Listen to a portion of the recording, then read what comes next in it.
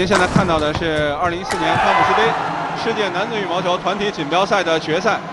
中国队在前面的比赛里边呢是输给了日本队，所以在今天的决赛里边，也是自从1958年以来第一次在汤杯的决赛当中，既没有中国队，也没有印度尼西亚队。进入决赛争夺的是马来西亚队和日本队。现在双方的第一场单打的较量，双方的一单。李宗伟对阵田儿贤一，第一局比赛李宗伟二十一比十二取得了胜利。现在是第二局的比赛。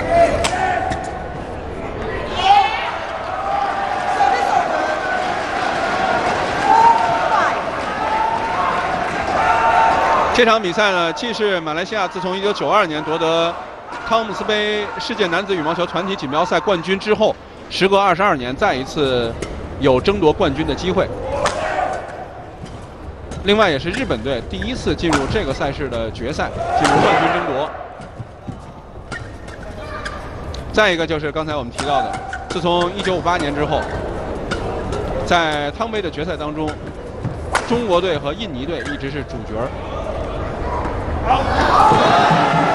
但是在时隔五十六年之后，终于在汤杯的决赛当中，既看不到中国队，也看不到印尼队。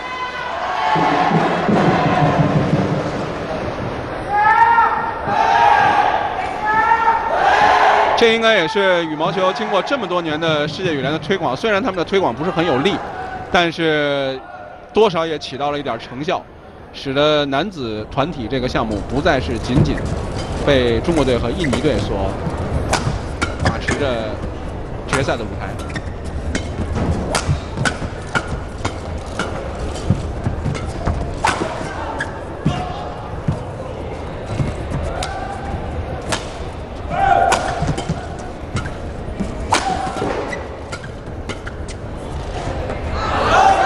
双方在抽挡当中，田儿贤一突然弹了一个后底线。第一局大比分失利，但是李宗伟的得分主要是通过他的进攻，所以第一局李宗伟速度打得很快，体能消耗也比较大。第二局田儿贤一是绝地反击，期待通过李宗伟体能有所下降的这个第二局，能够扭转局势。两个人过去的交手，田儿贤一处于绝对下风。他们一共打了十六次，李宗伟赢了十五次，田儿贤一只赢了一次。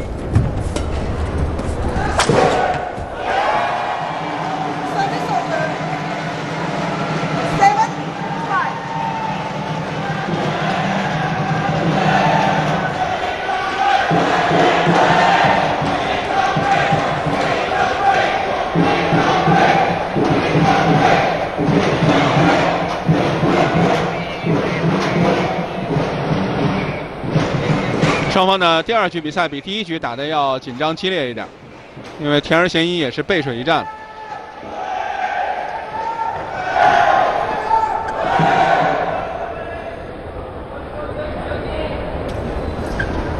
马来西亚自从1992年世界男子团体锦标赛之后，就再也没有夺得过任何一项世界锦标赛或者奥运会的羽毛球的锦标。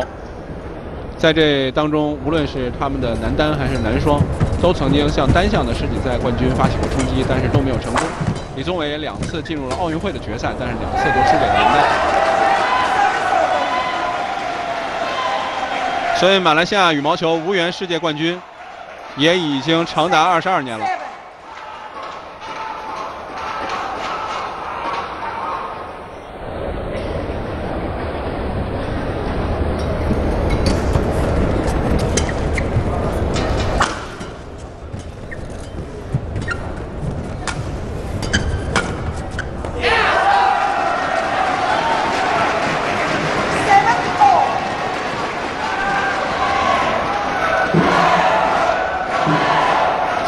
日本队的两位教练是朴柱凤和产田喘田圭太。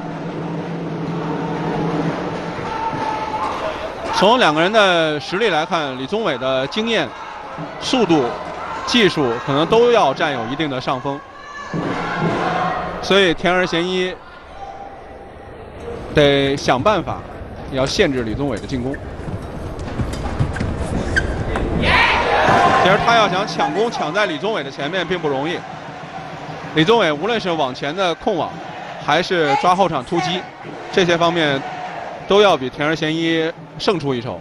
呃，田儿贤一最主要的是在推挑对方的两个底线的时候，尽量限制对方的进攻，让李宗伟不攻的那么舒服。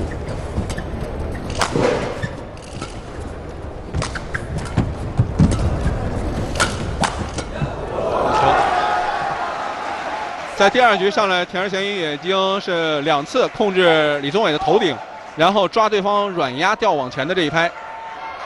因为李宗伟不太喜欢把球回到田儿贤一的底线，因为田儿贤一的进攻也是很突出的。他愿意在场上，更喜欢在场上选择保持下压。那田儿贤一两次抓了往前的推扑机会。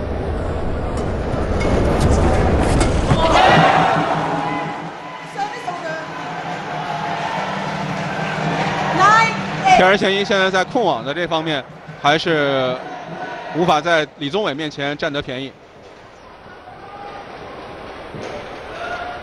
呃，他要想战胜李宗伟，就是要通过对对李宗伟两个底线的控制，让李宗伟不不攻的那么舒服。即使让李宗伟有攻的机会，也要消耗李宗伟的体能，这样才会在后半局和后半场比赛里边有机会。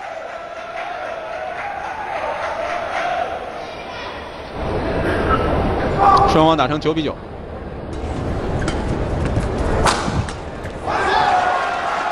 这个田儿贤一在第一局，田儿贤一就是打得过于消极和保守，自己的特点一点都没有发挥。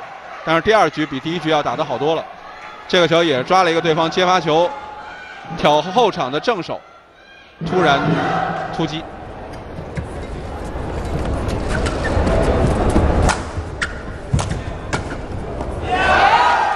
李宗伟扑球界外，十一比九。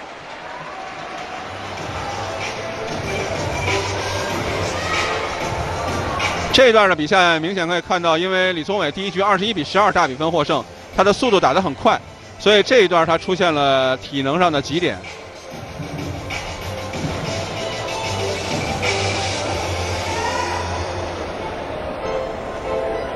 在李宗伟的职业生涯当中，他有几位教练对他是很重要的。一个是现在他的教练希德克的大哥，呃，大希德克，对他在身体训练方面给予了很多的指导，使他现在依然保持着极好的竞技状态。再一个是中国籍的教练李毛，在对技术和战术上对李宗伟的帮助也很大。那么现在他的主管教练是郑瑞木。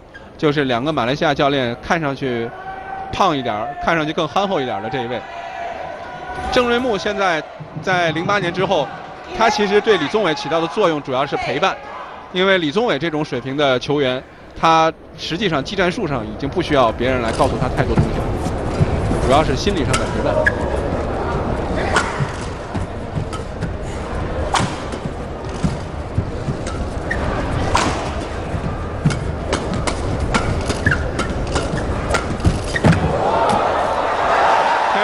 个球打得非常积极，有些反拍拦掉的这一下，想很突然。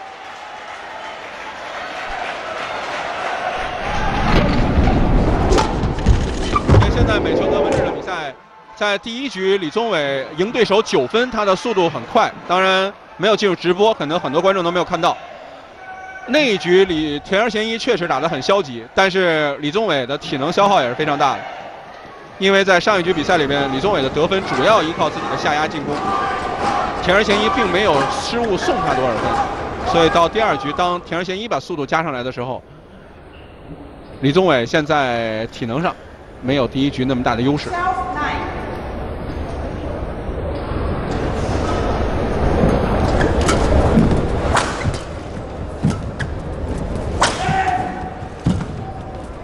再反击。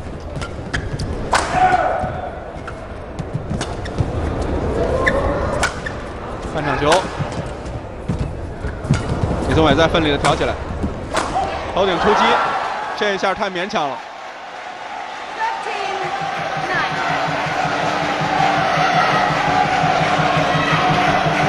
看来是两个人很可能要打到第三局，因为李宗伟现在这个几点还没有过去，当然分差只有四分，后半局还有一定机会。不过田二贤一一定会在后半局里头竭尽全力的。其实两个人从背步伐上来看，李宗伟明显比田二贤一还是要好很多，他的步伐比田二贤一要轻盈得多。在同样打两局的情况下，两个人如果是各赢一局，他的体能消耗总体上会比田二贤一少，因为他的步伐比田二贤一更轻更合理。Ten, fifteen.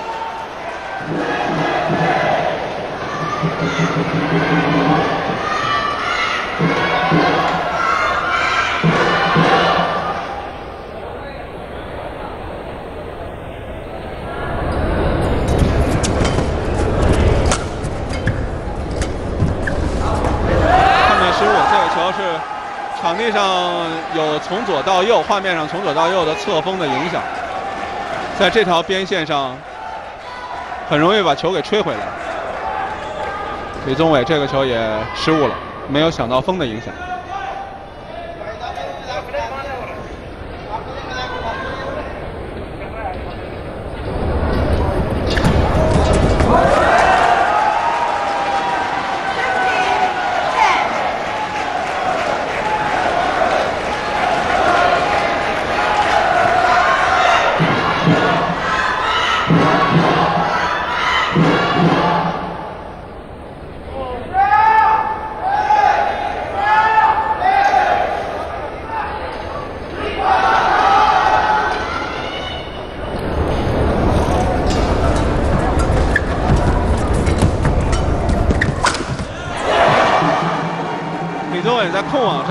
优势明显，在往前两个人都是抢搓抢棒的情况下，他的球的质量总是比田儿贤一更好，所以他总是先下压。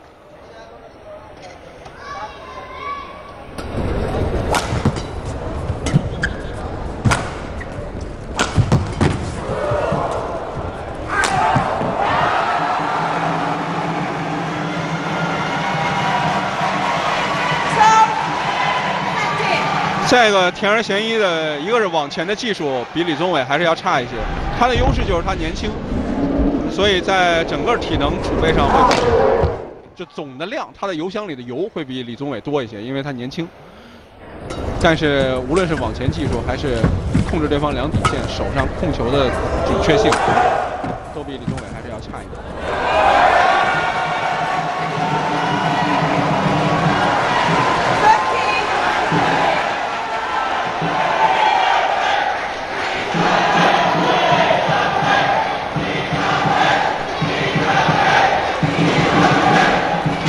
李宗伟把比分追到了十三比十五，田儿贤一也示意场地上有汗水，请求裁判来，请工作人员来擦一下，对自己来说也是一个体能上的调整和节奏对李宗伟上分节奏的破坏。李宗伟连得了三分，这也是田儿贤一的比赛经验。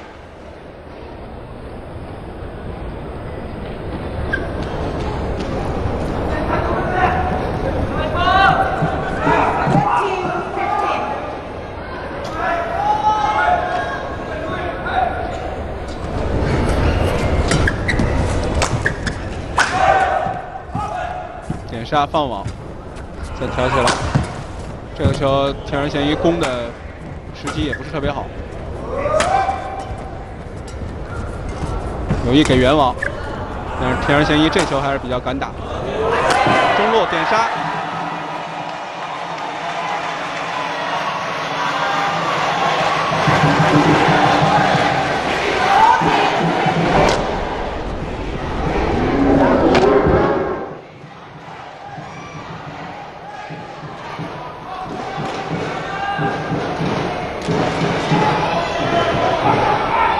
李宗伟现在连得四分，将比分从十比十五落后追到了十四比十五，还差一分。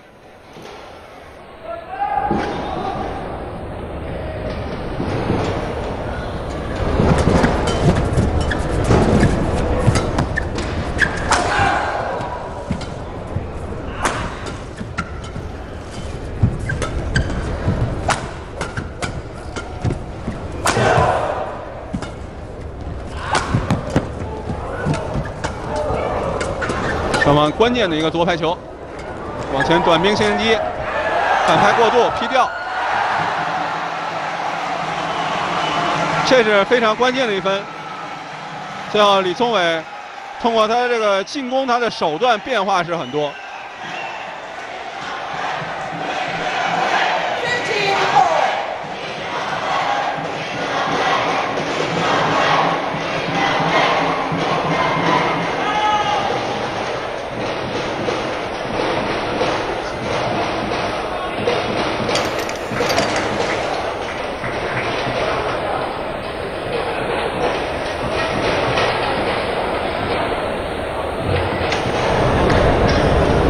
今天这场球对于李宗伟来说也有着相当重大的意义，因为马来西亚自从1992年之后再没有夺得任何羽毛球赛事的世锦赛或者奥运会的冠军。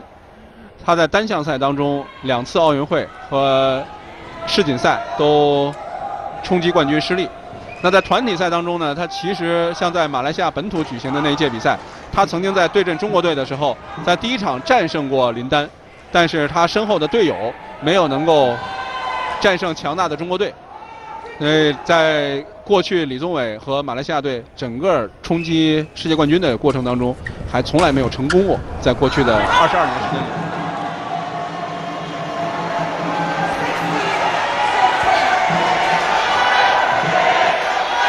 李宗伟连得六分。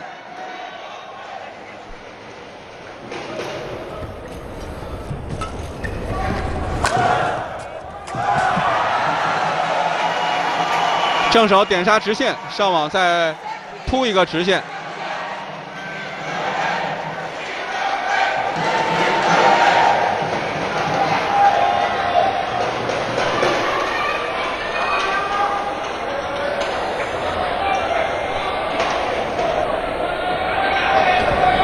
其实李宗伟也不期望这个比赛打到三局，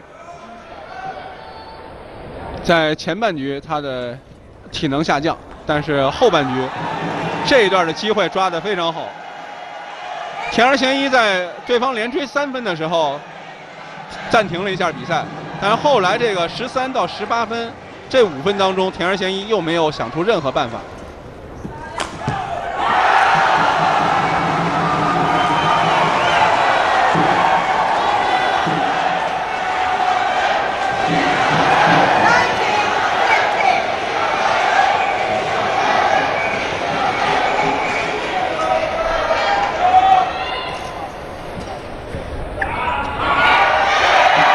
球界内，这样李宗伟获得了长点，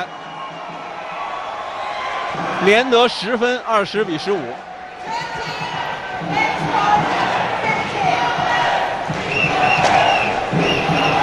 呃，田儿贤一之前输李宗伟输了十五次，只赢了一次。呃，在比赛当中的信心，两个人还是形成了鲜明的反差。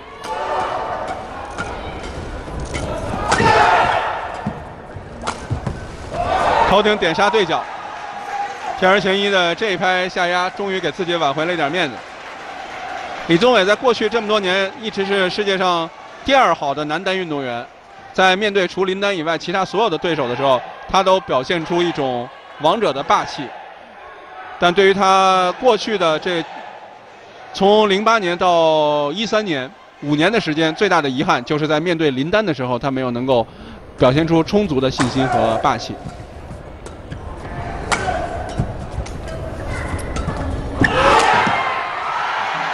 四线示意界内，李宗伟头顶突击点杀直线，拿下了最后一分。这样在第二局比赛，他是连得十分，逆转田儿贤一，二比零，为马来西亚队夺得了今天团体赛的第一场一单对抗的胜利。两人在职业生涯当中都是第一次站在汤杯世界男子羽毛球团体锦标赛决赛的赛场上。这场比赛结束之后，两个老对手也。互相交换了一下球衣，无论胜负，这场比赛对于日本队和马来西亚队来说，都是值得纪念的。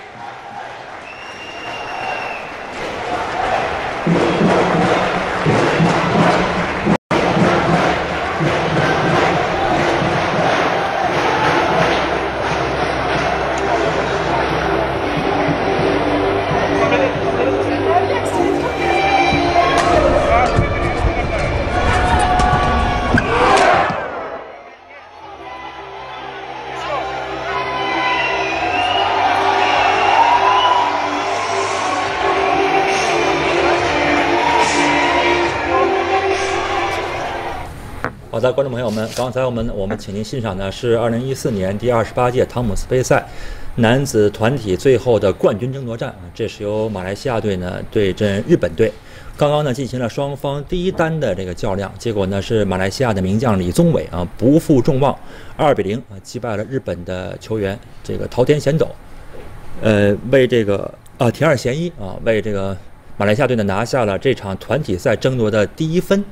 呃，演播室里面呢，依旧请到了我们大家非常熟悉的两位嘉宾啊。这位呢是来自中国羽毛球队的前国手龚伟杰，呃，离我远一点呢是我的同事，长期跟随中国羽毛球队世界性大赛报道的这个姚立竹啊。欢迎两位来到我们的演播室。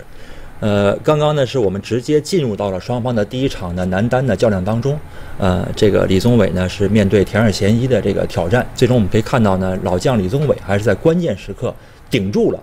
特别是第二局啊，十比十五落后的时候，他打出了一波连取八分的攻击波，最终呢是直落两局啊，战胜了这个田二贤一。呃，这场球我看伟杰在刚才的这个演播室里面也看得很仔细，你先给我们点评一下吧。从第一局开局了，因为大概呃大家观众大家没看到，肯定是没看到。第一局开局，李宗伟的整整个速度打得非常快，而且很有自信，把整个场上的。节奏啊，几乎都控制住了，而且他最重要的是抓住了田二的某一点，就是田二，大家可以回忆一下他的得分手段都是通通过往前，因为他的往前的技术特别突出，没错。然后呢，得到对方起球之后，他下压进攻，嗯。可是很明显，李宗伟在第一局上面很注意田二的这个这个控网球，所以说他在抓扑上面呢，扑完几个球之后，选择田二的整个。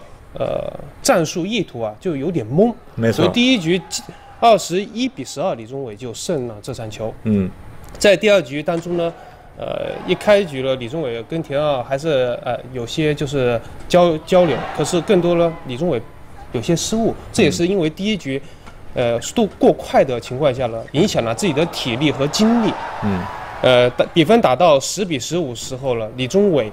他的整个呃经历了又调整回来了，然后还是一样，然后通过自己的信心和信念呢，完成连续得十一分的这个结果，应该在很多比赛中很难见到。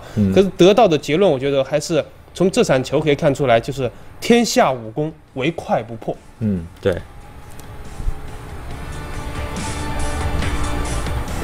好的，呃，刚才呢，导播呢也把我们这场男子团体决赛对阵的双方的具体的上场队员的名单打在了屏幕上，大家可以看一下。马上呢将要进行的是第二场男子双打的争夺啊，双方的一双远藤大由、早川贤一对阵马来西亚的组合陈文宏和云天豪。然后呢，第三场是二单桃田贤斗对阵张维峰。这个第五场呢，双方的三单啊，上田拓马对阵刘国伦，红和云天豪这对新搭档，对阵的是日本队的一双早川贤一和远藤大由。现在马来西亚队由李宗伟为他们拿下了团体赛的第一分。第二场球对马来西亚队来说也是很关键的。马来西亚队就是除了。对阵中国队之外，他们对阵所有的队伍其实也都是一样。他们的一单和一双实力是比较强的，但是后边三场球全是年轻选手。如果一单一双能够拿下前两分，后边三场球四个小队员去拼下一分，对马来西亚队来说是最理想的比赛形式。日本队依靠的是五场球的整体实力，他的五场球整体实力非常平均。在昨天夺得尤伯杯亚军的日本女队队员们，今天也来到现场，为男队的队友加油。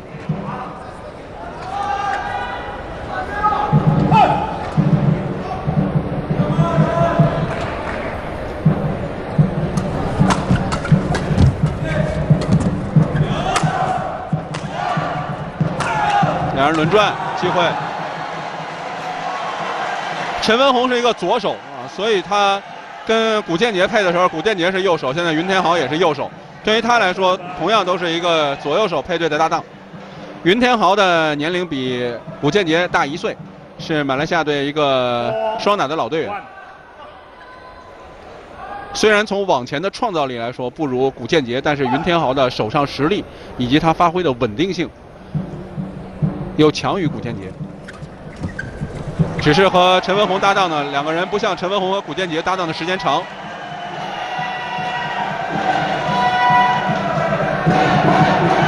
Five, one.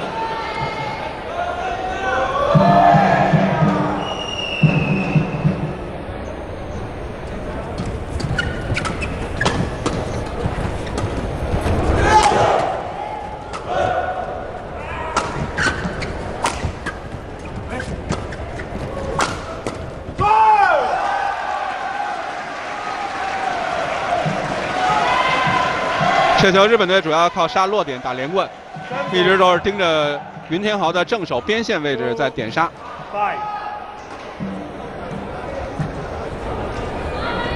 在之前的比赛里头，云天豪和陈文宏打了五场，出场了五次，三胜两负，并没有保持全胜，所以也暴露出来这一对搭档时间不长，所以他们的综合实力并不能算顶尖。但是他们在半决赛对阵印尼的时候赢了最重要的一场球，赢了世界排名第一的亨德拉塞提亚万和穆罕默德阿克桑。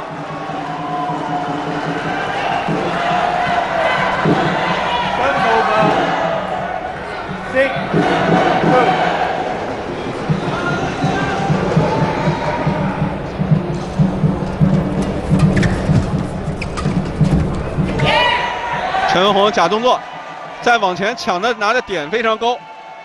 对，一开始是可以放网，对方也冲上来了。他等对方冲上来之后，突然出手推对方底线，这是有这个做假动作的空间，是在往前抢到了高点。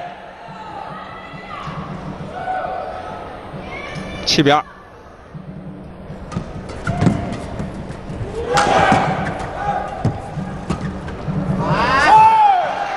这球变得就有点儿，就打得太花了。嗯，这也是陈文宏和古建杰这一对组合一个固有的特点。他们的天赋很突出，但是有的时候在场上打得太花了，就有点华而不实，有些球。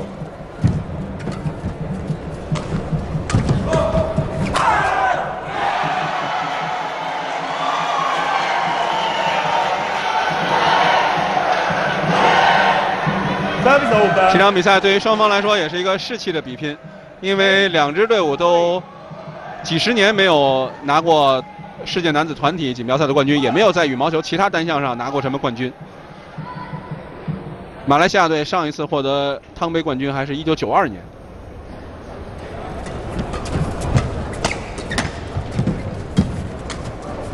好球，陈文宏的手感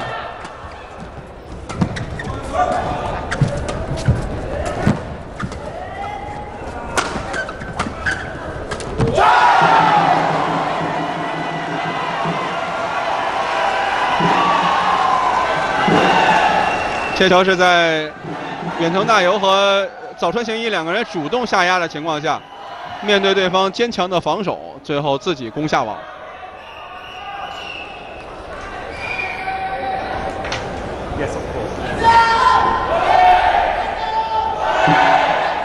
其实马来西亚的第一双一直是非常优秀的选手，陈文宏和古建杰，呃，但两个人就是在性格上，呃，两个选手，特别是古建杰，有点儿就是不够踏实。其实给陈文宏搭配云天豪，从两个人的性格的互补上来说，可能比搭配古建杰在场上表现出来的临场应变和才华上面，创造性上差一些。但是比赛的发挥的稳定性，还有场上的拼劲儿，云天豪能够带给这个这对组合的作用，都比古建杰要大。Play.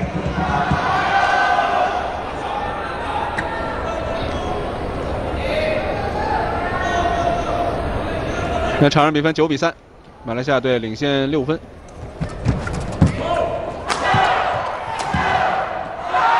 林天豪在往上往前发完球之后，自己的连贯给陈文宏制造了进攻的机会。and we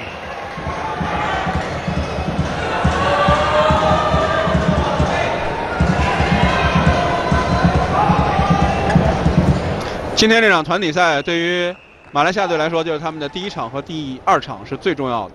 因为他们的核心队员是在第一场和第二场。如果打成二比零的话，马来西亚队夺冠的概率将会非常大。不过日本队是整体实力很突出的一个队伍，他们在零比二落后的情况下，也不能说完全没有逆转的可能。而一旦前两场打成一比一，可能马来西亚队就很困难了。他必须打成二比零，马来西亚队取胜的概率才会比较大。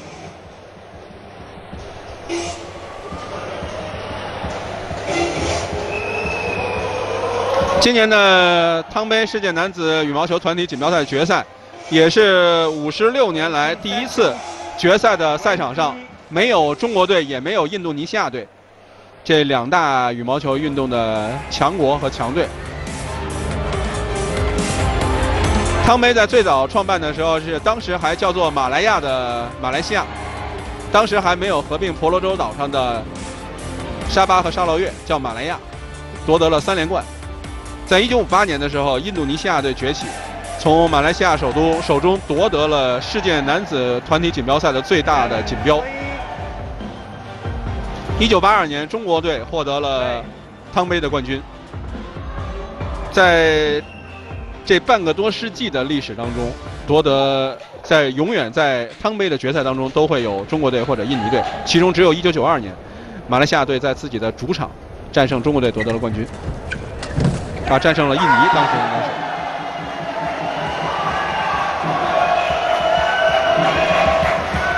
Twelve three.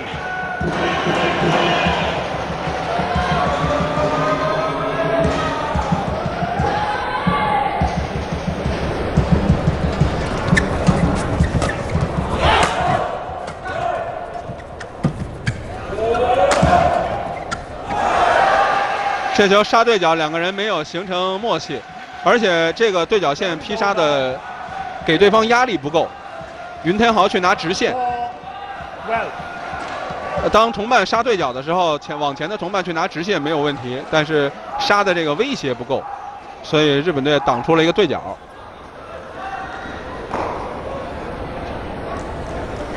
现在发球的是远藤大由，接发球的是云天豪。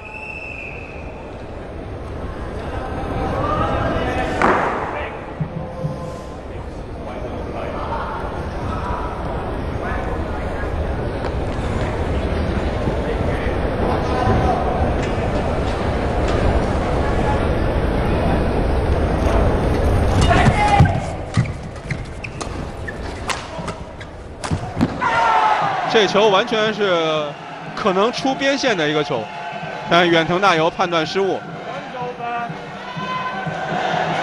Thirteen ball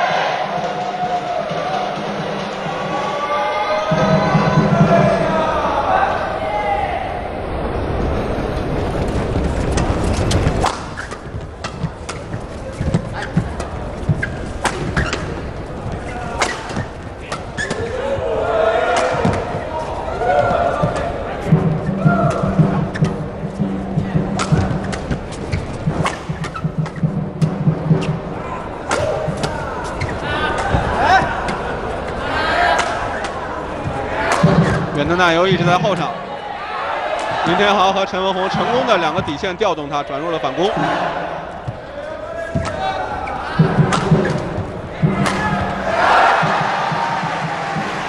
这次换到早川贤一在后场，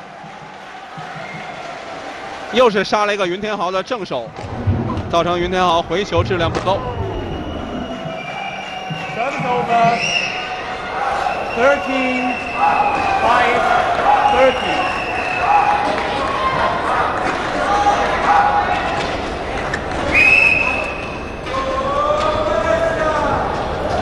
早川贤一发球，陈文宏接发球，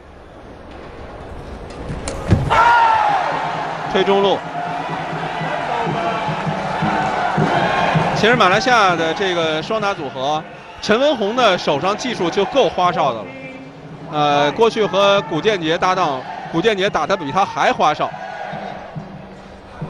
这也是他们两个人组合成绩不稳定的原因之一。打的有的时候打的真是出神入化，但就是在关键时刻老是顶不住，因为两个人的风格都是比较花哨、不够朴实的那种风格。陈文宏稍微好一点而已。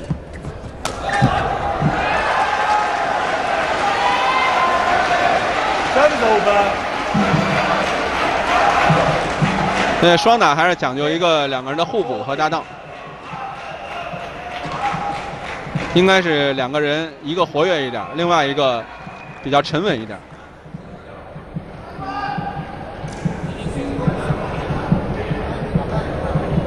两个人如果都是很闷、很朴实的风格，可能这个双打也不会太出色。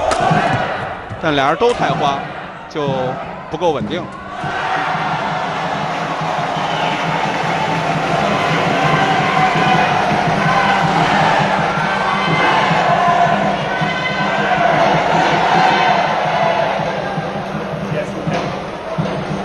云天豪也是在2012年武汉的那一届汤尤杯比赛当中，呃，被马来西亚队重新启用。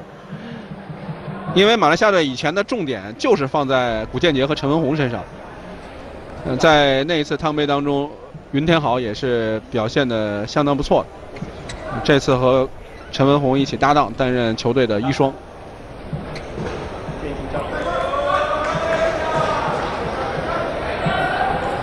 Serve is over. 对他们来说，半决赛对印尼的时候赢的那一场双打是最重要的。现在又在决赛当中迎来了马来西亚队夺得冠军的机会。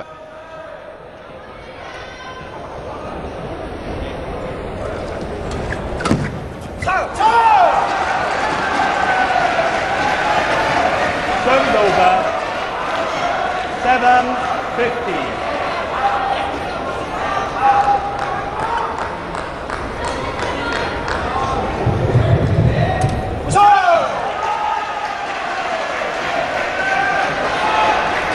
Eight fifty.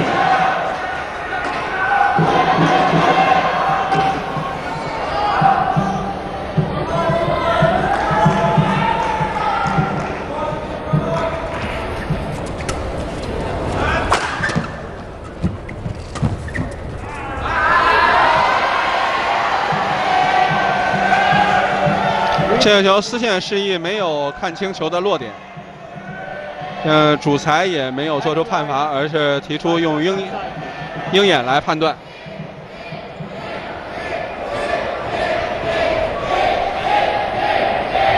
马来西亚队这边的教练都回头看回放，鹰眼的回放，球是压线。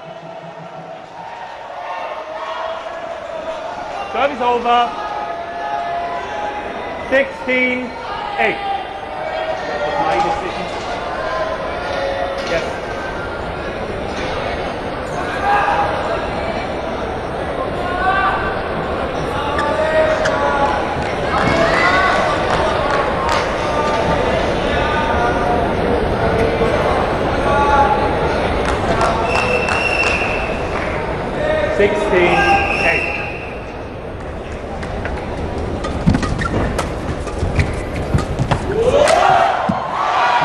球没有挑到位，陈文宏的素质相当突出，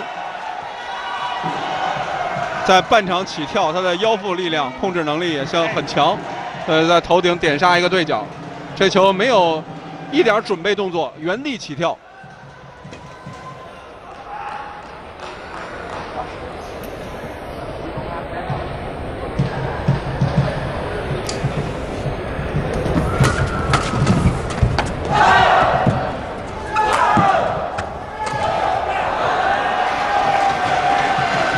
云天豪和陈文宏两个人的轮转还是有有挺大的问题的，没有那么顺。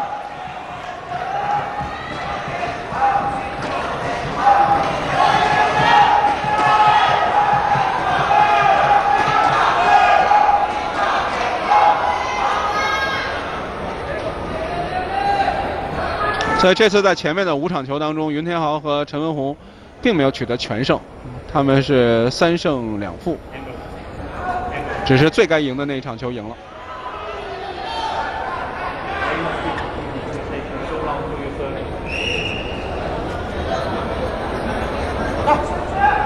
Nine seventy.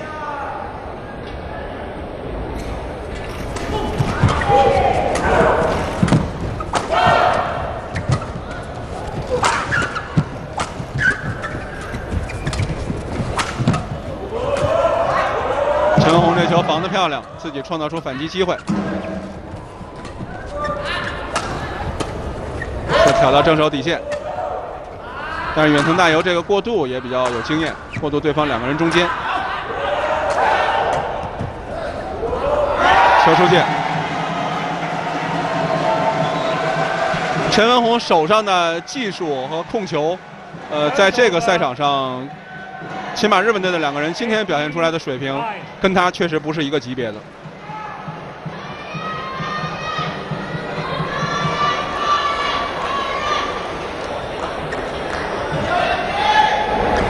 陈文宏非常全面，他和古建杰的打法也是一样，现在是跟陈文宏、跟云天豪来搭档，就是既可以打前半场发抢，又可以打攻守，很全面，发接发也比较出色，攻守实力也比较好，也比较平均。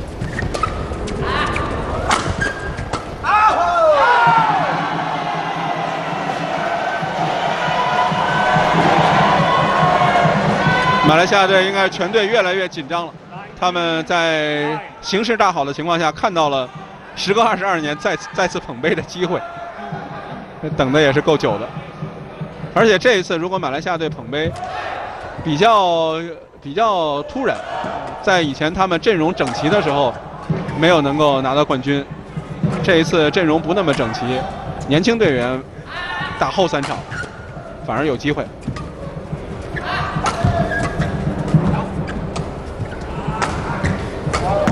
陈文宏的这种防守的分球呢，他就是挑你两个底线和结合挡网，而且他也是挡直线、挡对角，都可以运用。所以他尽管是在守，尽管在防你的球，但是他的防守出球目的性非常明确。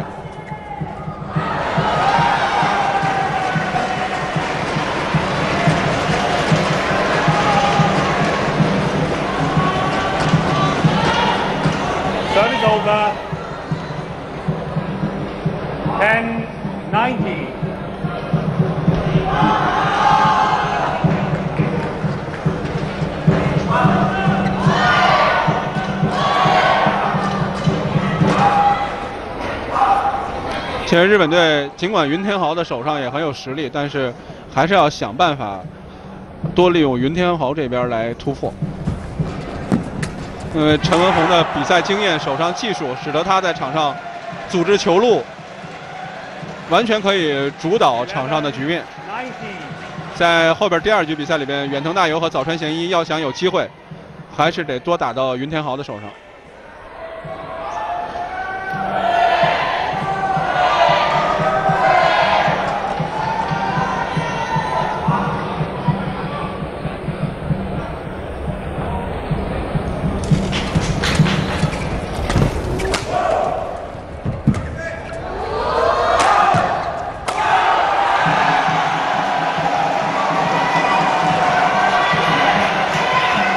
陈文宏和云天豪获得了第一局的局点，二十比十一。Twenty. Game point. Eleven.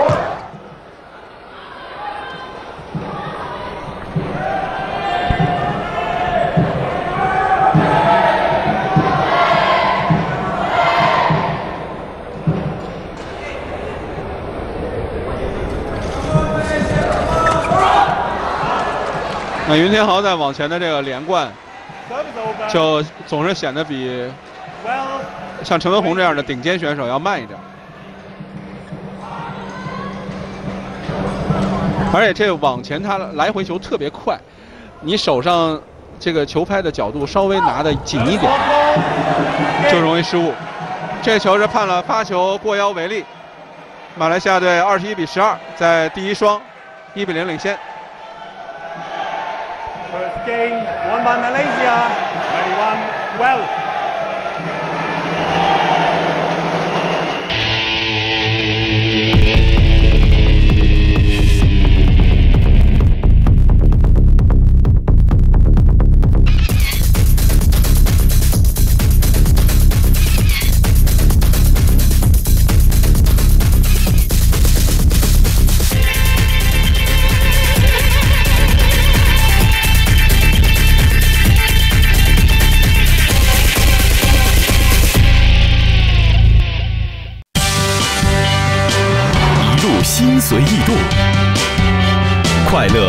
处不在。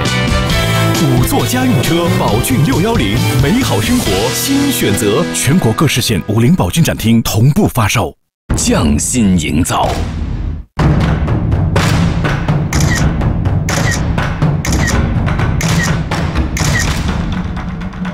雪花纯生，中国古建筑摄影大赛。烈日有什么好怕？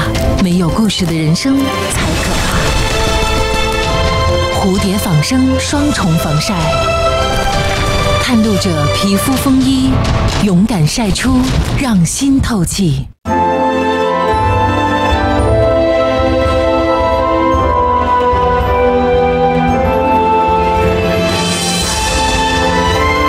水中贵族，百岁山。补充一份活力，让我们纵情驰骋；注入一股能量，让我们激情释放；添加一份健康，见证体育的力量。娃哈哈起立与 CCTV 五邀您共赏精彩体育赛事。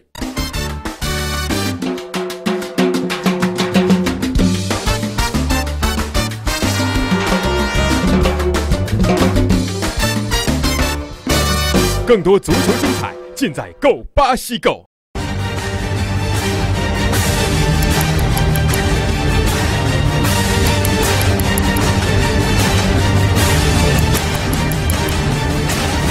一波表实时记录中国体育进程。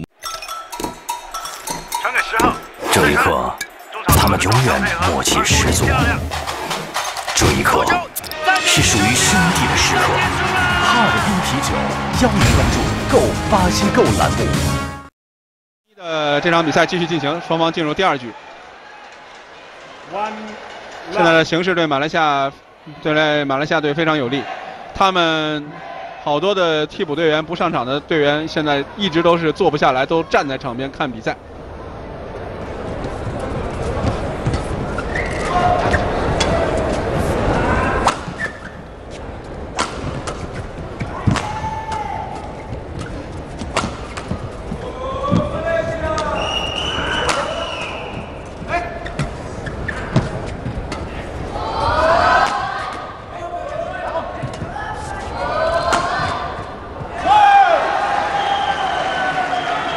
防出界了。其实陈文宏和云天豪这一对儿啊，他们的打法比较全面。呃，他在场上他的战术变化比较多，有的时候跟跟你打发抢，有的时候他又可以打手中反攻。所以在场上他们的比赛有节奏变化，观赏性还是挺强的。再加上陈文宏的出手，确实很有特点。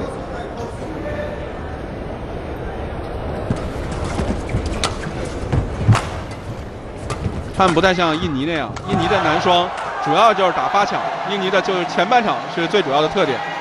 韩国的男双在很长的一段时间又是以手中反攻为主，two one。但是马来西亚的这对男双是他们打法就比较全面一点。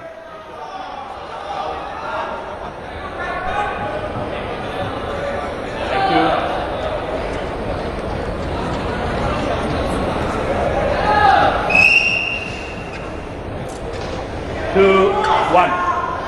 Play. 现在日本的男子双打是在朴柱凤担任他们羽毛球队的主教练之后，慢慢的这个实力开始变强，但是日本的男双还没有形成自己特别突出的风格。他们在近些年男双出来的优秀的组合很多，啊，但是没有顶尖的选手，都是能够打到世界前十，但是要进入前四，日本的男双就比较难了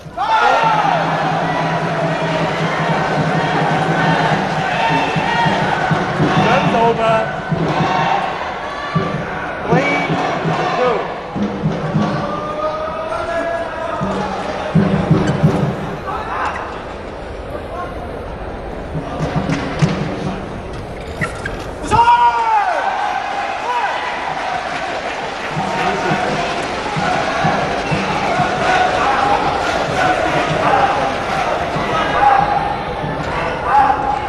Turns over. Three 日本队在之前的女子世界羽毛球团体锦标赛当中夺得了亚军，也是多年之后的一个好成绩。今天他们女队的队员也在现场，给男队的队友加油。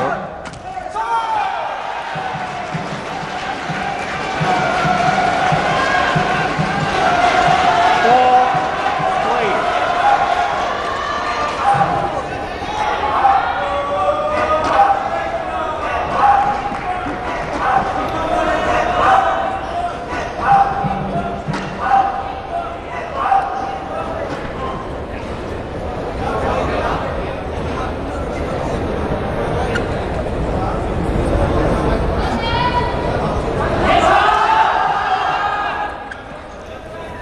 ，play。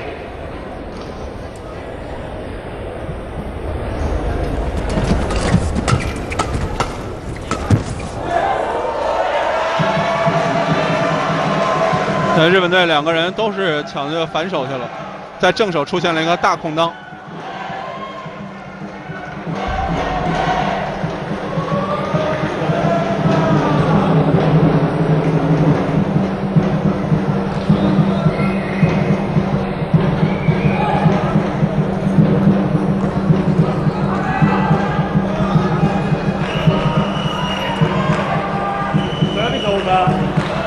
马来西亚在一九九二年夺得汤杯冠军的时候，当时队里也是兵强马壮，无论是单打、双打都有世界一流的选手。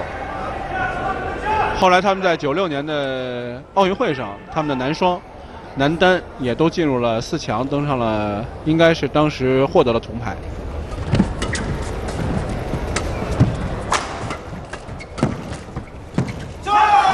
但那之后呢，一直没有特别好的球员出现，有七八年的时间。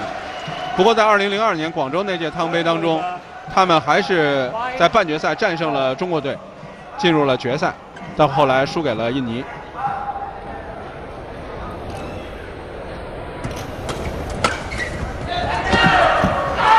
在02年的汤杯上，李宗伟还是马来西亚队的一个小替补，根本上不了场。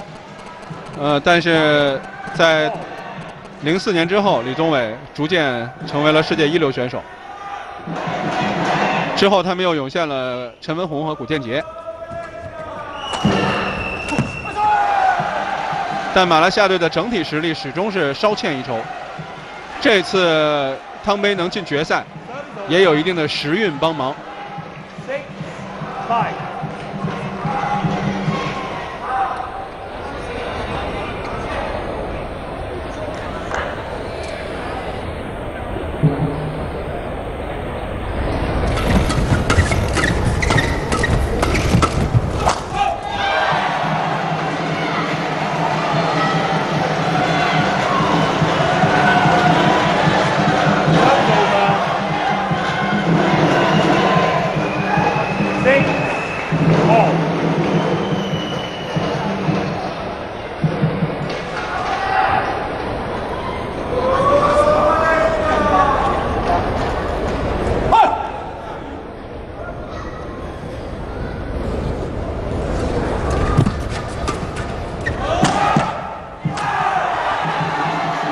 陈文宏在后场杀的落点，杀到对方的两个人结合部。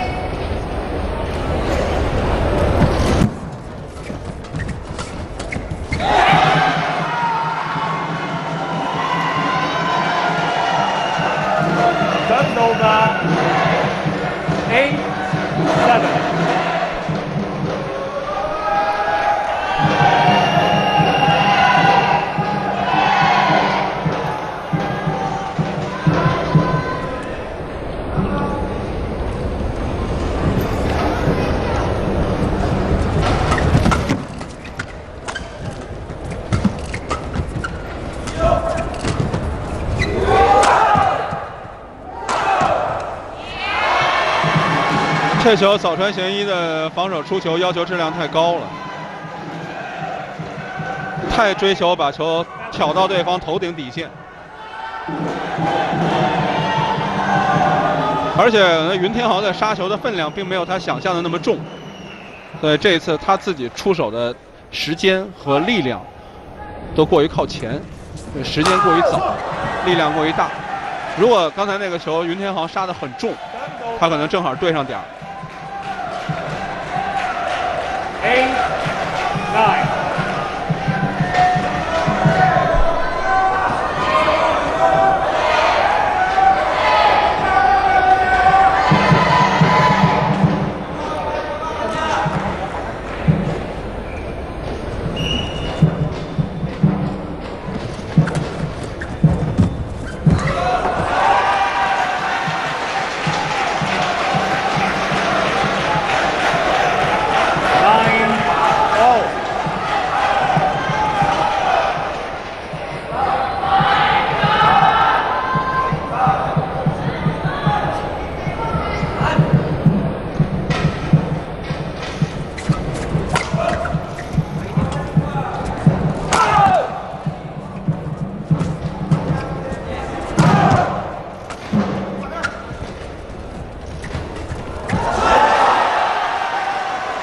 云天豪在往前和对方对抢的时候，很难占到上风。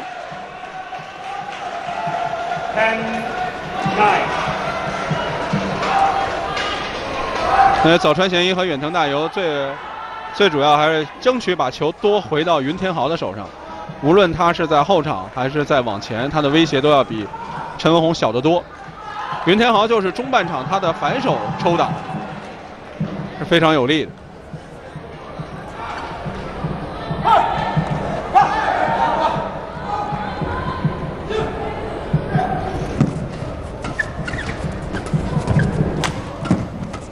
这球又是云天豪往前没有看住，造成对方先下压，然后自己反拍，发力又大了一点，球出了边线，十一比九，远藤大由和早川贤一领先第二局。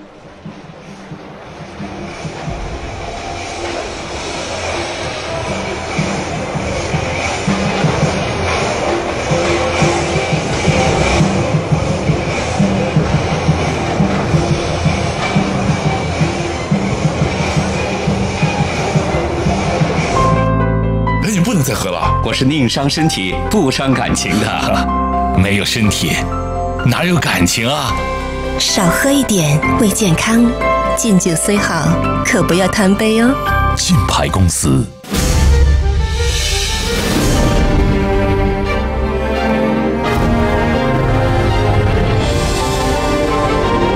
软型专家，二零一四 Outback 傲虎 Subaru。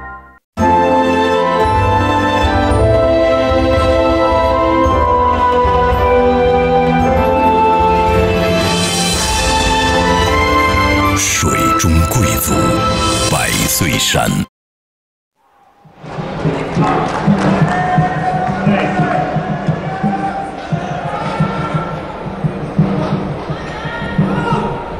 双方继续第二局的比赛。线内，这个时候到第二局，远藤大由和早川贤一逐渐找到了对付对手的办法，还是争取避开陈文宏。这种攻人的打法呢，需要你在场上也是有一定的这个技术能力的。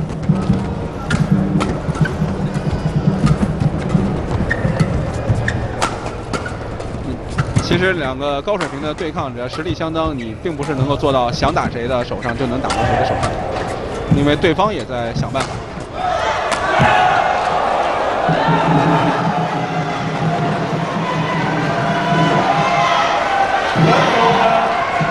反正这个比赛就是，如果你看到马来西亚这边这边穿红色球黄色球衣的，如果总是陈文宏在打，他触球的机会多，日本队就不好办。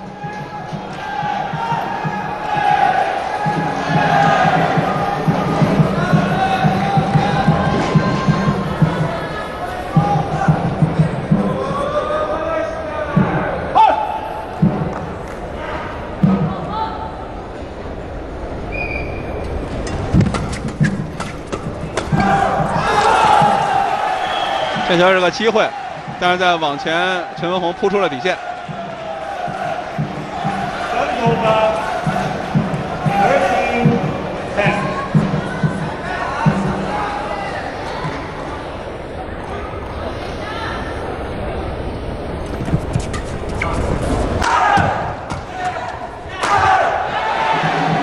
远藤大由这球防的不好。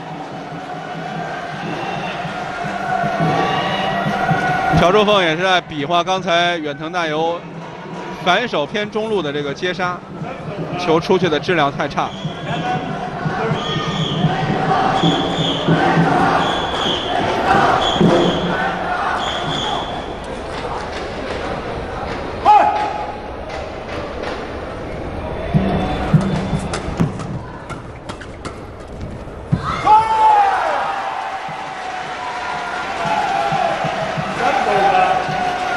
草川贤一是抽完了第一拍之后，第二拍马上是软挡放网，云天豪没有跟上。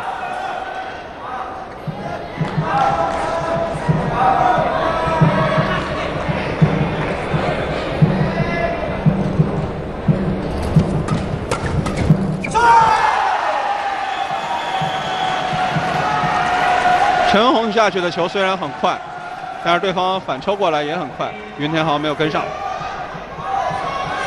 但其实从球打的情况来看，马来西亚队过去一直是重点培养古建杰和陈文宏。呃，从球的单纯从羽毛球技战术能力上来讲是没有问题的，但是他们没有考虑到，但是就是这两个运动员，特别是古建杰，他的综合素质、就自我要求这些方面，也是一直让马来西亚队教练组相当头疼的一个事情。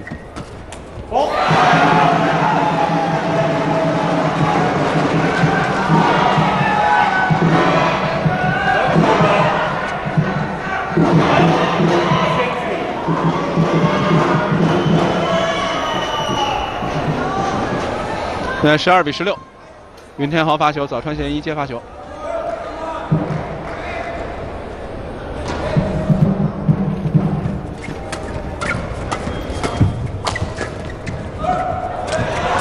这球又是，就你在攻陈文宏这么主动的球，都被他打出反击了。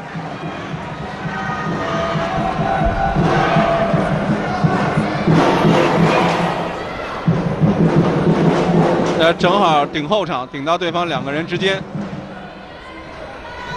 这个球应该是早川贤一在攻完第一拍之后，以为打死了，他第二拍准备太慢。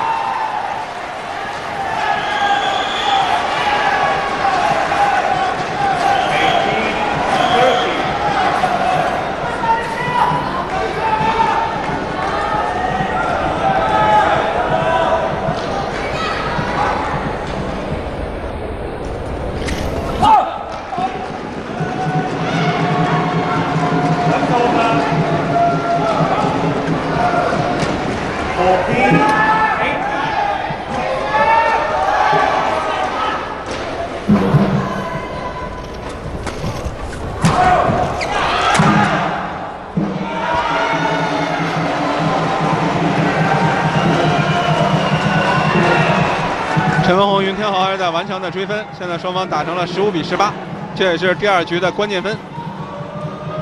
就这个分数对于落后一方来说还有追的可能，这个分数对于双方的心理影响是很微妙的。如果是十九比十五，虽然只差一分，呃，对两个人两方的心理感觉是完全不一样的。早川贤一回球波半场失误。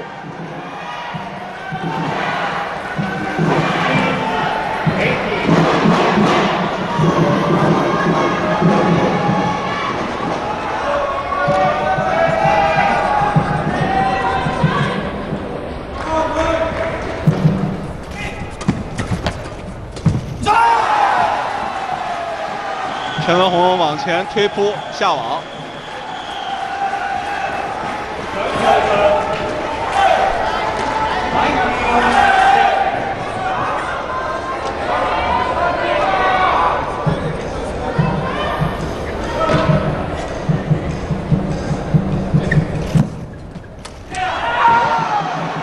这次早川贤一的回放不是时机不是很好，质量也很差。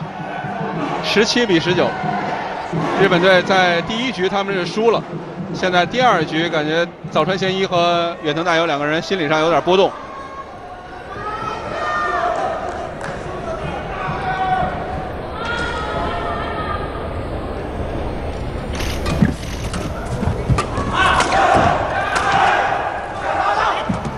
防得很顽强，继续在后场下压，劈掉。轮转，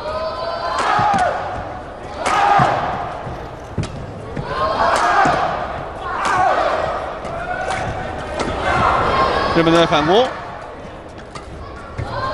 远藤大由在后场，机会，这个球远藤大由在后场的进攻连贯打得特别好，他劈掉一拍中路，在正手劈掉一拍中路之后，注意力已经是提前。往自己的头顶区移动，因为他劈掉一个中路，对手很很容易就会挑到他的头顶区。他已经提前向提头顶区这边来准备，所以抢的点下压很主动，点杀杀云天豪的追身，造成云天豪的回球质量不高。这样，远藤大由和早川贤一获得了第二局的局点。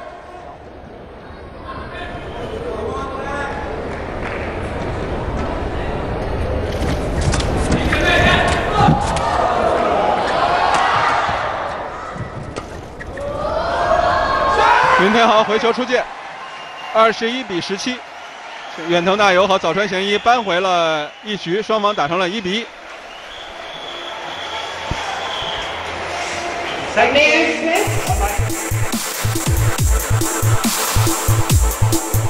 长安福特翼虎为您开启黄金赛场，精彩赛事。福特翼虎配备智能 ACC 系统，精准监测前车车速，自动调整安全距离，开启安心旅程。福特，境无止境。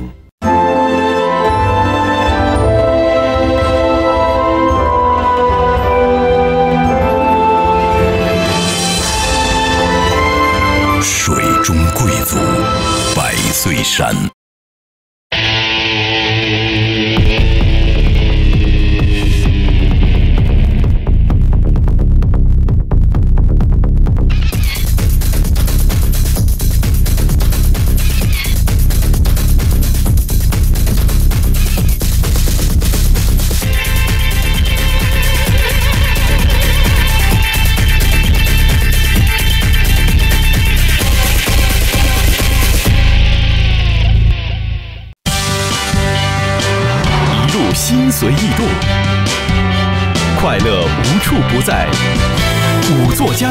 宝骏六幺零，美好生活新选择。全国各市县五菱宝骏展厅同步发售。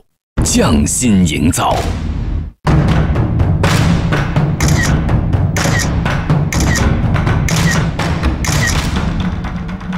雪花纯生中国古建筑摄影大赛。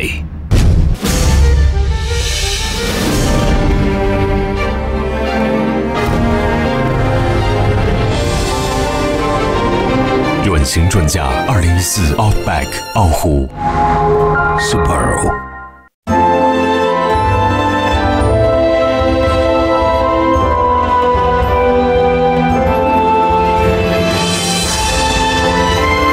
水中贵族，百岁山。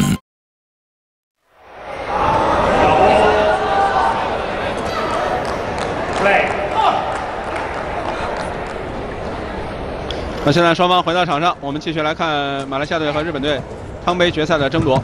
双方第一场球是李宗伟二比零拿下了田儿贤一，为马来西亚队先下一城，一比零领先。现在第二场双方的一双的对抗打成了一比一平，决胜局。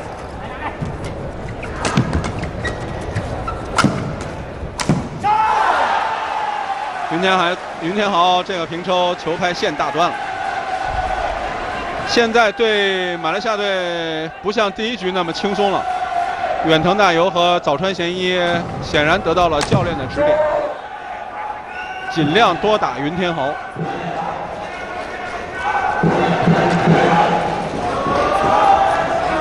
当然，这种攻人就是像前面第二局也说过的，不是那么容易，有的时候你得改变自己习惯的球路，才有可能打到你想打到的那个人手上。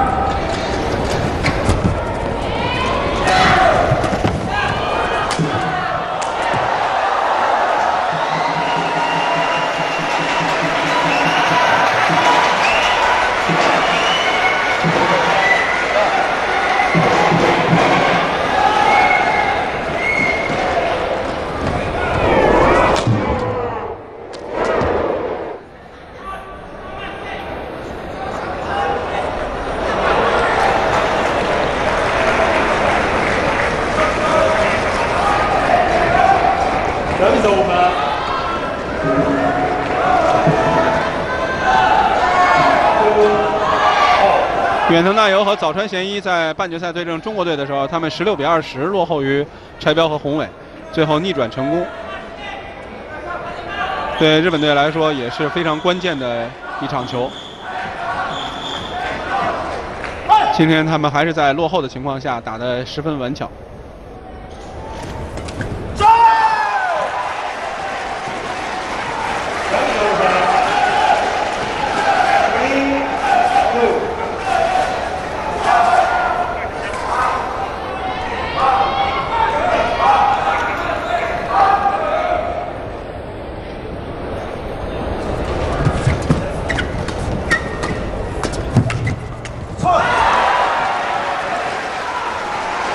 前过不去了，啊，早川贤一连续封网。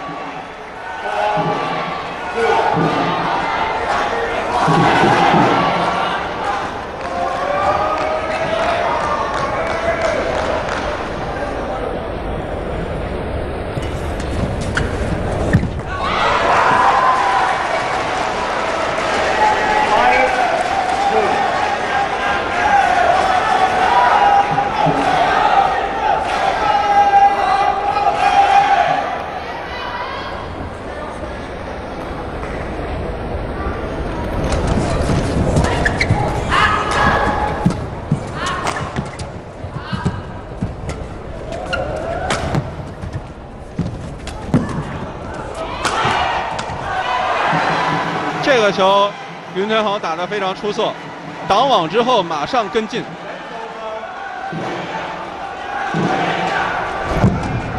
抢到了曼多克回放的推扑的这一下，呃，挡完了之后马上跟进，对方一回放，他在往前很主动的推。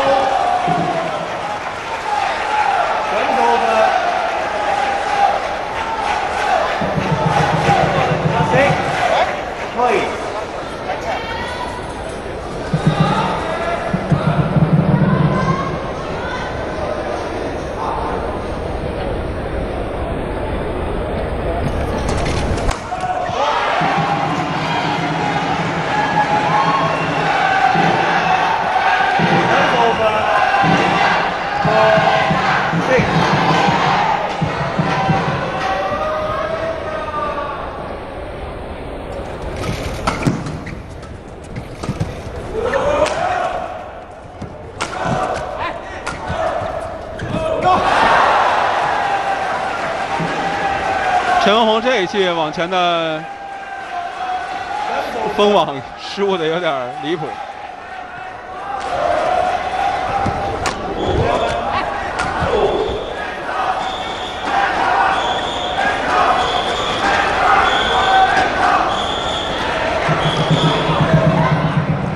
马来西亚于总也来了不少，来了不少人，期盼着本队能够时隔二十二年之后再度捧杯。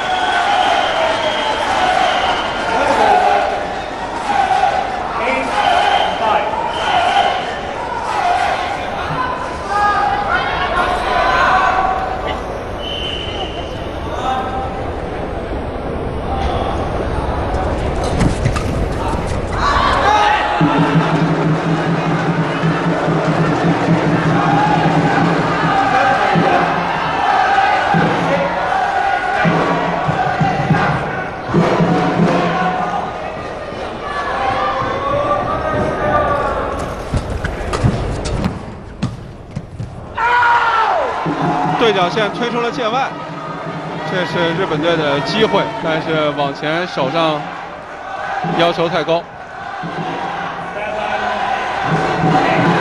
日本的男双是一位韩国教练，一位印尼的教练训练。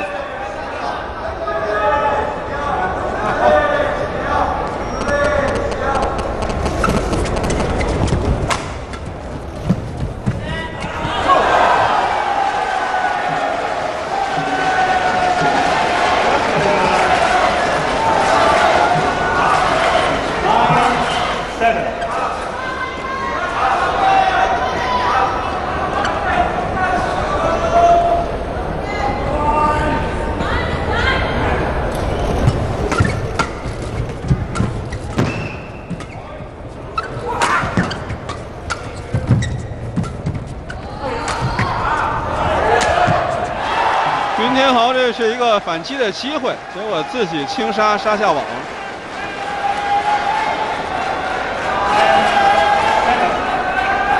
云天豪由于他的身高不是很理想，所以在后场进攻的时候，他不断的通过起跳来扣杀，所以他的体能消耗到第三局的时候也会是比较大的。这个球云天豪已经帮不上忙了。转攻，远藤大由把球挡出了边线。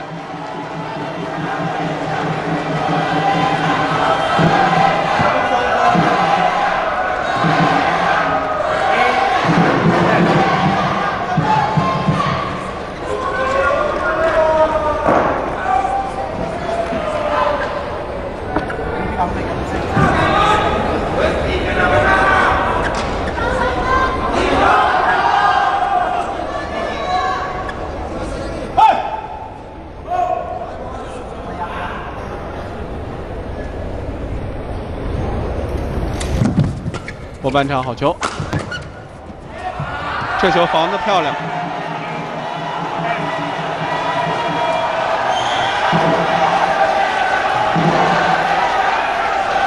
云天豪的防守啊，还是他的正手有漏洞，他的反手的发力一直是相当。这个球其实对方已经攻到他正手小对角，但是云天豪还是用反手用反拍来接，而且挑出一个对角线。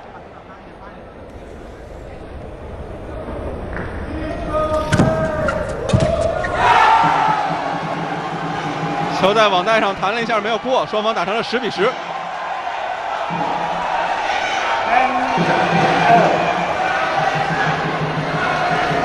非常紧张的比拼。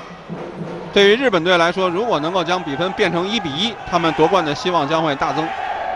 因为后三场球，马来西亚队都是都是一般的球员，就不像有李宗伟和陈文宏这样的大牌。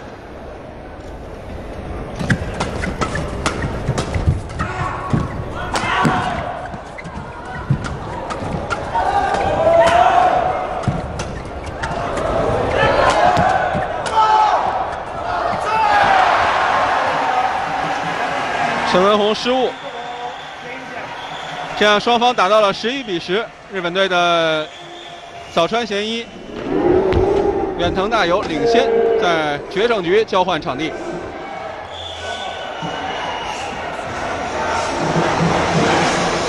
后边的比赛，尤其对马来西亚队来说，如果打到第五场，他们的第三单刘国伦这次比赛还一场未赢，呃，对阵日本的上田拓马，恐怕是。很难能够暴露呃超水平发挥，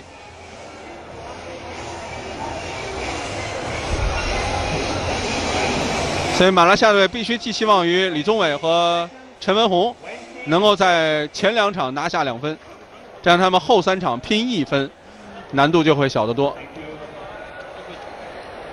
一旦马来西亚队在前两场不能拿下两场的话，后三场球就很难讲。日本队的整体实力的厚度就会发挥优势。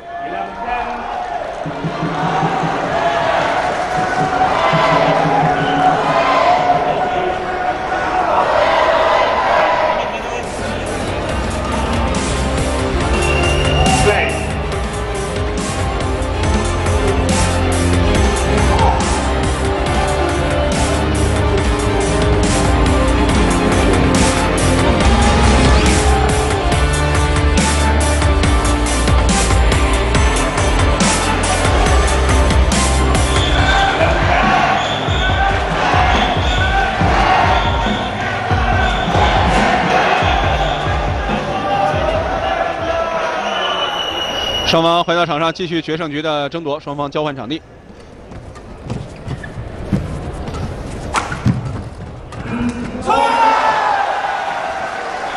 这个球就是远藤大由和早川贤一两个人，对于和古，对于和云天豪对抗相当有自信。这个球在正手区，就是中半场非常主动的抽平抽对角线，打到云天豪的手上。那么在比赛之前，听说古建杰呢是已经当了父亲，而且古建杰本来就是一个在对事业的追求没有那么那么较劲较真儿的一个人。在之前已经从马来西亚的报道有消息说古建杰准备退役了，尽管他的年龄并不大，而且现在听说古建杰已经当爸爸，所以这次比赛古建杰也没有和陈文宏一起在出征。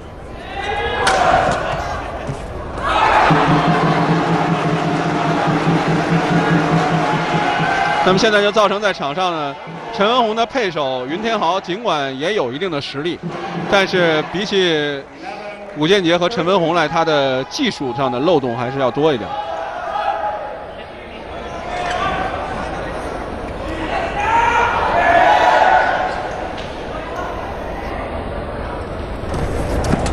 这球远藤大由回的非常漂亮。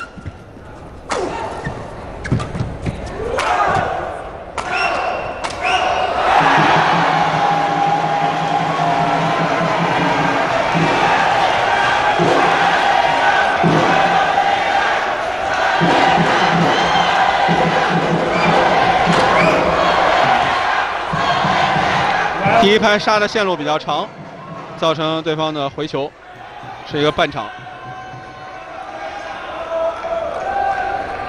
十二比十三。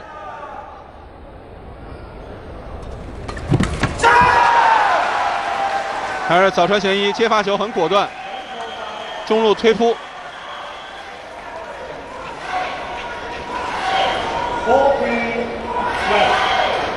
这球陈文宏发的质量是差了一点。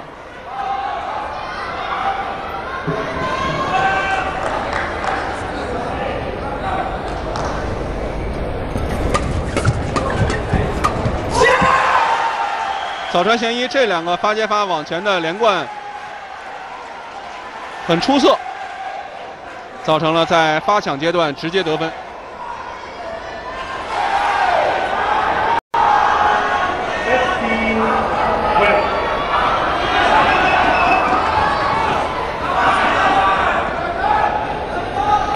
比分又拉开了，十五比十二，还是早川贤一发球。这球也没发好。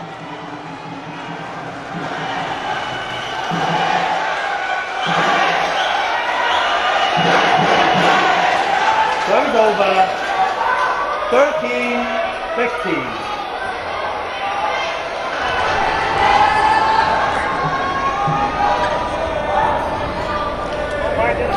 十三比十五，云天豪发球，早川贤一接发球。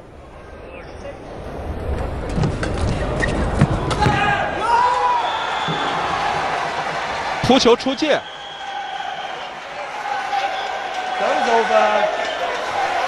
thirteen.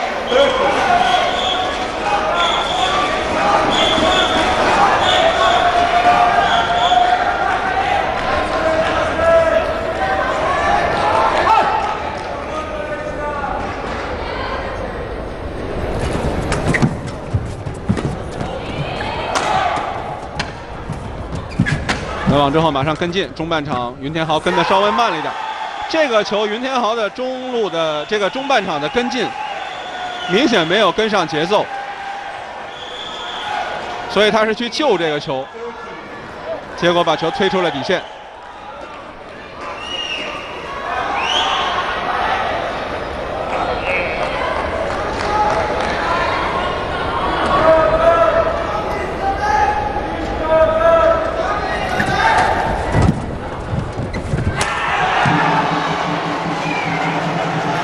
早川贤一这个球的放网放中半场有点太不把对方放在眼里了。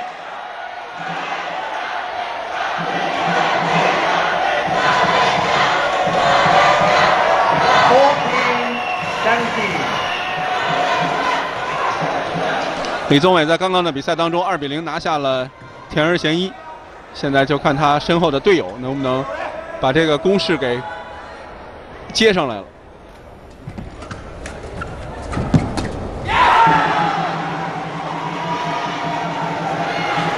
马来西亚队也很顽强，追到十五比十七，再度把比分迫近。好在是陈文宏的发球，看陈文宏能不能在这个关键分十五比十七已经进入关键分，他的发球能发好。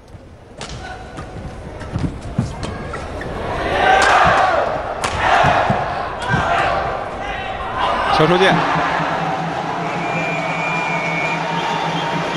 十六比十七。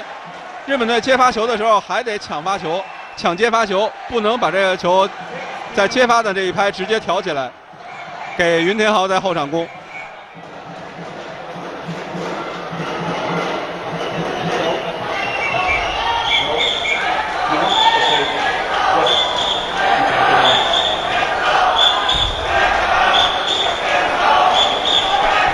这场球对于双方的团体赛争夺来说是一个天王山的一场球。在在这五场球当中，如果这场马来西亚队能够拿下，他二比零领先，夺冠的希望大增。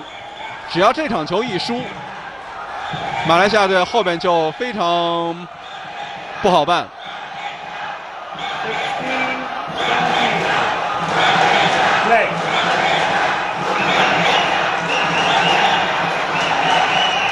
当然，团体赛每一个单场上去发挥的人，他的临场发挥也是很重要的。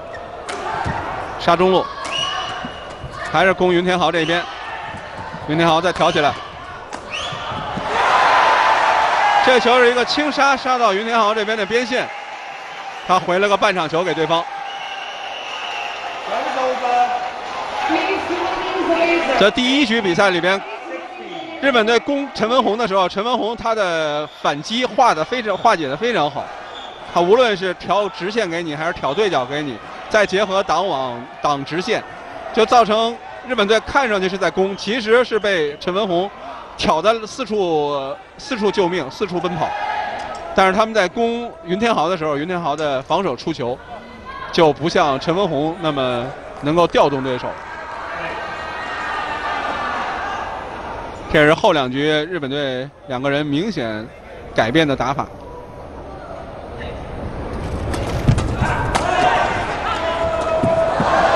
又是鱼跃救起来，很顽强。日本队在挑起，要到底线，抢网。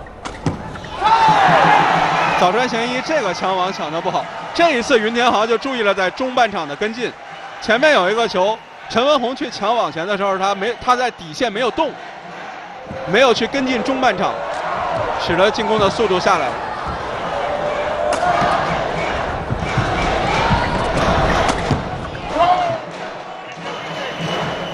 这个球如果后场的人不去跟中半场，就没有这么快的一个反击机会出现。双方打成了十七比十八。那么之前的半决赛，马来西亚对阵印尼的那一场，也是在双打的第三局，他们对阵塞提亚万和阿赫桑的时候打的也是比分紧咬在一块儿，到二十平之后还几度易手，最后险胜。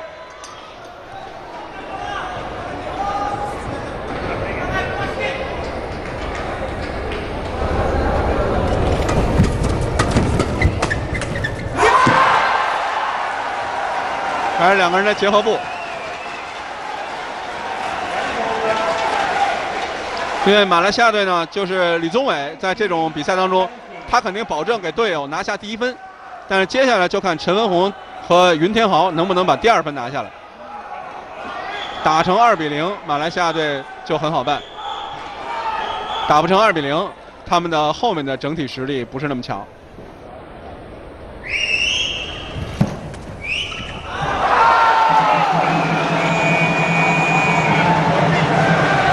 李宗伟还没有拿到过一个，哪怕或者是单项或者是团体的世界冠军。今天对于他来说是一个机会，对马来西亚队是一个机会，对李宗伟和陈文宏同样是机会。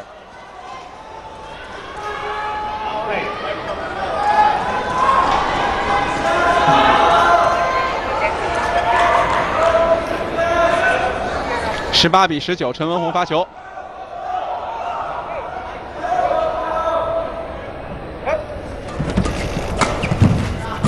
陈文宏的第三拍准备的很早，判断这个球陈文宏判断是出线、出界，但是丝线是一界内，陈文宏马上提出挑战。这场球上边那边的底线的丝线水平确实一般，这次看看陈文宏的判断是不是准确，压到了一点点。这样，日本队获得了这场比赛的长点，二十比十八。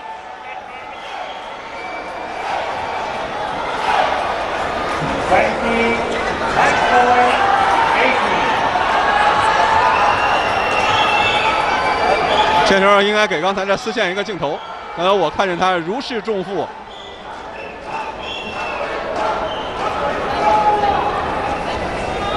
现在日本队的长点。早川贤一发球，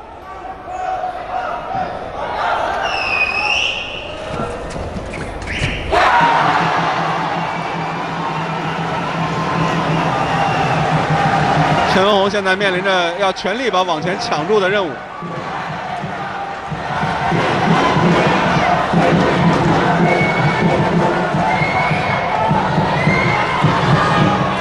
接下来云天豪这个发球很关键，接发球的是远藤大由。日本队第二个长点，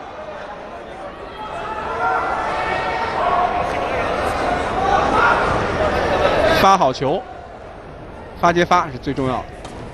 推中路，挡网，日本队先攻，机会，哎，还有，还是远藤大由在后场，陈文宏反击，哎呀，接不到了。日本队最后二十一比十九，惊险的拿下了这一场双打的胜利，将双方的总比分扳成了一比一。羽毛球男子世锦赛的比赛历史有可能就此写下一个大冷门。接下来将是双方的第三场球，两个队的第二单打的对抗。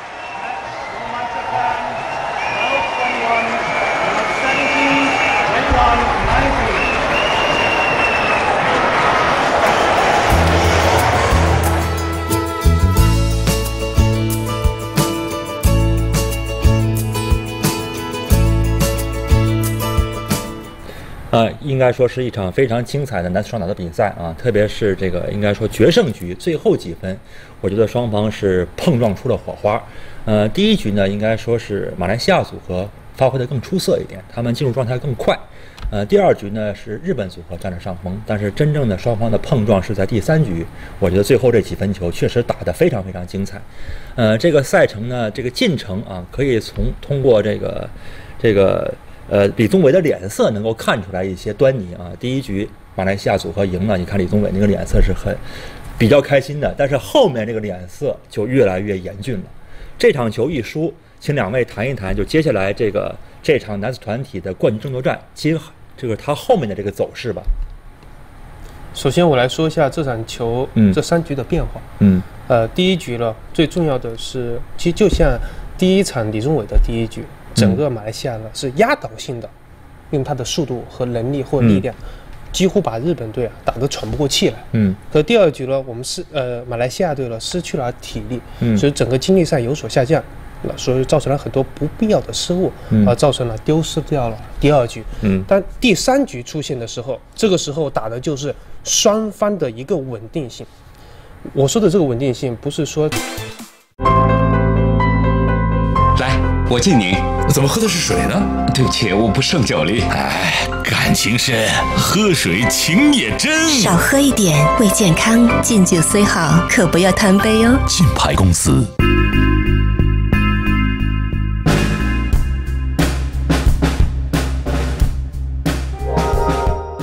昆仑山雪山矿泉水携手 CCTV 五，为您奉献精彩网球赛事。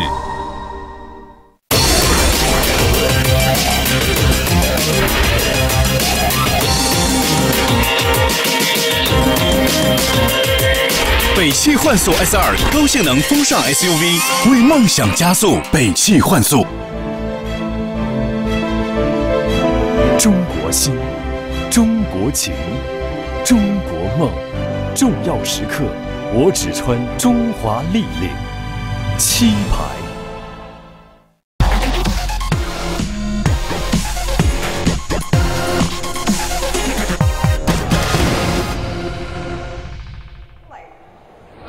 好，观众朋友，欢迎大家继续收看汤姆斯杯世界男子羽毛球团体锦标赛的决赛。这一届比赛是马来西亚队和日本队进入了冠军争夺战。场上双方正在进行第三场的较量。按照规则，第三场球是双方的二单的对抗。呃，汤姆斯杯和尤伯杯的比赛一样，呃，出场的顺序必须符合选手的世界排名从高到低。一单必须是排名高的选手先出场，二单是第二高，第三单必须出场的选手当中排名是最后的。双打也是一样。这场比赛是由日本队的桃田贤斗对马来西亚队的张维峰。张维峰其实是马来西亚的，其实应该算一个老队员了，呃，已经将近二十七岁。他的身形、动作、打法。都和李宗伟非常像，但是他是一个左手。当然，从水平、成绩上面来说，也也跟李宗伟没法比。只是从他的身形啊、动作呀、打法上，确实都挺像李宗伟。这次比赛，张维峰的状态是非常出色的，几乎是他打的最好的一次大赛。当然，桃田贤斗也在半决赛对阵中国队的时候有非常出色的发挥，战胜了中国队的二单杜鹏宇，为日本队锁定胜局。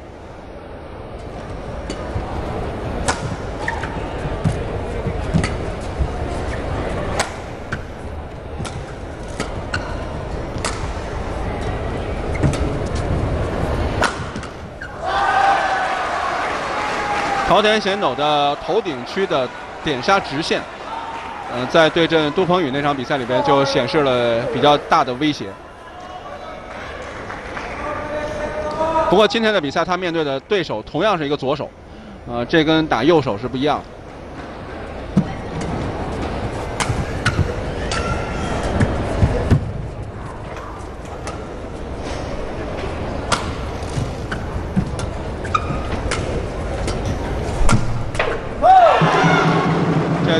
张维峰是连续在头顶区软压对方的正手，造成桃田贤斗连续用正手来接杀，而且他用的是轻杀，他利用下一拍的衔接给对方的接杀造成很大的心理压力，最后迫使桃田贤斗失误。这种下手球对于高水平的对抗来说，下手球比后场的下压要更难打。有很多的年轻队员在桃田贤斗这个年龄，就二十来岁的年龄，他就是主要是他的防守，敢不敢，敢不敢防，能不能接好对方的杀球吊球，尤其是其实重杀还好说，重杀你无非就是挡网和顶底线，啊，这就是比实力，这个通过足够的训练，都可以达到一定的熟练程度。就对方软压的球，当需要你自己主动发力和选择线路的时候，呃，这种球对很多年轻选手来说都是要过的一关。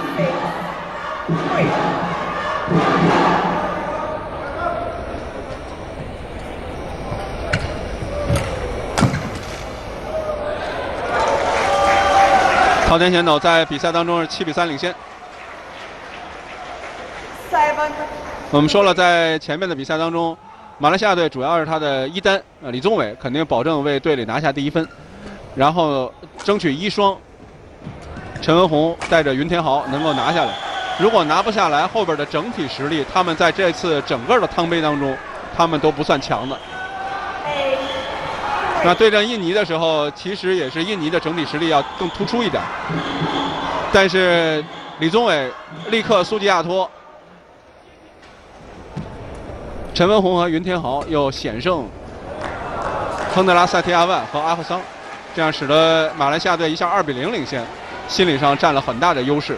结果他们也是半决赛三比零淘汰了印尼。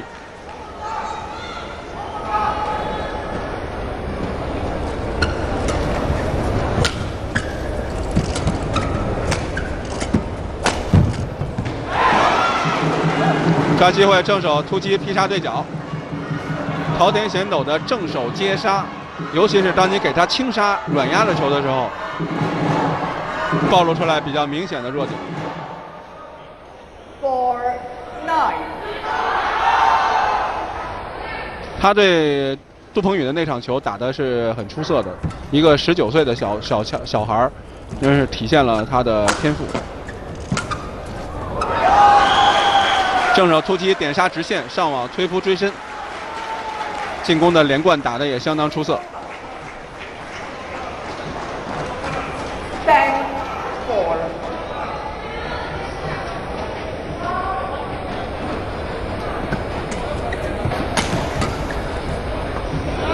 好球，这就是因为张威峰他是个左手，所以他这球是有意识的给你头顶，就让你头顶突这一下，突击点杀这一下，他正好你点杀直线下来，他是左手队员。比右手的选手在反拍来接杀你这个球，他的反击威胁要大得多。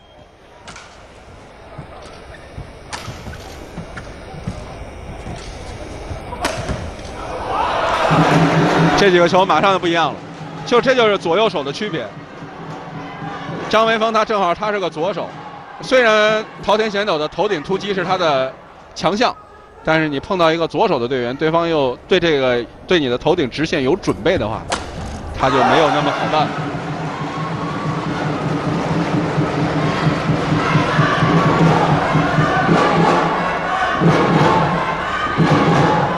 这球也是一样，这这种这种球给到对方的这个球换右手呢，他正好是反手头顶，但是左手的选手正好正手突击。朝田贤斗还是显得比赛经验不够，毕竟只有十九岁。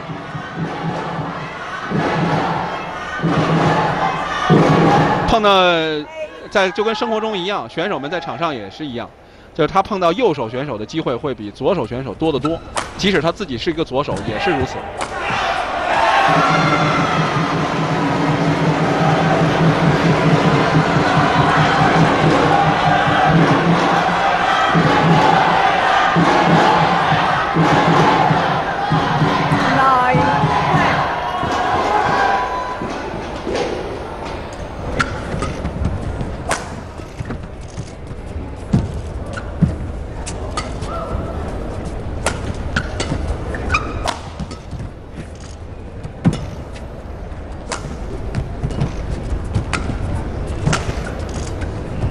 方形成多拍，互相拉开对手。假动作勾对角，漂亮！这个球张维峰打得相当精彩，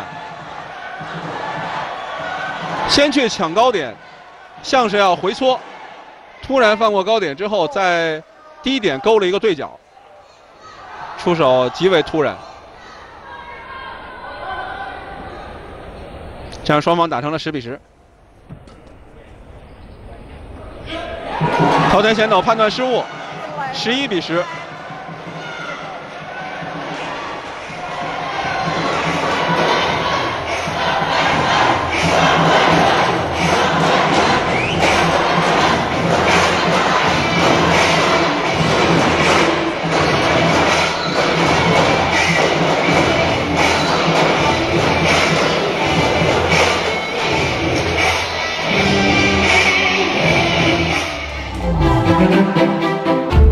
损从启动开始。嘉实多磁护智能分子有出众吸附力，显著减少发动机磨损。未启动先保护，嘉实多磁护。也许你不需要汽车，你要的是一段发现的旅程，要的是一份安全感，要的是一片可触摸的精彩。其实你并不需要汽车，你要的是一个移动的家。为家插上翅膀，技术日产，人车生活，东风日产。继续比赛。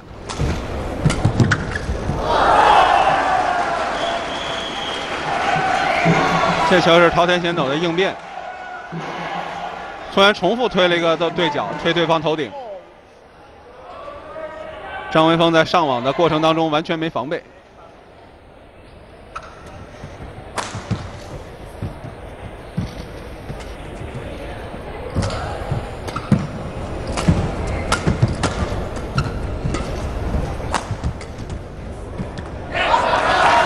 这个勾对角，这个挡对角要求质量太高了，结果球出界。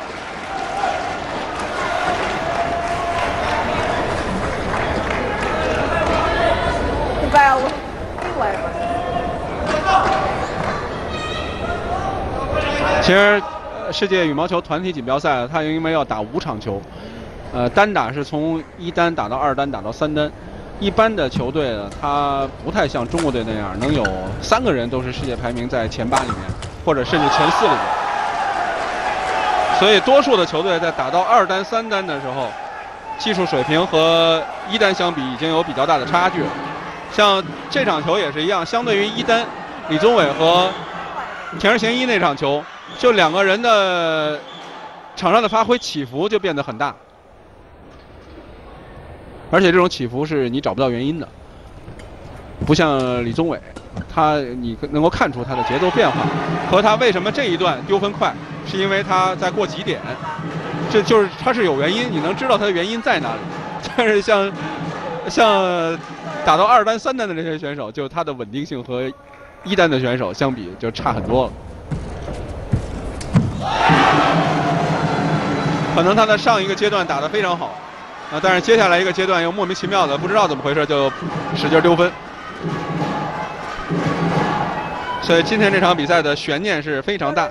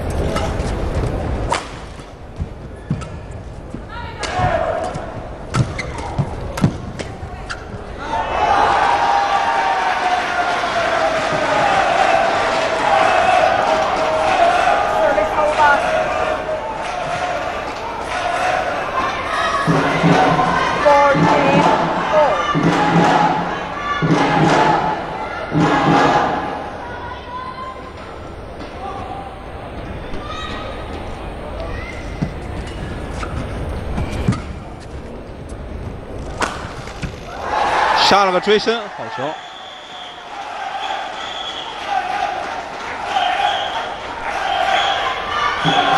这场比赛的结果恐怕也是汤姆斯杯世界羽毛球男子团体锦标赛这么多年以来最难预料最后结果的一场球，因为前面我们说了，自从1958年之后，汤杯的决赛从来没有两方任何一方都没有印尼队和中国队，就是这两支球队。在半个多世纪的历史当中，至少都有一支球队能够进入决赛。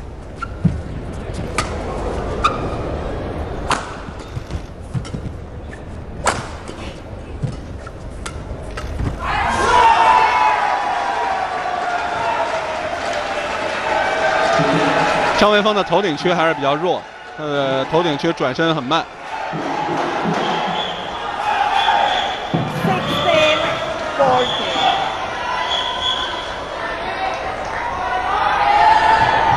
所以这场球对马来西亚队和日本队来说，他们都很少有夺得汤杯的机会。呃，马来西亚队是在汤杯最早的三届夺得三连冠，后来只在九二年拿了一次。日本队从来没有拿过汤杯的冠军。呃，这比赛对于双方来说是大家都有机会，尤其是在前两场打成一比一的情况下，日本队的第一双立了大功。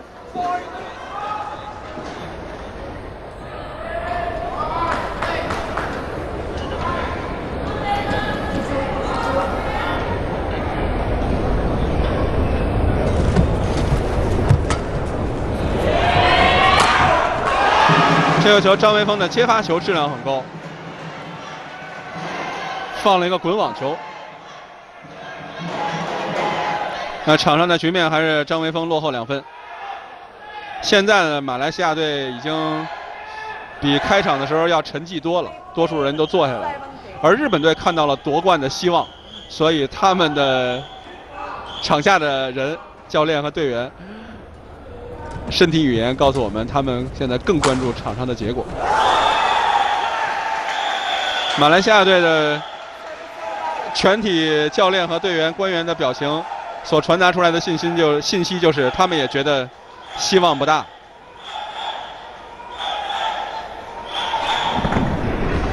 今天这场球对马来西亚队来说，其实第一场和第二场是最关键的，第二场没拿下来。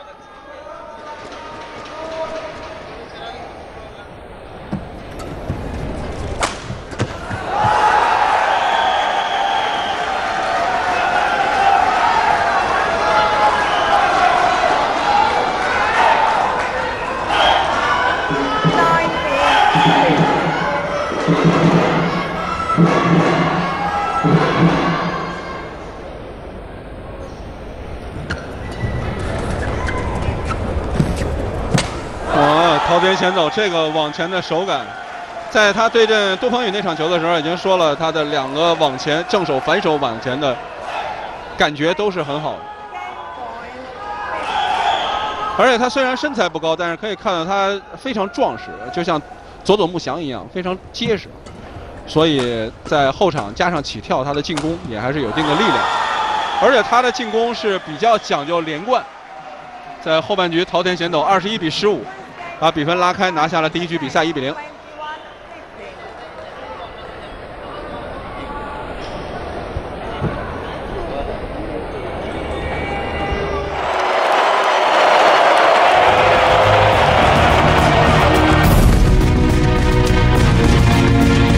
我是不希望这群孩子连上场的机会都没有。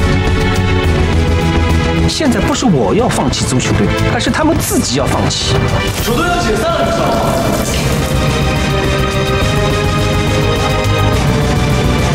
再输球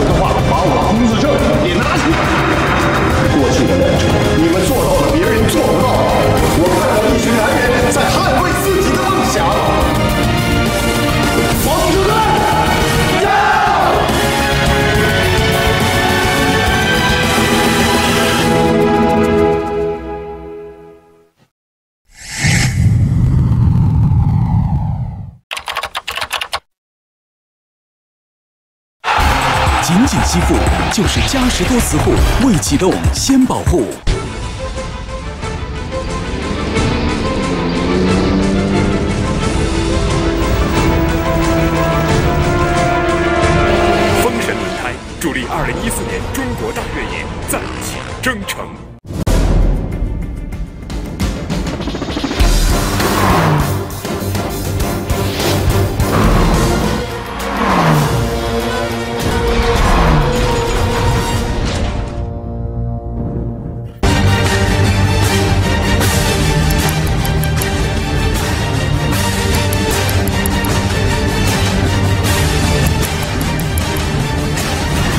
播表实时记录中国体育进程。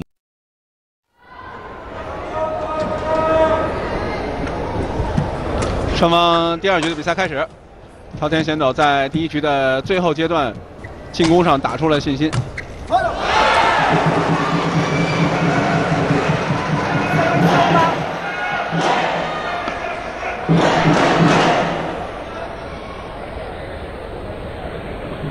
张维峰的头顶是一个弱点，在前面呢是上一局比赛前面前面半局，张维峰限制了对手的进攻，但是后面桃田贤斗发现可以从他的头顶这个比较弱的区域来寻找机会。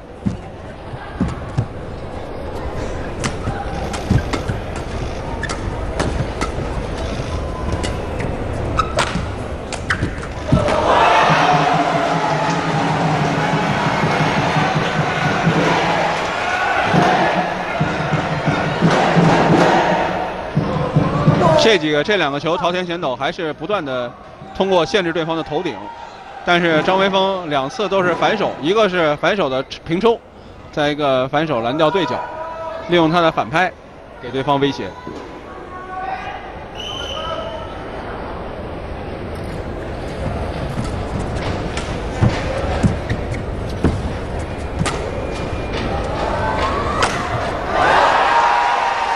桃田贤斗的手感是不错，有时候步伐稍微差一点，但是他通过手感能把球调回来。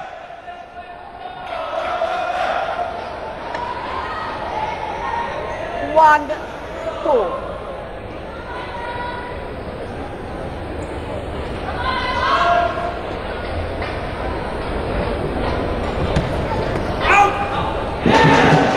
发球出界。Three, one.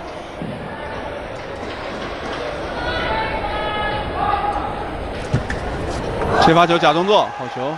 张维峰的动作出的太早了，他还是明显的自己头顶区负担太重，所以发完了之后，他的准备都是在自己的头顶区反手。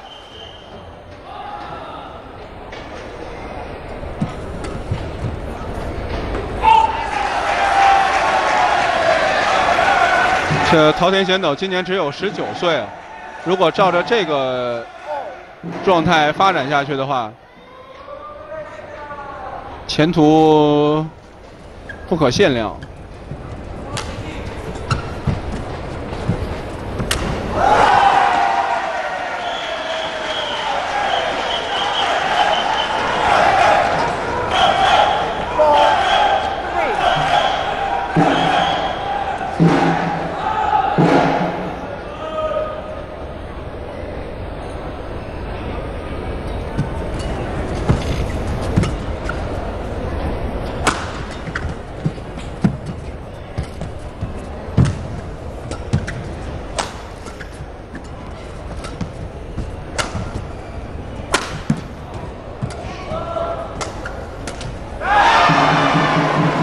带上挡了一下，球没有过。日本队在这些年的青少年羽毛球运动员的这个培养上，在朴柱凤来到球队之后，他们又除了朴柱凤之外，还有很多其他的外籍教练。确实，日本羽协工作成果是很显著的。从2012年开始，在世界青年锦标赛上，日本的女单，包括这次参加比赛的山口莹在内，已经连续三年获得。世青赛女单的冠军，二零一二年的时候，桃田贤斗是获得男子单打的世青赛冠军。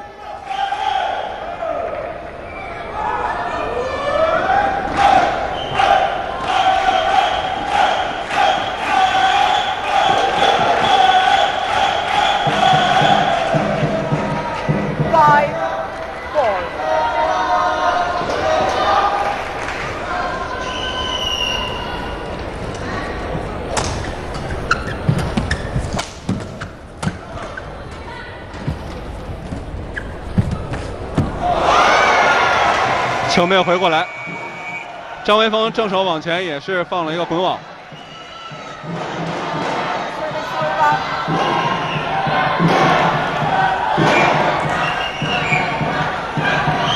Five all，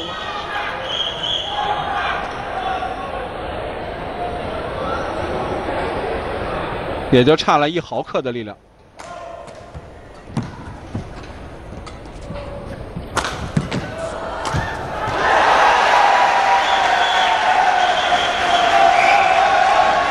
这个球，桃田贤斗的突然变速。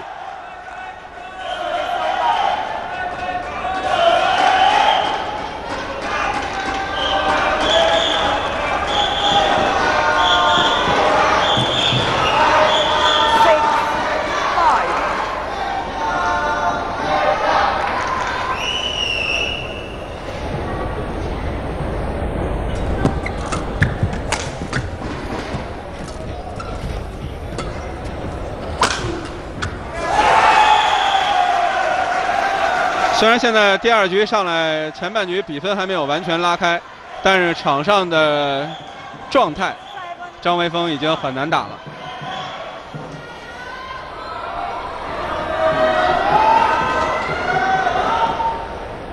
他前面通过限制对方的头顶，呃，是使得桃田贤斗的进攻受了很大的影响。但是反过来，桃田贤斗限制他的头顶，成了张维峰更大的一个负担。当他自己这边的防守负担太重，被对方连续打击的时候，他已经顾不上去限制对手了，已经被对方占据了场上的主动。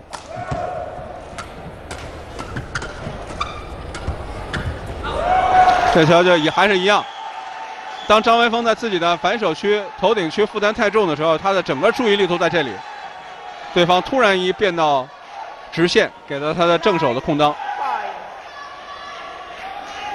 像这一下，桃田贤斗这个拍子一拿起来，张维峰就担心他挑他自己的头顶，但是桃田贤斗一个假动作。Ten five。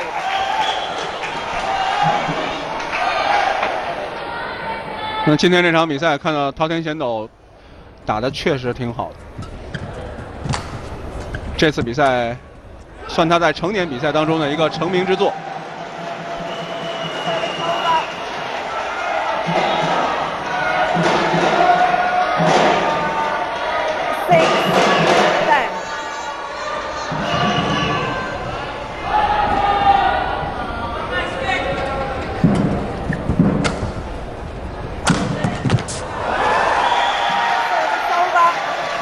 在头顶点杀对角，这球杀的也非常靠边，十一比六。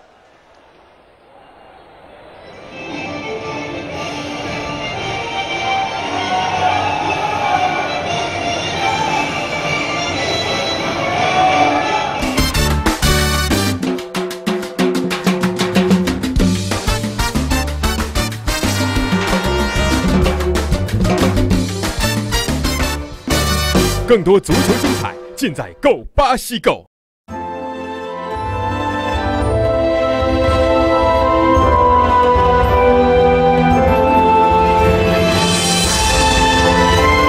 水中贵族，百岁山。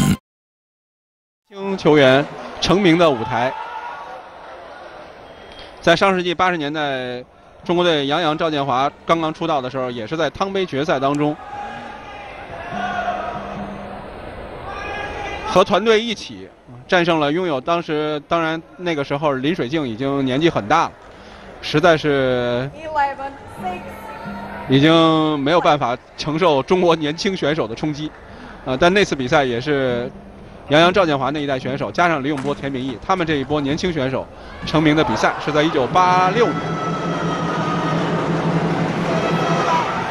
后来在上世纪九十年代呢，能够在汤尤杯的比赛当中年少成名的最突出的就是荷兰的张海丽。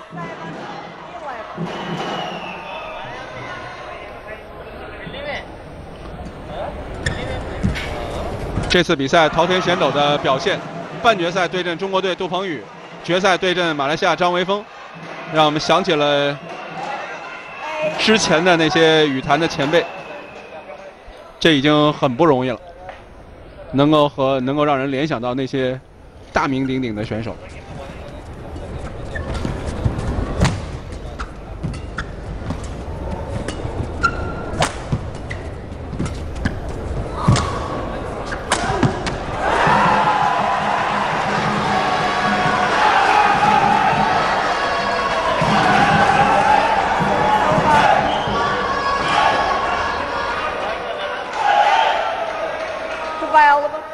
马来西亚的队员和教练，他们当然都是各中行家，所以从他们的眼神当中也现出了茫然。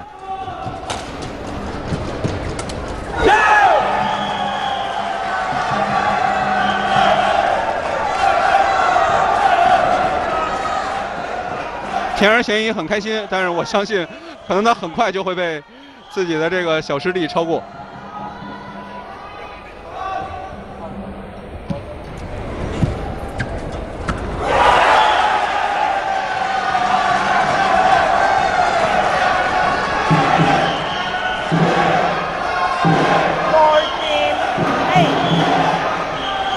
他朝天旋斗呢，他的身体也是，他不仅在两个网前有非常好的手感，这以前之前也那场比赛也是一样，就能够看出他对球的感觉非常准。再一个就是他的身体也很好，个子是不高，但是很结实。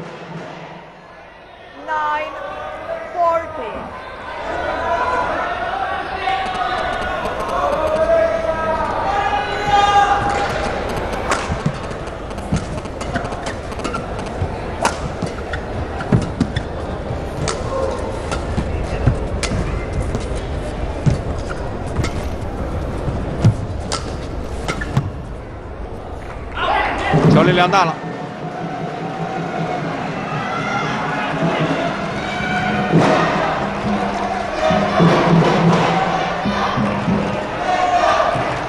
场上比分变成了十比十四，张维峰还是在顽强的抵抗。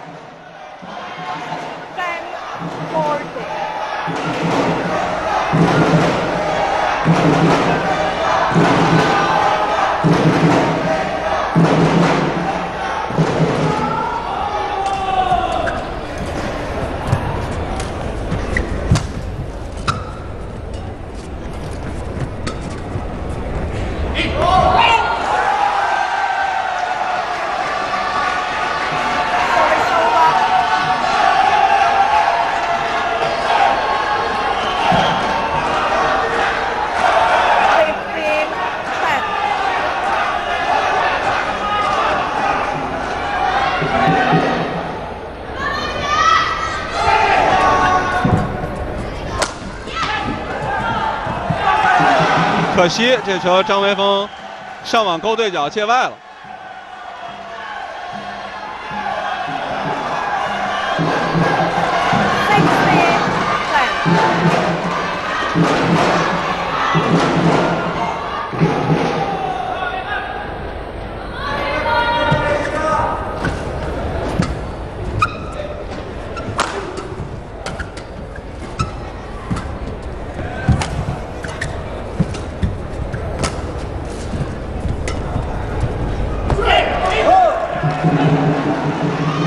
这个球四线示意界内，朝田贤斗提出挑战。这种挑战其实也很容易被运动员用来利用成为战术暂停。呃，任何事物都还是有一利有一弊的。这个球界内的概率很高，从这个刚才转播画面来看，现场看到，他但是朝田贤斗这个暂停。可以给他赢得一个节奏上的转变。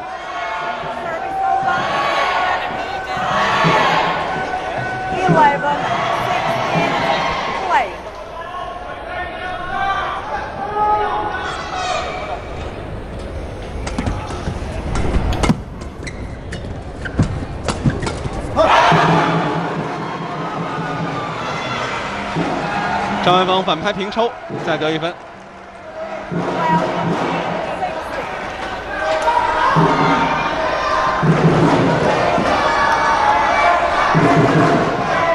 这样连追了两分。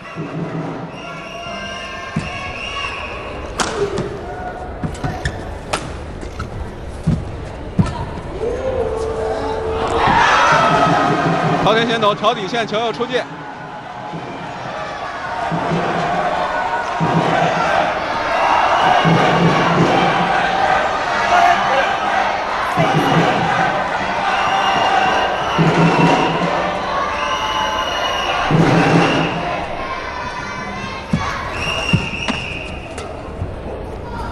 非常高质量的回放，突击杀对角，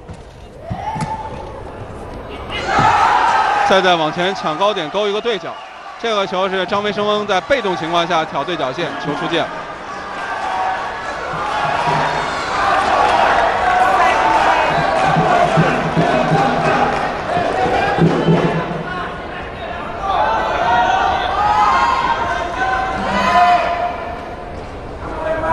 分差还是四分。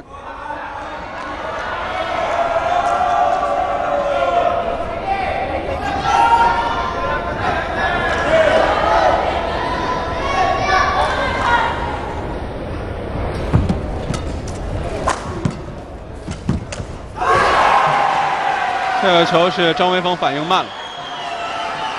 张维峰虽然比对方要大好几岁，在羽坛上他是一个老将。但是临场对球的感觉和处理，他跟今天这个后生小贝相比，天赋是差了不少。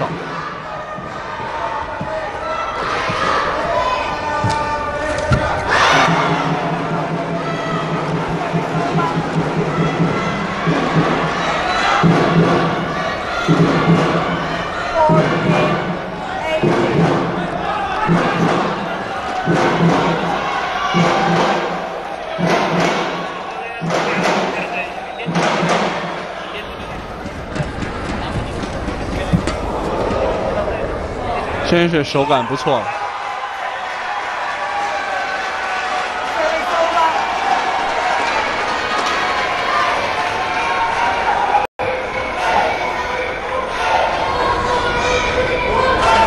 他应该是近些年来陶飞克之后，往前技术又让人眼前一亮的一位选手。而且现在这种打法是以拉开突击为主的情况下。朝田贤斗依然是坚持控网抢攻，这种比较经典的打法。对于，当然他也现在年轻，啊，所以在体能上没有那么多负担，而且他现在是对无论对谁，他都是一个冲击的心态，那也保证他把这种进攻型的打法充分的发挥出来。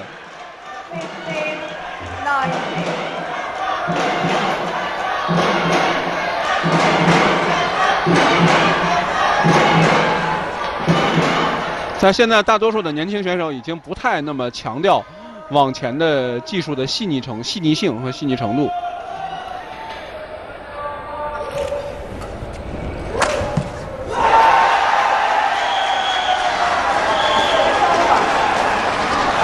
二十比十五，朝田贤斗获得了这场比赛的场点。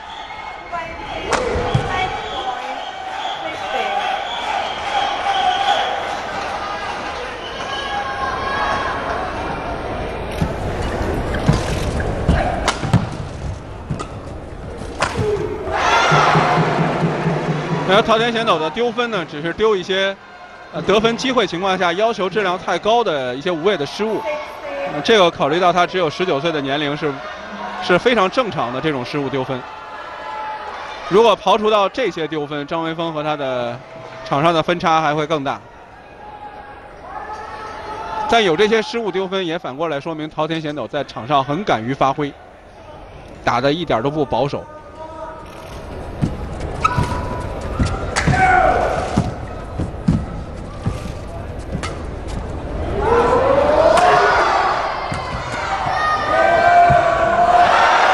这球以为把对方给推死了，但是张维张维峰很顽强，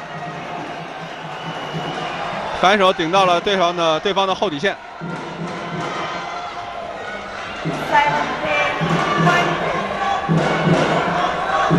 张维峰比较聪明的就是，当他在往前被动的情况下，挑对方都是中路球，挑到对方的底线中路，可以让对方攻下来的球的角度变得不像在两个角上那么那么直线和对角分化的那么大，尽量减少自己自己防守的压力。这是张维峰比较有经验的地方。但最终还是张维峰在往前回球下网，这样桃田贤斗二比零战胜了马来西亚的张维峰。在第三场双方二单的对抗当中，日本队桃田贤斗为球队拿下了第二分，使得他们二比一领先。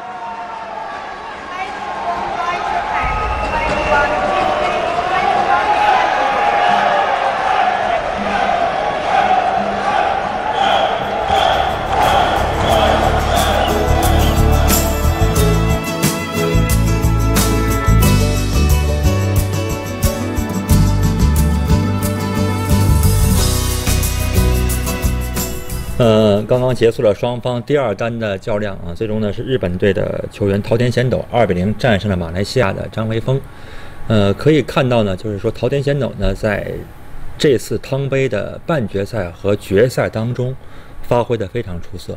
呃，战胜中国队的半决赛，桃田贤斗呢是二比一啊战胜了我们国家的这个二单。这场决赛。当时是战胜了这个杜鹏宇啊！这场决赛现在打到目前为止，在前两场双方战成一比一的情况之下，桃田呢又拿下了关键的第三场球，使得日本队现在大比分二比一反超了。我觉得作为一个年轻的小将啊，就是说心理这个素质，在这两场比赛当中，可以说还是体现的非常的强悍的，顶受住了压力啊！这个伟杰，你来点评一下刚刚进行的这场比赛。其实从就这场球来说，嗯。其实无关于运动员的技战术。嗯，从实力上来说，呃，桃田贤斗呢，呃，和张维峰是一样的。可是嗯，在之前的半决赛当中，他战胜了我们中国的杜鹏宇锁定了胜局，嗯。因此信心大增。嗯。然后，然而呢，日本对他最最好的一点是什么？他的主导思想呢是想的是，我这五场球每一场都要去拼，嗯都会有机会去胜。嗯可是马来西亚他想的是，我一定要在第一单打和第一双打中一定都要取胜，嗯要在大比分二比零的情况下，我才有机会去嗯取得这次的冠军。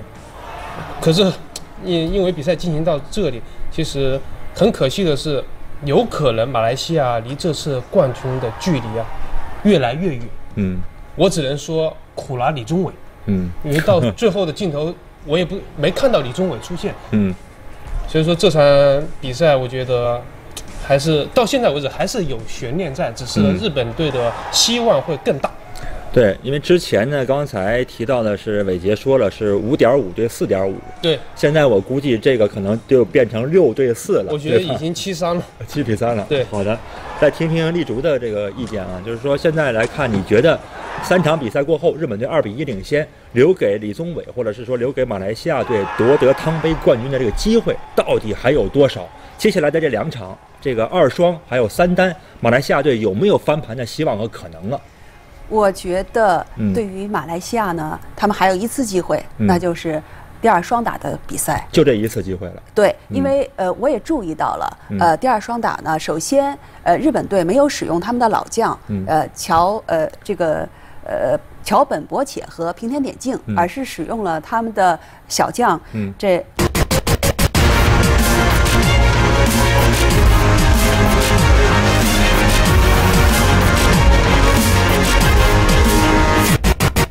锐界 A 加新巅峰，全新明锐巅峰登场。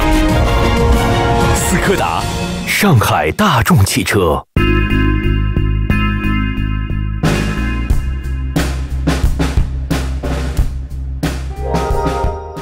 昆仑山雪山矿泉水携手 CCTV 五为您奉献精彩网球赛事。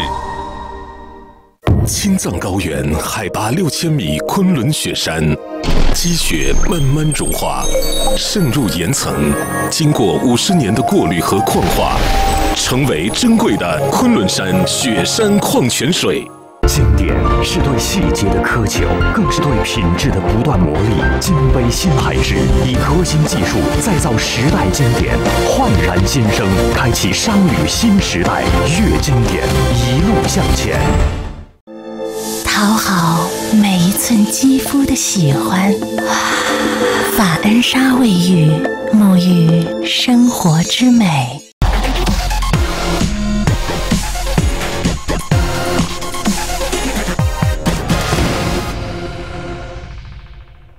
Represented by Vishango Vikyong Kan. Around the left, Japan, represented by Kago Sonoda Takeshi Kamura. Malaysia to serve, Vikyong Tan to Takeshi Kamura, love all, play. 那观众朋友，欢迎大家继续收看汤姆斯杯世界男子羽毛球团体锦标赛的决赛，马来西亚队对阵日本队。接下来是双方的第四场球，马来西亚队的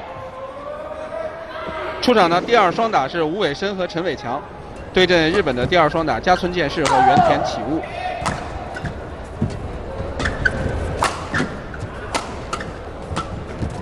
这也是汤杯的特点。打到第四场、第五场的时候，选手的名气是越来越小。但是这次比赛从前面的比赛记录来看，马来西亚的吴伟申和陈伟强发挥还是很出色的。他们在对阵韩国队和丹麦队的时候，第二双这一场都取得了胜利。因为韩国和丹麦的双打也是相当强的队伍。所以他们能够在对阵韩国和丹麦的时候都守住这一场的胜利，也非常不容易。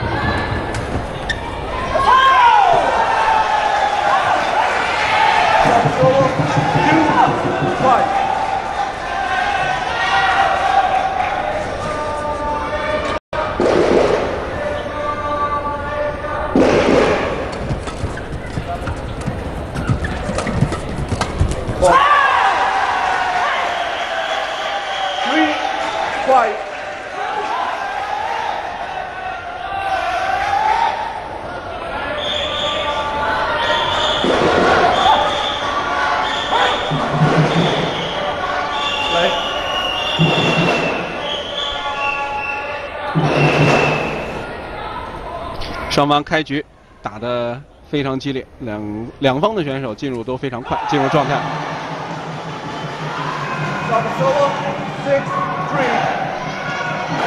已经呃，作为羽毛球爱好者，虽然愿意看羽毛球比赛转播的是少数，呃，当然喜欢打羽毛球的人很多，这我们都知道。在全国的各个大中城市，羽毛球场地都是极为难以订到的，所有所有的城市都是这样的。但是真正爱看羽毛球转播的人并不见得很多，尤其是在没有大牌的情况下。而汤杯呢，它的这个争夺的魅力就在于五场决战，啊，最后的靠团队的力量，真正靠团队的力量，而不是靠一两个球星。拼到第四场、第五场的时候，都是极为惨烈的。由于过去这些年中国队的强大，呃，几乎所有的比赛最后都是三比零、三比一收，实际上已经失去了这个赛事的魅力。当然，这这不怪中国队，这是因为对手太弱了。在今天今年的这个比赛当中，终于看到一场很有可能打到、有可能打到第五场的比赛。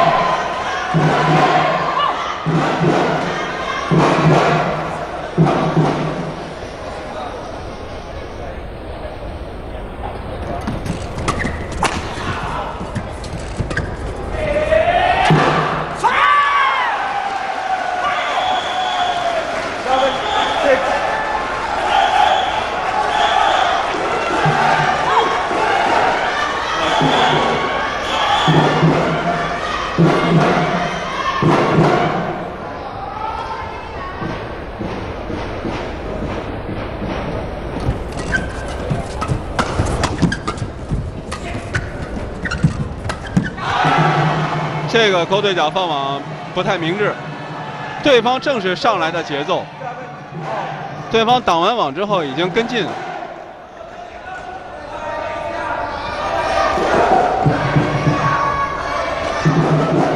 而且勾对角勾的质量很差，双方七比七。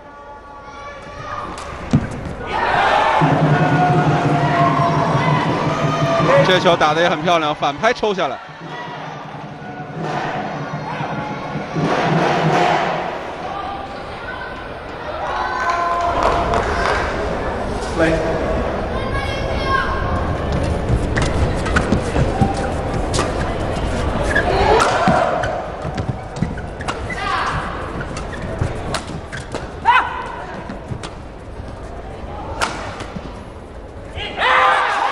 球还是攻到防守方的正手内部小对角的位置。接杀的时候，这个位置是最薄弱、最难接的。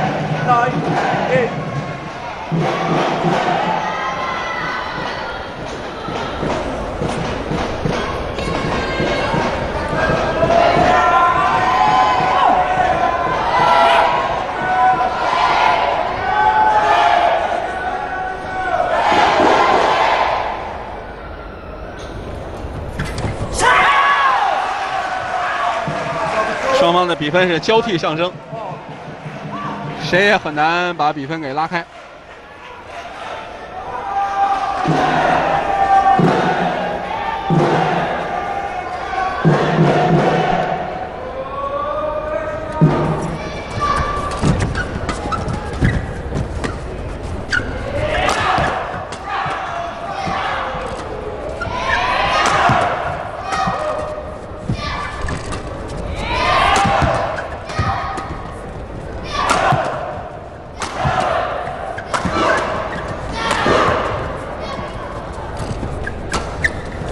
球！中半场带滑板的一个抽直线。在后场下压的时候，马来西亚队打得也很聪明，很明智。呃，其实以他们两个人，吴伟强和呃吴伟申和陈伟强两个人的这种身体条件，力量不是很大，但是他在后场进攻，他主要是保证连贯，始终保持进攻的态势，这样就可以了。这个你如果想去发力，能造成对方，你可能能杀死对方一两拍，但是有的时候对方守出来的球也很快。造成你连贯下一拍的难度变得比较大，呃，如果没有那个绝对一拍的实力，还不如以打连贯为主。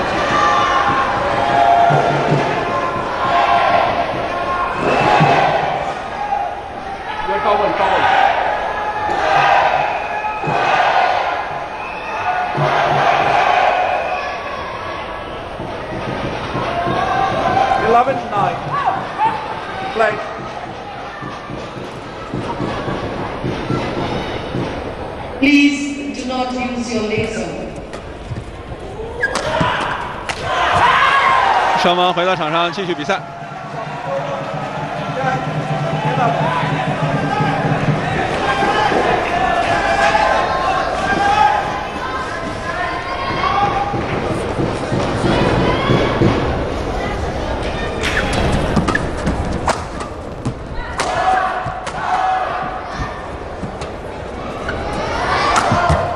好球，这个球分的也漂亮，转身反攻。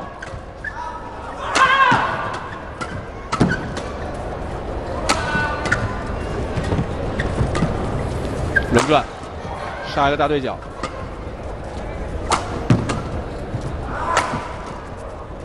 双方的进攻的实力都不是特别强。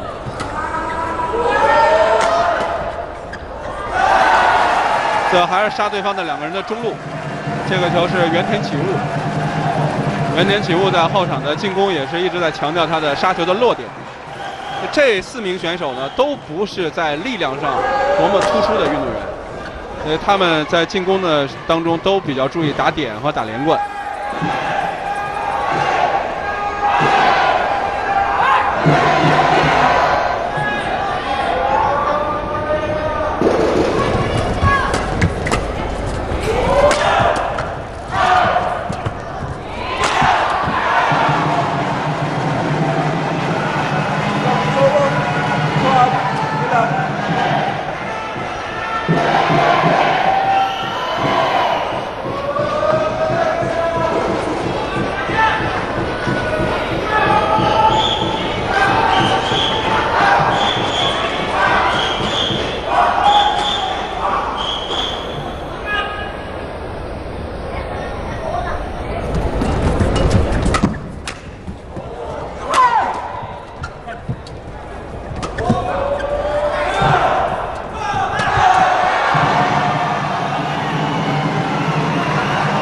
陈伟强后场突然的一个收掉，调到往前中路。他们都是得在进攻的时候要想很多的办法，不断的通过杀掉结合、轻重结合、落点变化，来给对方的防线打出漏洞。因为他们这四个人都不是，比如说像徐晨、张军那种选手，啊，他的进攻那一板的实力特别强的那个运动员。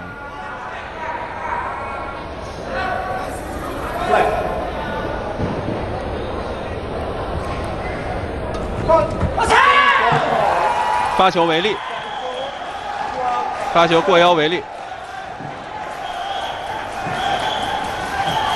这个羽毛球双打比赛的过腰过手呢是非常难以判断和区分的，呃，对于爱好者也好，对于观众也好，都是一个非常复杂的规则。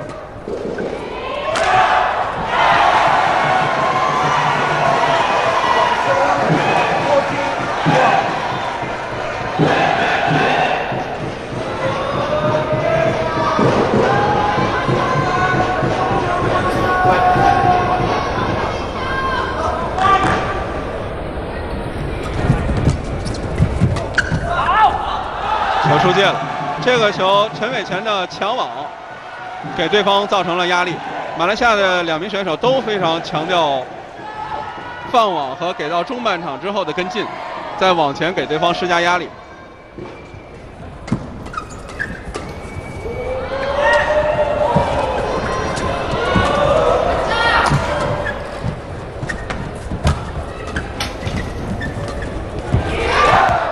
又是一个收掉。反击，这场比赛双方的攻守转换很多，应该是场面非常精彩的。尽管场上没有什么大牌球员，也是因为两边的这个攻击力都不是那么强，所以他们都要靠打多拍打连贯，而且有很多攻守转换的场面出现。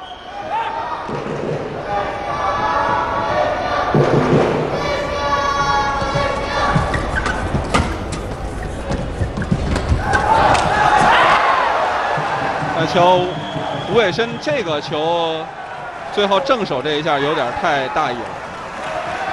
前面的头顶封的很好，但是正手这下出现扑球机会，向下压的太狠了，造成自己的失误。呃双方打成十五比十四。马来西亚队的吴养吴伟吴伟申和陈伟强还领先一分。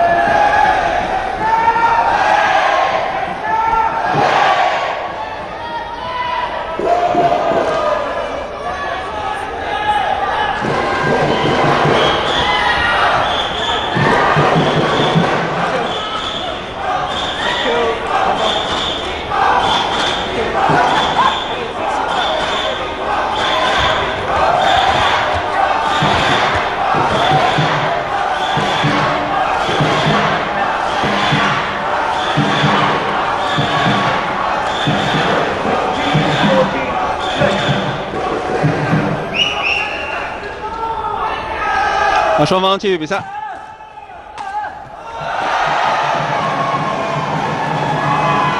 球杀在网带上没有过，十七比十四。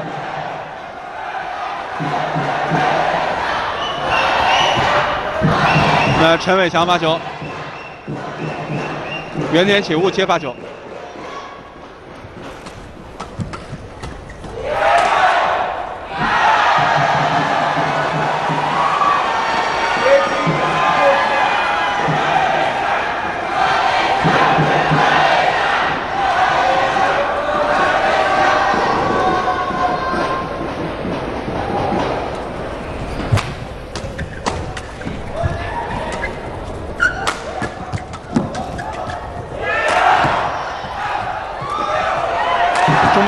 连续攻，哎呀，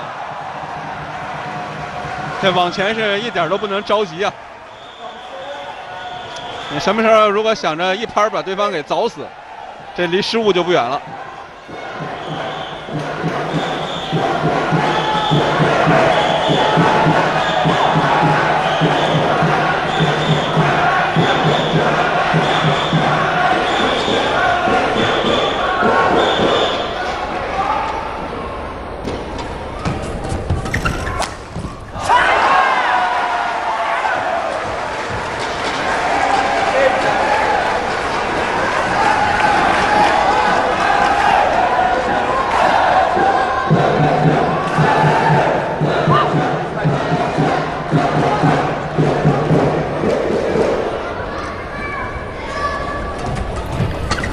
那么现在大家看到的汤姆斯杯世界男子羽毛球团体锦标赛，马来西亚队和日本队打的还是非常的激烈。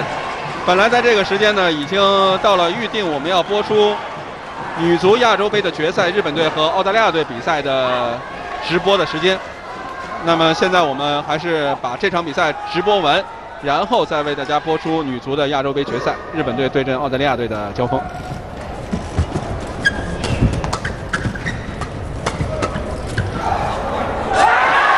球在底线，压线十八平。平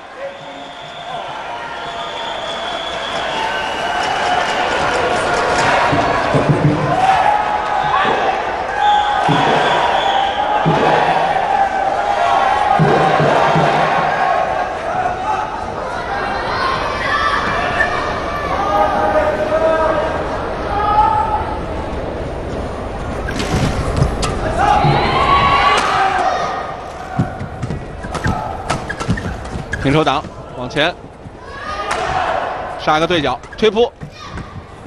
日本队也非常顽强的防起来。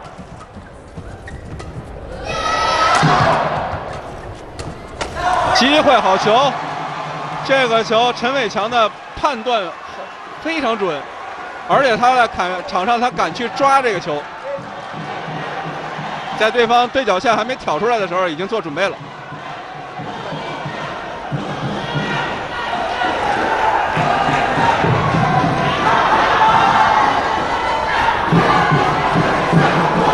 由于马来西亚队的李宗伟啊，在中国球迷当中还是有很多的支持者和喜欢他的球迷以及观众的。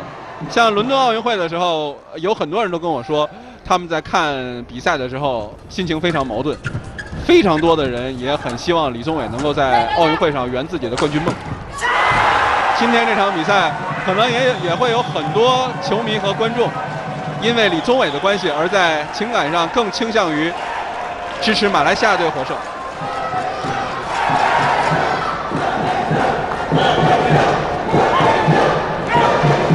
其实李宗伟在这么多年的时间里头，一直是世界上第二好的男单运动员。然后马来西亚队也已经有二十二年的时间和任何羽毛球的世界大赛锦标无无缘了。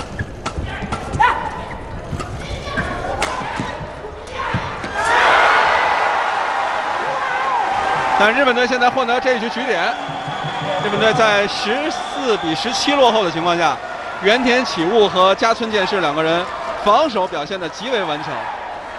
这也是因为马来西亚的两个人他后场进攻没有绝绝对的实力，所以每一次进攻要想得分都得通过多拍连贯。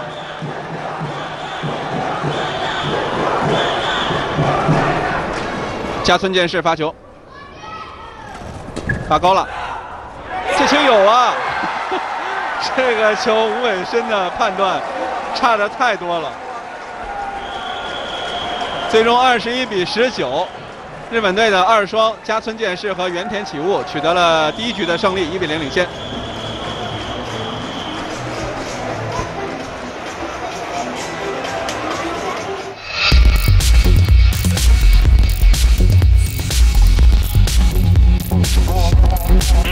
玩全不同，城市 SUV 领航者，东风标致二零零八光芒耀世。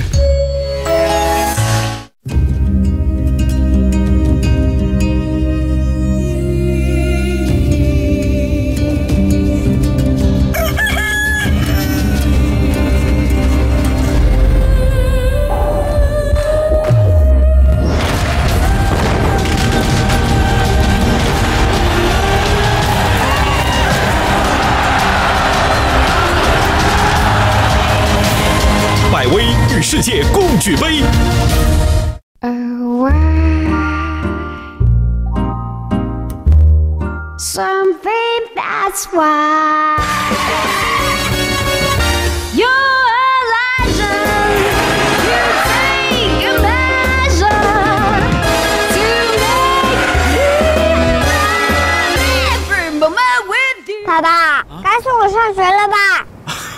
？Yes sir，全新奔腾 B 七零因动而悦。这是轮胎星球，首领普利司通。哦，它滚动顺畅，更能改善油耗，省油环保，轮胎的未来一片光明。地球的轮胎，普利司通。你是普利司通轮胎。The sun is shining, the trees green, by the river, birds are chiming 绅宝 D 五零北欧控，北京汽车。CCTV 五携手道和酒业、南孚电池，走进狂热的足球之夏。观众朋友，欢迎大家继续收看我们为您转播的在印度新德里进行的2014年汤姆斯杯世界男子羽毛球团体锦标赛的决赛，日本队和马来西亚队争夺冠军。这场比赛是从当地时间的下午三点钟，北京时间下午五点半开始进行比赛的。到现在已经到了当地时间的下午将近七点，北京时间已经快到了晚上的二十一点三十分。双方在汤杯这种团体赛五场决胜的艰苦赛事当中，现在打到了第四场。在今天的比赛里边，马来西亚队的一丹，著名选手李宗伟是在第一场球当中二比零战胜了日本的田儿贤一，为马来西亚队拿到第一分。但是在接下来，日本队的一双早川贤一、远藤大由二比一反败为胜，逆转了陈文宏和云天豪。接下来他们的世青赛冠军桃田贤斗又二比零战胜了马来西亚的二单张维峰，使得日本队现在在团体分上是二比一领先。二双的比赛，第一局又是加村健士和原田启悟二十一比十九险胜，这样接下来的比赛对于马来西亚的二双陈伟申和呃吴伟申和陈伟强来说，又变得压力特别大了。因为除了这场球他们落后之外，在前面的比赛里边，马来西亚的三单刘国伦本次汤杯几乎一场未赢。他在最后一场对阵上田拓马，马来西亚队实在是很难对最后一场寄予太大的期望。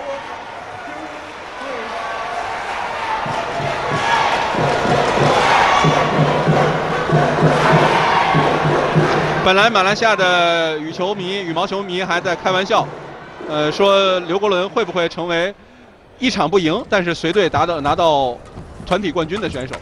但今天从比赛的走势来看，这个这种好运气可能不太容易发生了。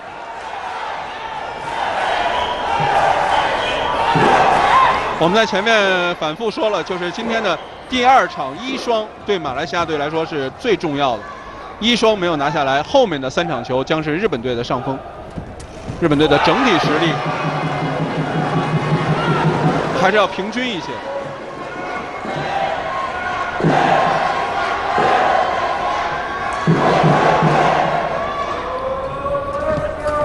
呃，团体赛应该是打成这样，你仅有一单和一双好，就能拿到冠军，只能说明对手太差。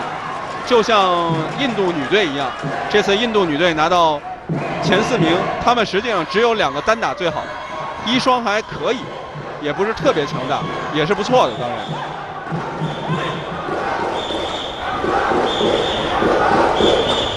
但是打打一般的队可以，但是真正打强队、整体实力好的球队，如果只有一两场有实力，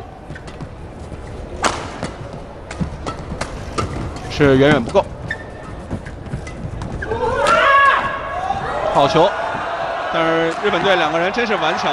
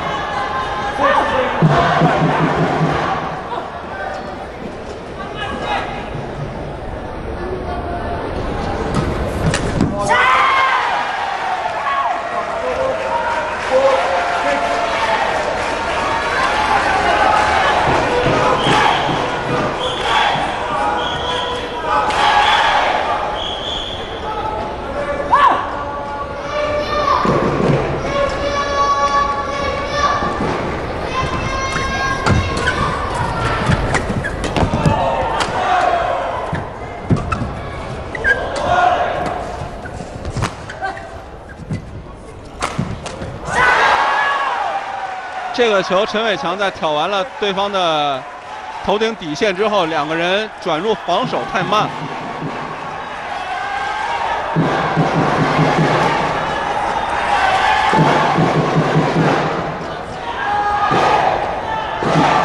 挑的也不是很到位，而且他这个球挑完直线应该自己直线撤下来，往对角线撤，造成两个人都没有及时站好位。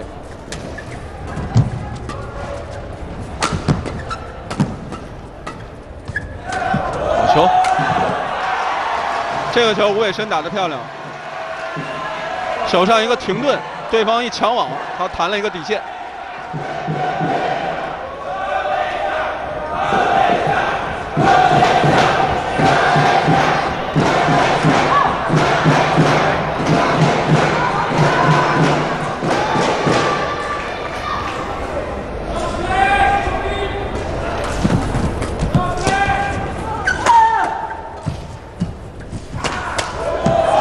这个球可惜啊！陈伟强已经封封到了线路，但是手上动作太大，结果没有打准。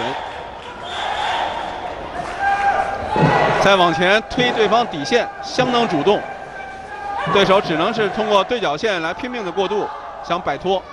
他已经抓到了这个对角线回球了。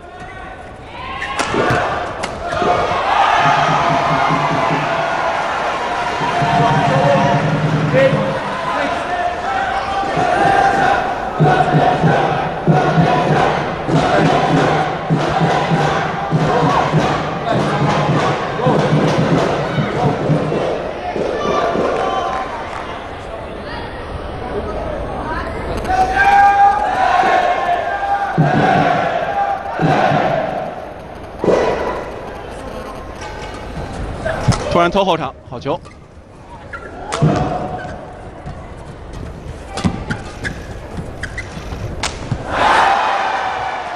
其实陈伟强很多球他的意识都是非常好，但是就最后出手的这一下，需要再再稳健一点。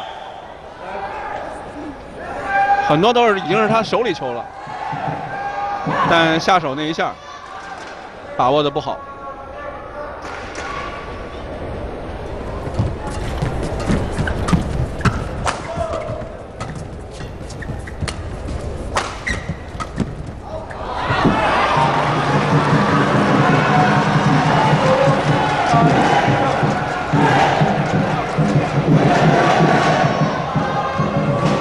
其实马来西亚队呢，他们的羽毛球也是一支传统强队。在一九九二年拿到汤杯冠军的时候，他们是由华人球员和本地的马来球员共同组成的一支单双打实力非常平均的队伍。但是在近些年，马来西亚羽毛球队他们能够有出色表现的，在世界赛场上有出色表现的，主要是华人球员。但其实马来西亚最强的时候，就是因为华人只占到马来西亚全国人口的百分之三十多。那他们最强的时候，还是华人运动员和马来马来族的运动员都有非常高水平选手的时候，是马来西亚队最强大的时候。这当然也包括2002年在广州的时候，他们获得汤杯的亚军。那时候，除了有钟腾福、李万华之外，他们还有哈菲兹和罗斯林兄弟俩。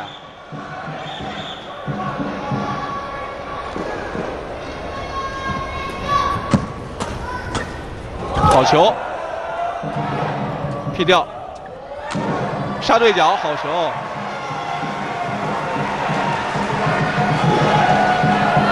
双方的第二局打到了十一比七，吴伟申和陈伟强领先四分。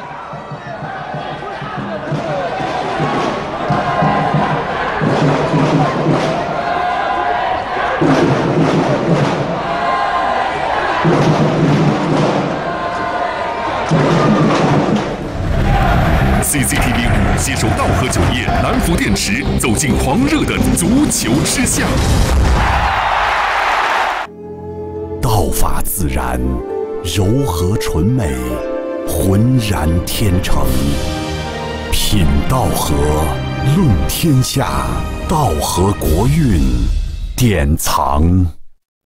这么多废电池，怎么保护地球啊？有聚能环的南孚电池，一节更比六节强，玩具用完还能接着用。电池换的少，耐用更环保。南孚电池。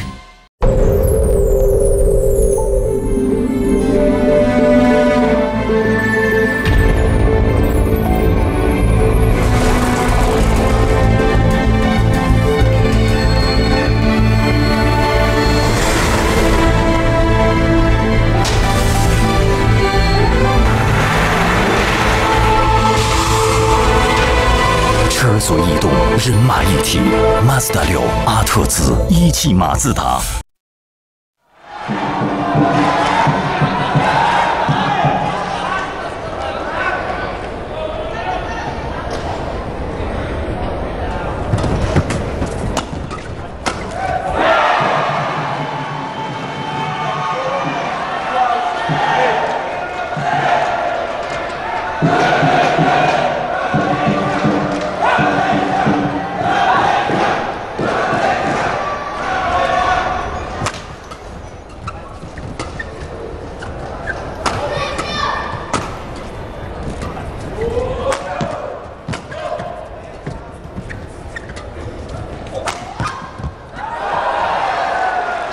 这个吴伟申的出球方向没问题，但是要求太靠边了，手上控制稍微差了一点。这种失误都是要求质量过高，想把球打得更靠边。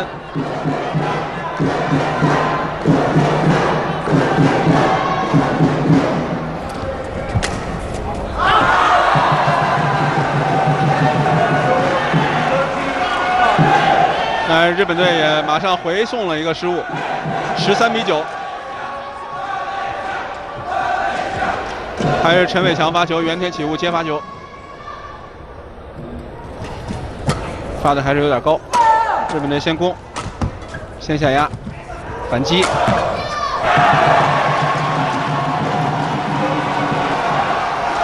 日本这一段双打，他们的身高偏矮，实际上对给自己的进攻造成了非常大的困扰。他们加上起跳击球点依然不是很，就是杀下来依然不够尖。不过他们的防守很好。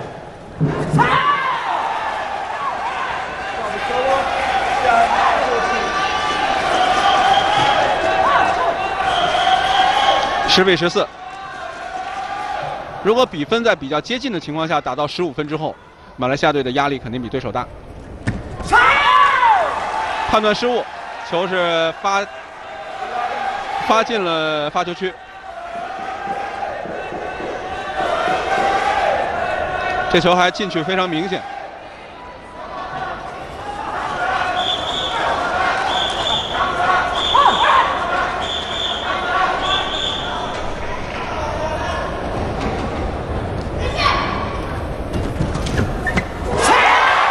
回了一个滚网球。加村健士这两个发球之发球和发球之后的连贯都比较成功，连追了两分。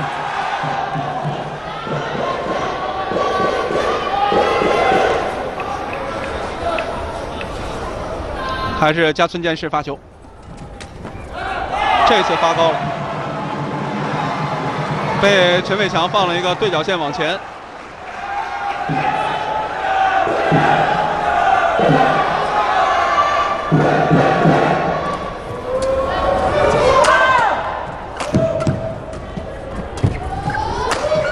杀对角，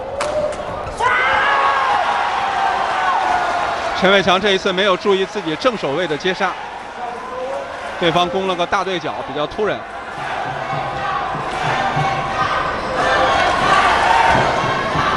由于前面的比分的影响，所以现在感觉陈伟强和吴伟申两个人的手是越来越紧，因为日本队是领先的。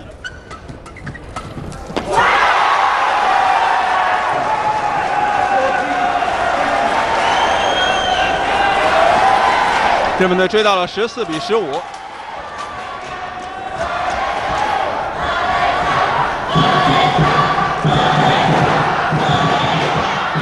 看台上，马来西亚队的支持者也在拼命的给场上的两个小伙子加油。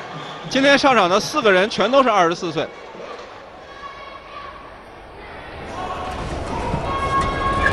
给到中半场强网推，好球。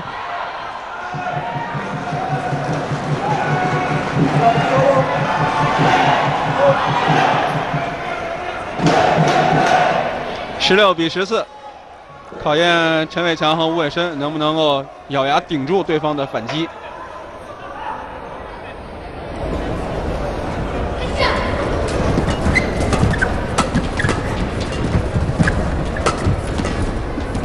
没有抢网啊！这个球推完了之后，两个人谁都没有去抢网。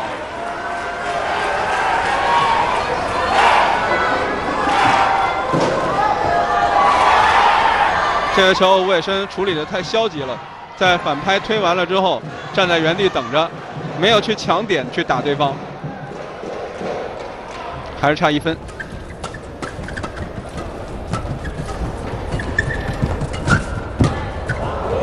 下压的机会，踢掉，还是杀两个人的中路，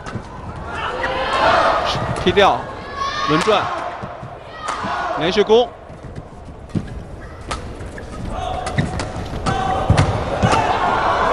再给起来。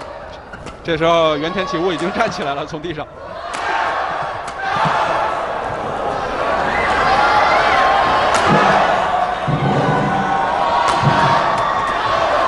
机会终于拿到了，吴伟申终于在往前抓住一个机会，抽压原田启悟追身。因为双方的攻击火力都比较有限，所以呢，这球有的时候打起来比较像女双，她的拍数特别多，很难进攻得分，要攻很多拍才能攻死。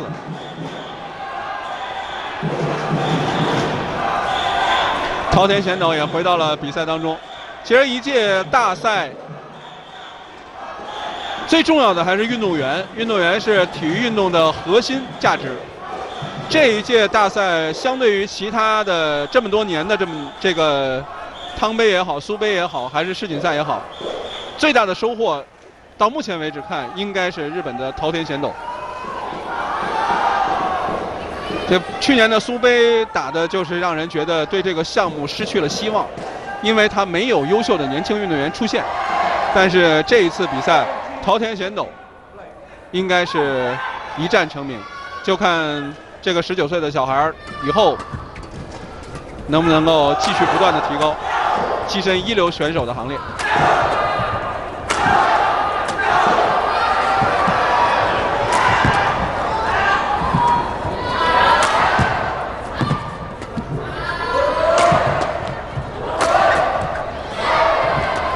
就是谁都谁攻着都非常费劲。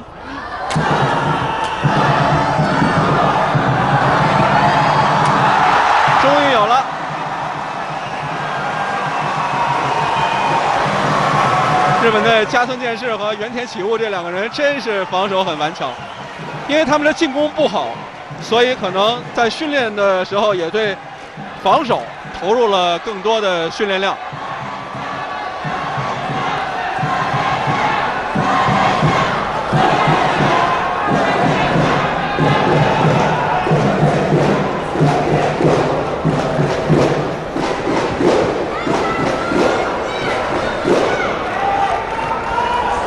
其实，在汤姆斯杯世界羽毛球男子团体锦标赛的赛比赛历史，呃，半个多世纪、六十多年的这个历史当中，产生过很多经典的大战。比如说，在上世纪五六十年代，印度尼西亚和马来西亚两支球队；上世纪八十年代，中国队和马来西亚队。中国队和最前期是中国队和印尼队，到后来八十年代到九十年代之间的时候，是中国队和马来西亚队。那个时候的比赛都是非常精彩的。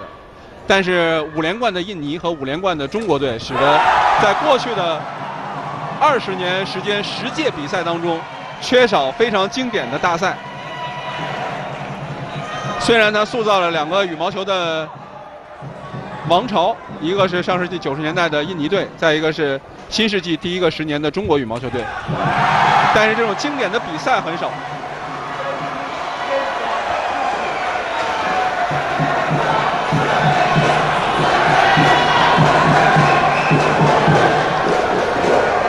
今天总算是两支实力相当的球队进入了决赛。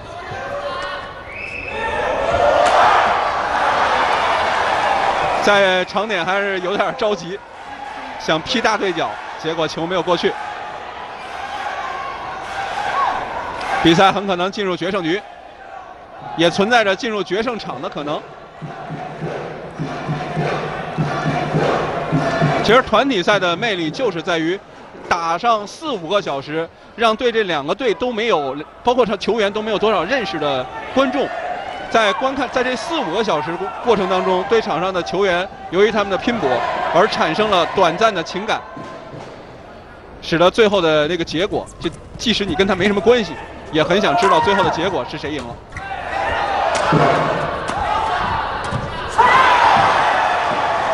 日本队再追一分。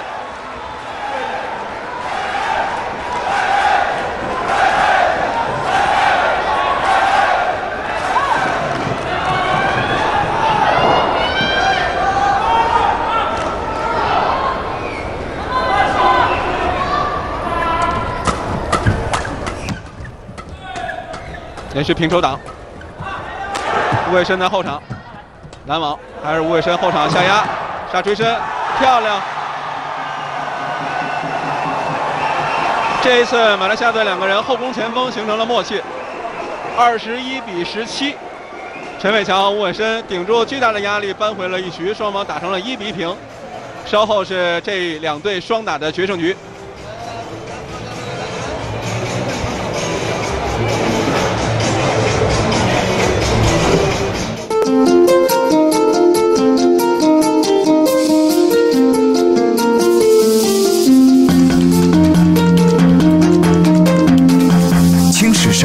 自由呼吸，贵人鸟运动快乐。你以为他在做决策，或许他只是聊天。你以为这是高层峰会，或许只是同学聚会。你一再猜错，但这不是你的错。帕萨特镜自超然。你以为他在看日出，其实他在筹建深水码头。则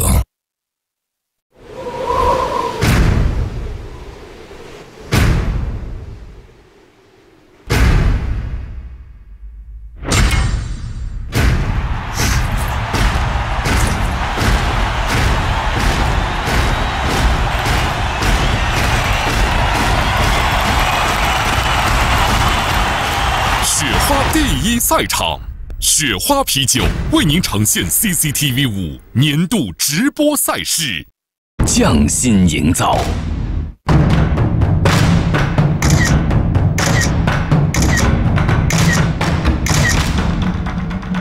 雪花纯生中国古建筑摄影大赛。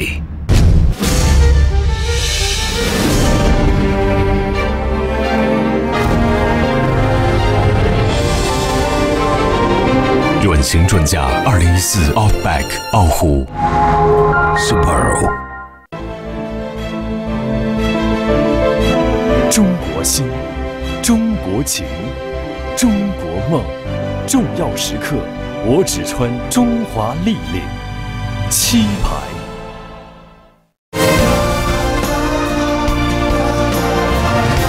是满载的幸福，是百万的信赖，至真至美，新一代福美来 M 五。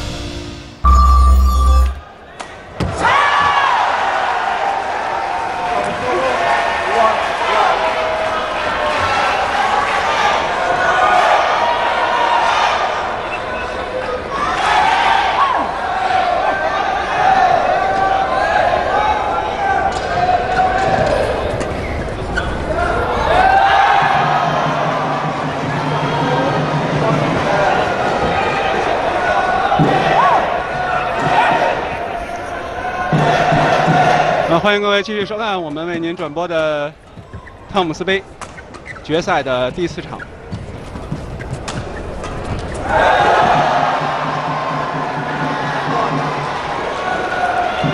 那决胜局就非常难说了，完全看谁的发挥更好，当然可能也需要一点运气。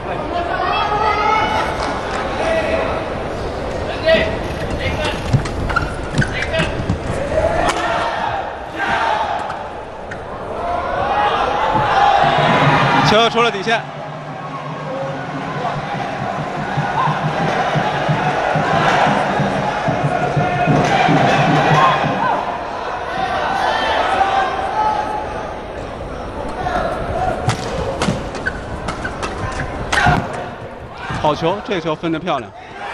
这个球防守当中，加村健士这球突然挡出了一个对角线。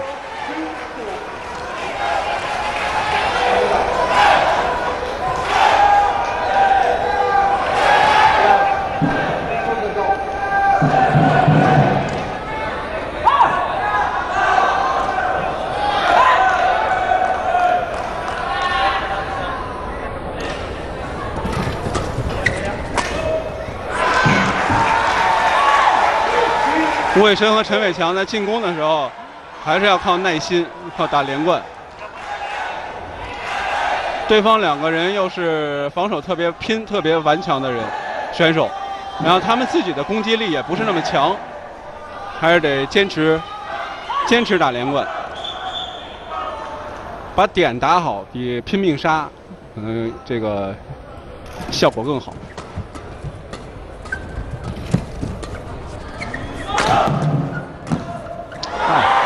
这个球没有什么必要，这个假动作做的就失去了耐心，属于。刚才是四比一领先，呃，可可能想尽快把比分再给拉开，比较急躁，连续两个失误，一个是陈伟强后场的正手点杀出边线，这个球吴伟申假动作平抽也也歪了不少。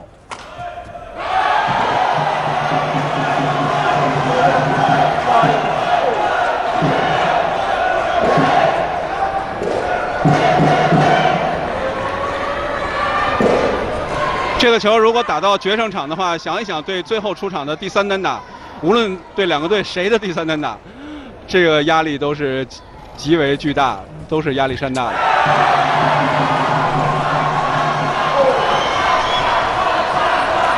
由于中国队在过去这十几年的极为强大，所以在汤尤杯比赛里边都已经很少再出现打到第五场来决胜的，就到关键场次啊，半决赛、决赛之后，打到这个。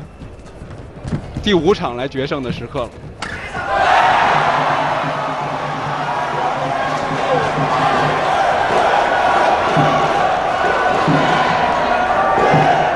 其实这个赛事，这个赛制的魅力，最大的魅力就在于决胜场。呃，而中国队的强大，使得这个赛制最大魅力的这一部分，就决胜场永远出现不了。这次总算有了。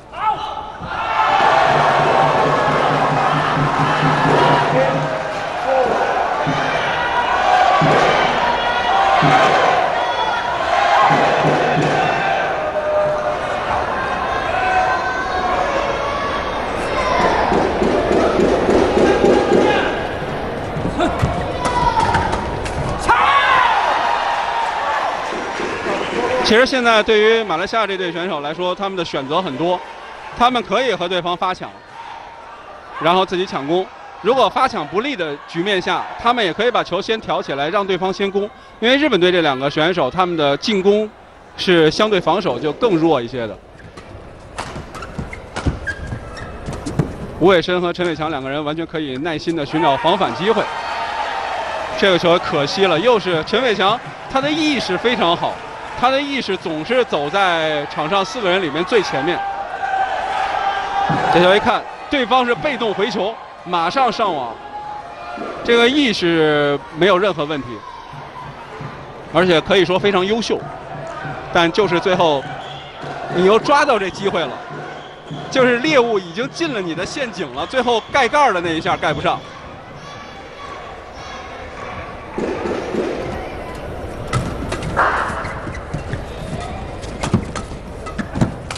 又是一个，这可能也是比赛经验缺乏，呃，所造成的一个结果。陈伟强的这意识真的是挺好的。今天从这场双打呢呃二双的对抗来来看，他是场上四个人里边最突出的，尤其是抢网的这环节，经常能抓对方的回球，就是最后弄不死，还自己失误。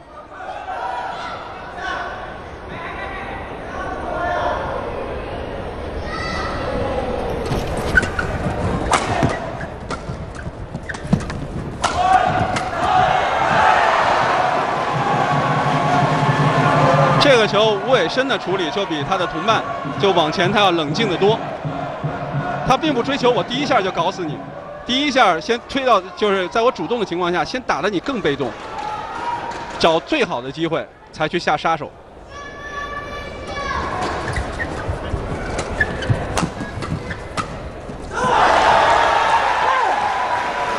这个球陈伟强没有准备。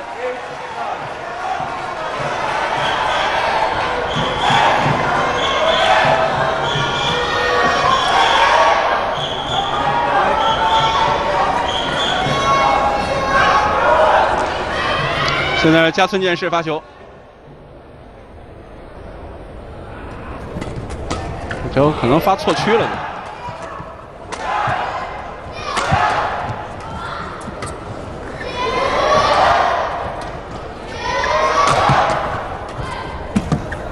哎，这样打连贯就很好，用不着杀的很重的力量。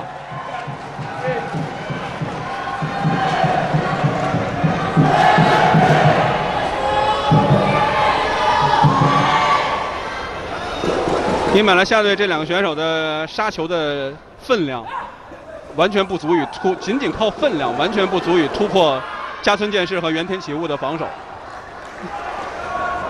就只能靠连贯，持续给对方压力。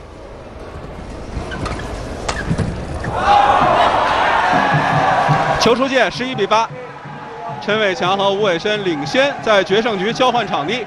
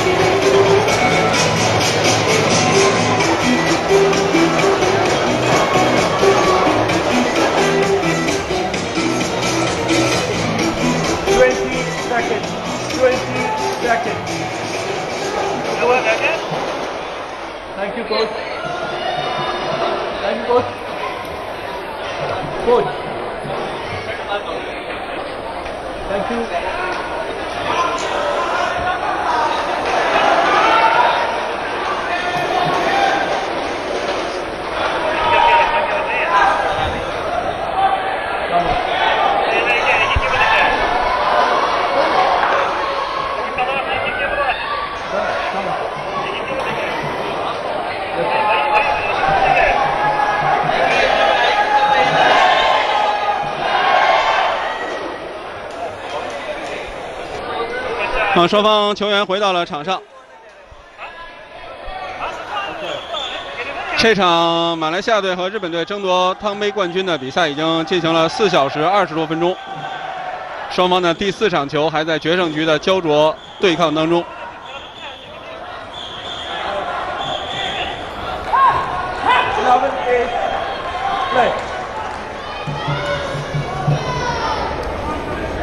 两队的二双回到场上，陈伟强发球。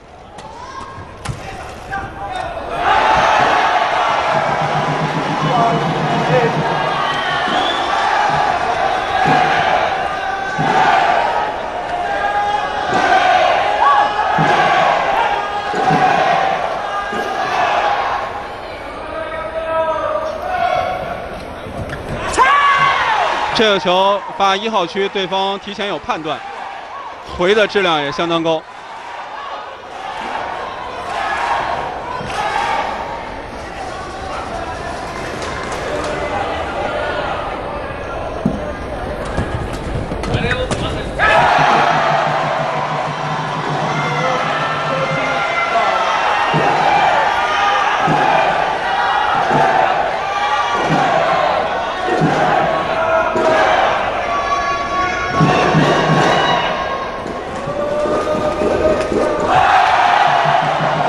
分拉开了十四比九，吴伟轩和陈伟强领先了五分。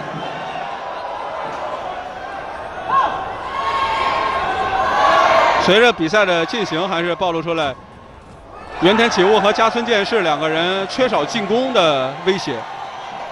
这个球陈伟强在中半场反反手抽了个对角线，丝线示意界内，日本队可能提出了挑战。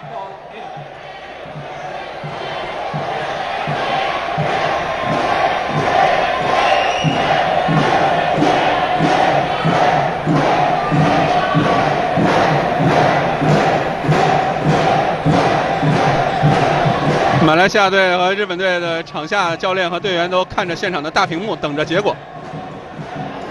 看上去大家都非常享受这样一场惊心动魄的比赛。接线界内压线一点，这样马来西亚队得分。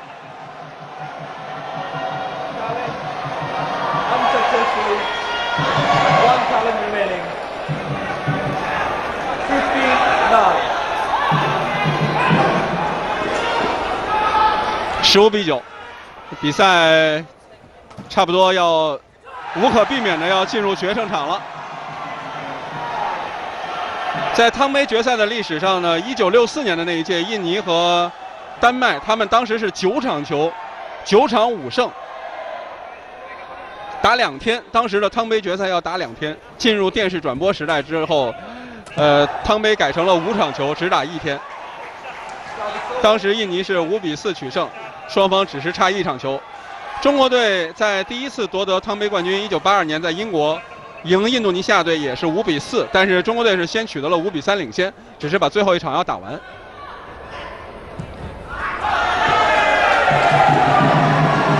之后，在一九八四年的时候呢，印尼在决赛当中三比二战胜了中国队，夺回了汤杯。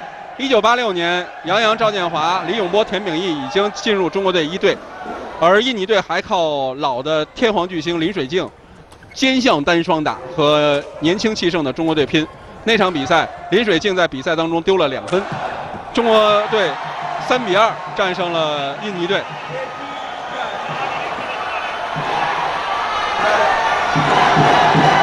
然后，一九九二年呢，马来西亚又是在自己的主场吉隆坡，他们半决赛战胜最后只剩赵建华压阵的中国队，决赛当中又战胜了印度尼西亚队，三比二险胜，拿到了冠军。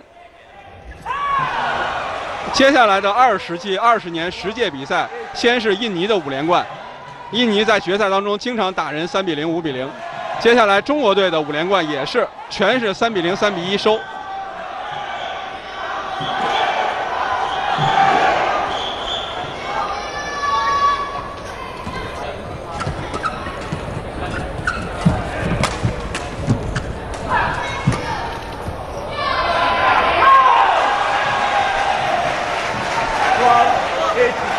等待胜利的滋味也是非常难熬的。这场马来西亚队扳回之后，双方将进入第五场第三单打的决胜。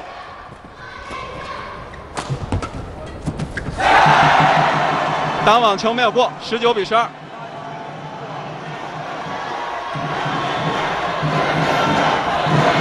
吴伟申和陈伟强这场比赛拿下，他们将和李宗伟一样，在这次代表马来西亚队出战汤杯决赛圈比赛当中，六战全胜。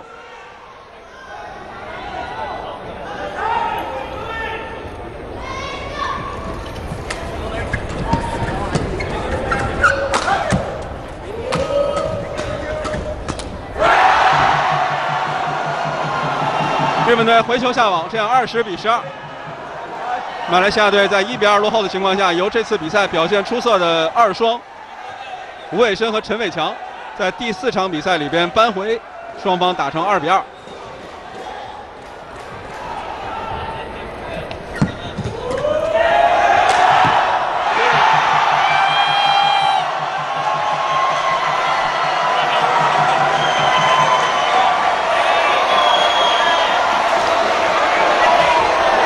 马来西亚队和日本队在汤杯决赛里边打成了二比二平，稍后将是双方的决胜场，两个队的第三单打的对抗。马来西亚队出场的是刘伯伦对阵日本队的上田拓马。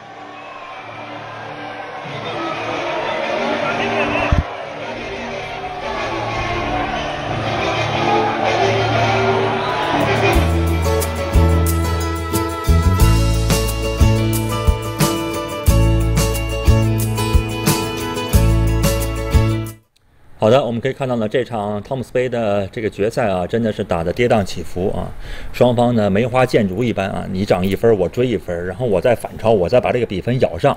现在呢，不得不通过这个决胜场次来分出今年汤姆斯杯的冠军了。呃，应该说呢，就是马来西亚队这对二双呢，确实是非常的出色啊。这个吴伟申和这个陈伟强，吴伟申和陈伟强，他们之前呢在小组赛里面，包括在四分之一决赛里面，都是为本队立下汗马功劳的。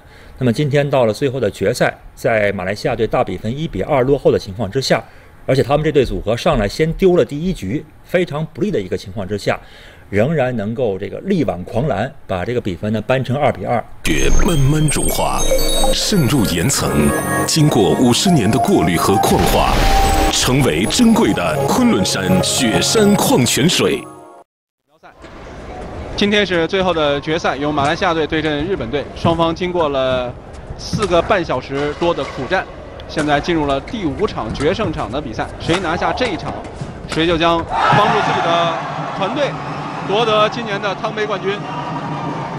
这场比赛，马来西亚队是刘伯伦对阵日本队的上田拓马。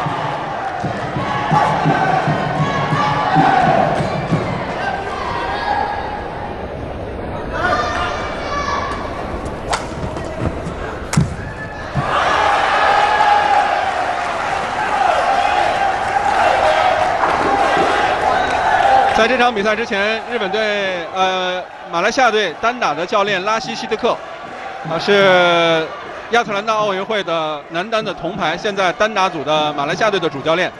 他在赛前接受采访的时候，认为马来西亚队有最好的夺回汤杯的机会，但是希望球他们的球队能够在前四场拿下比赛。显然对他的第三单打还是不太放心的，因为在此之前刘国伦之前的比赛出场了两次，全都输了。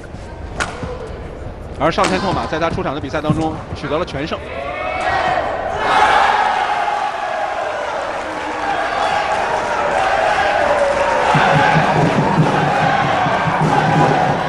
所以从赛前来看，拉希希特克对于自己的第三单是没有信心的，但是比赛的进程并不受他的意志所转移，现在就是来到了第五场，要靠他手下的第三单来帮助马来西亚队。争取这场比赛的胜利。球出了底线。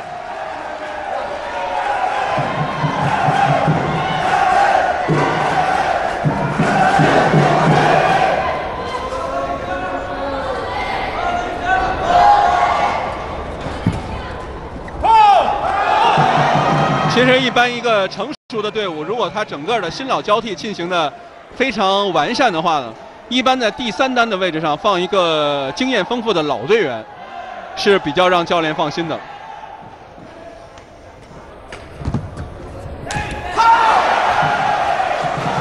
那么这名老将可以他的实力过了巅峰期，但是大赛经验一定要丰富。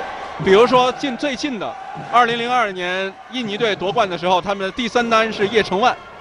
呃，也是可以说那个时候打到第五场印尼队必胜的这种这种局面，因为叶成万在第三单这个位置上实力太强大了。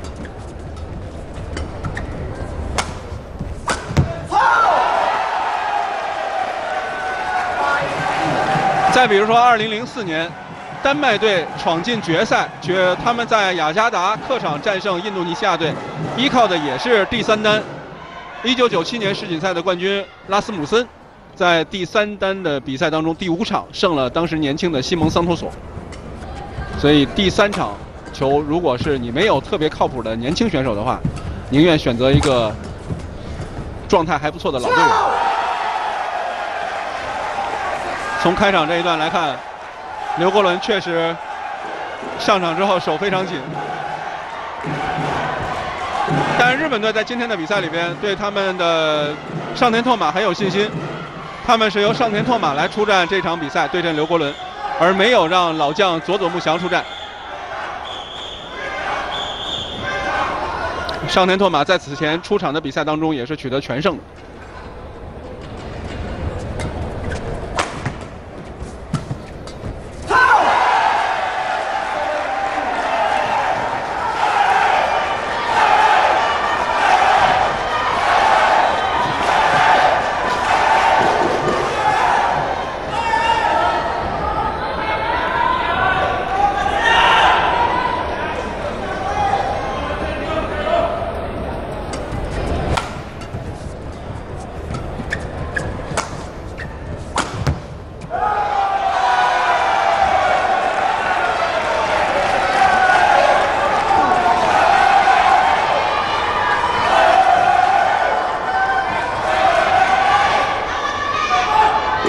刘国伦的这个头顶劈杀还是界外。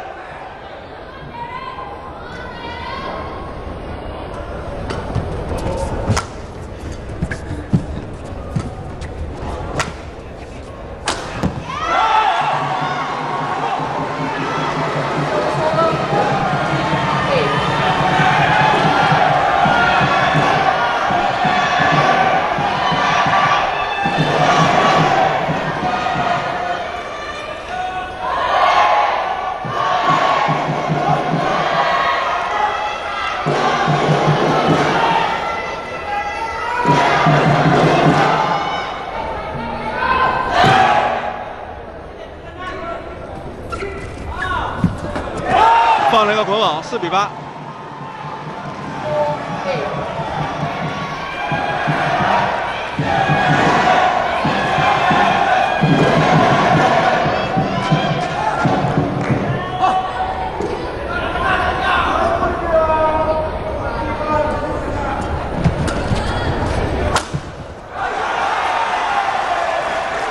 抓对方挑对角的球，正手突击。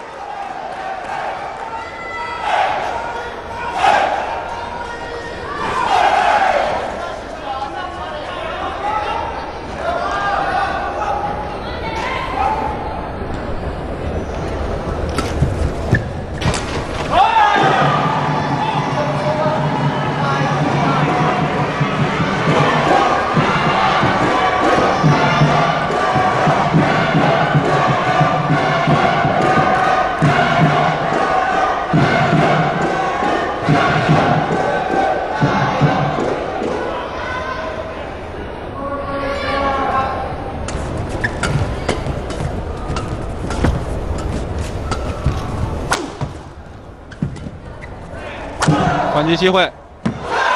哦，他这个球上田拓马挡直线，一个滚网球。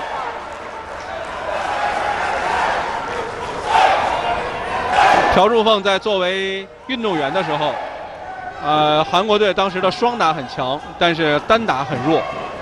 他无论是男双还是混双都拿到过世锦赛的冠军，也曾经是奥运会的冠军。但他们在当时韩国队在团体赛当中，从来没有能够夺得过世界团体锦标的冠军。现在朴柱凤作为日本队的总教练，有机会带出一支团体冠军的队伍了。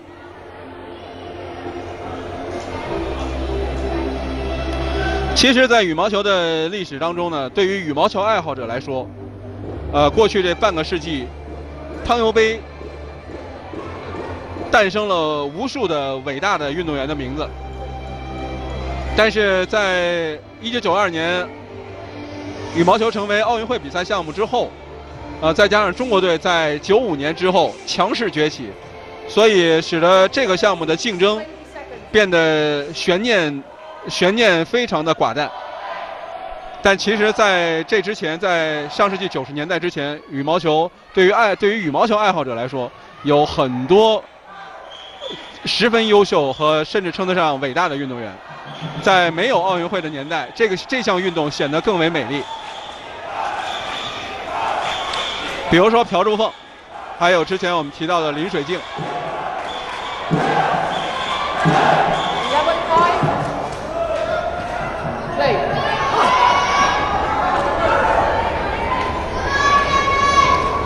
上田拓马和刘国伦两个人回到场上。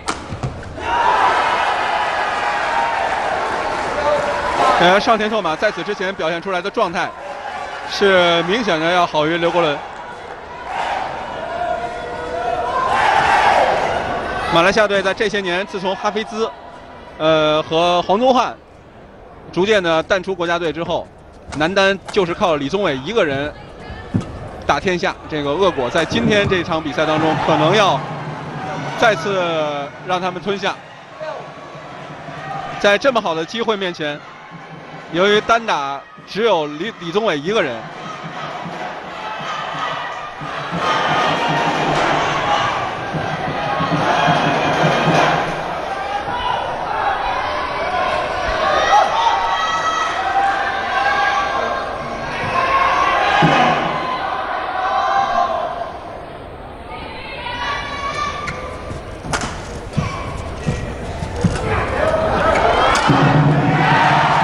个球刘国伦打的还是很积极，正手点杀上网搓球，造成对方挑起来之后连续下压，再劈一个对角。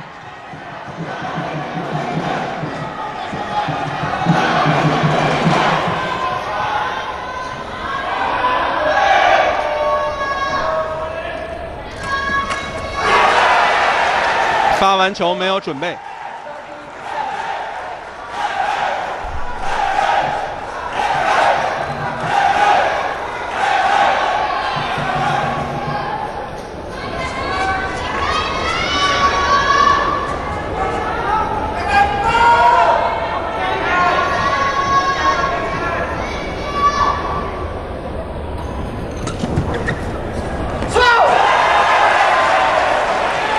这球是直接推底线，推出了界外。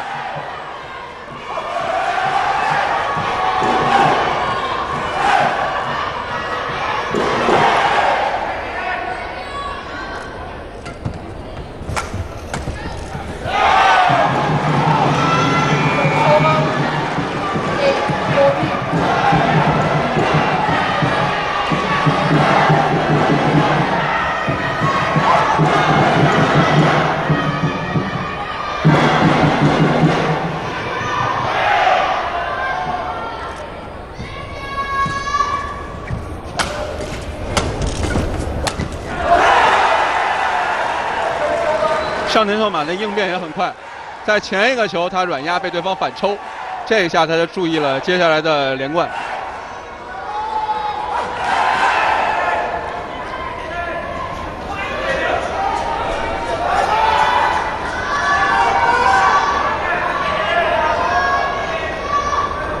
日本队不仅是第一次，呃，他如果赢球的话，不仅是第一次拿到汤杯的冠军，甚至是第一次进入汤杯的决赛。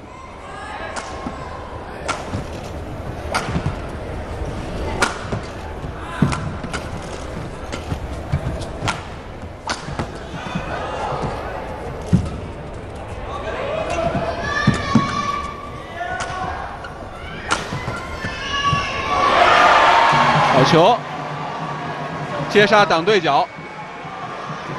现在刘国伦的教练就是叶成万。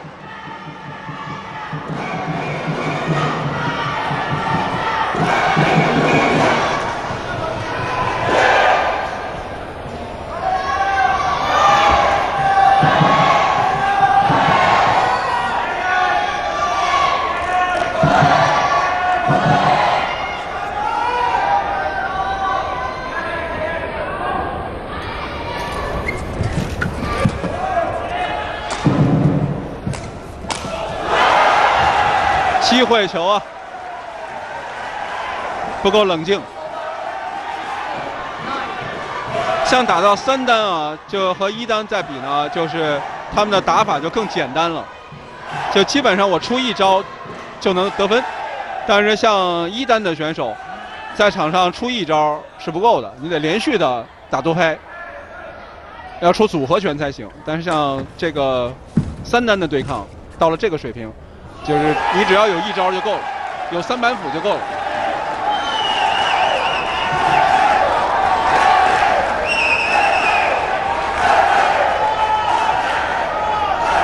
日本女队在这次比赛里边，她们也获得了尤伯杯的亚军。看来新德里是日本队的福地。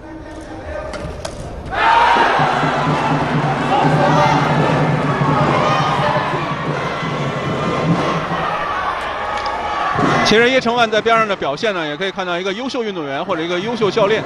就无论场上你是落后多少分，但是绝不放弃希望。虽然在场上他的队员落后这么多分，但是每打一个好球，他还是毫不保留的给自己的弟子鼓劲儿。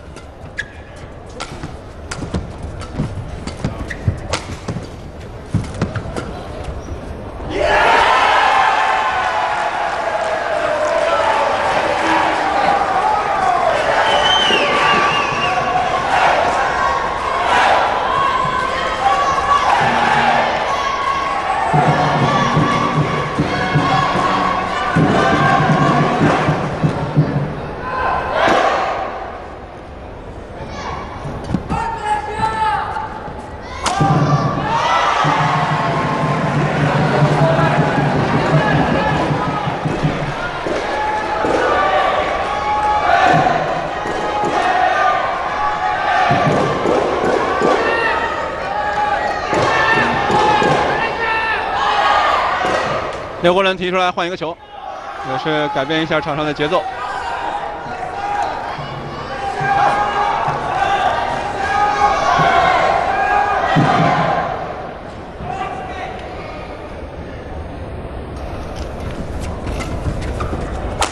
半场球，因为上田拓马的放网质量很高，所以这个球没有挑到位。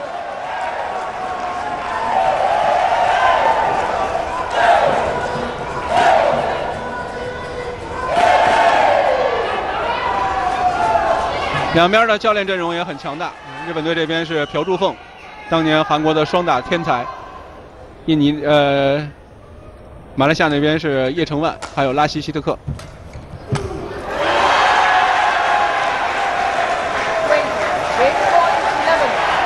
这个教练，两边的教练最弱的可能就是川田圭太了。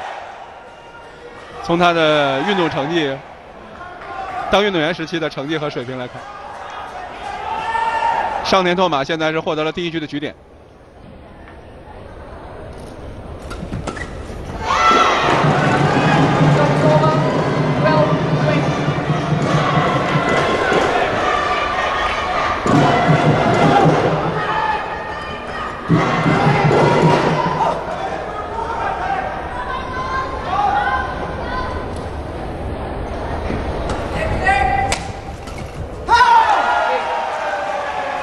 刘国伦挡对角，球没有过，这样第一局比赛二十一比十二，日本队的上田拓马一比零领先。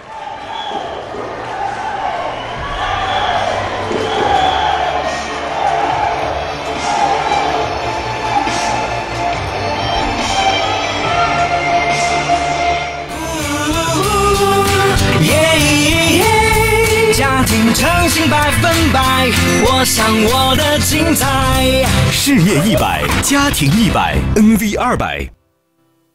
郑州日产，讨好每一寸肌肤的喜欢。法恩莎卫浴，沐浴生活之美。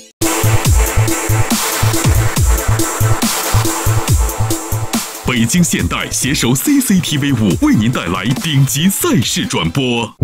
在所有人追逐目标时，停下来享受。你的态度决定你的未来。Mistral 名图、明智、途远，北京现代。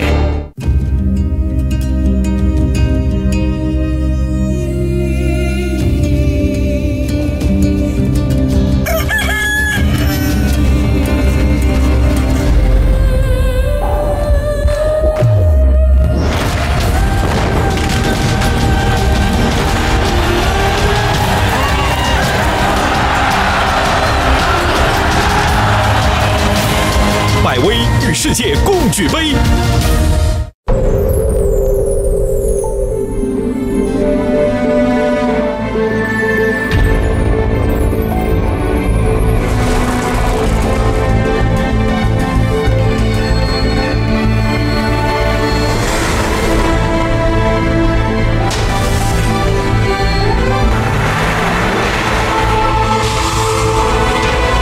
车所异动，人马一体。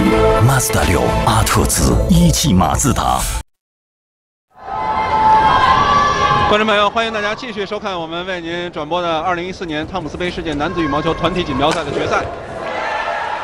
本场比赛是由马来西亚队迎战日本队，双方打到了决胜场的对抗。马来西亚队现在面临不利的局面，在前四场双方打成2比2的情况下，他们的第三单刘国伦在本次汤杯比赛当中一场还没有赢过，而且第一局又是12比21输了。形势对日本队相对有利。刘国伦的这一次挑战非常果断而且准确，这是正手的点杀，丝线改判为先是比了一个界内手势，然后改判为界外。刘国伦马上提出挑战，鹰眼回放显示是界内。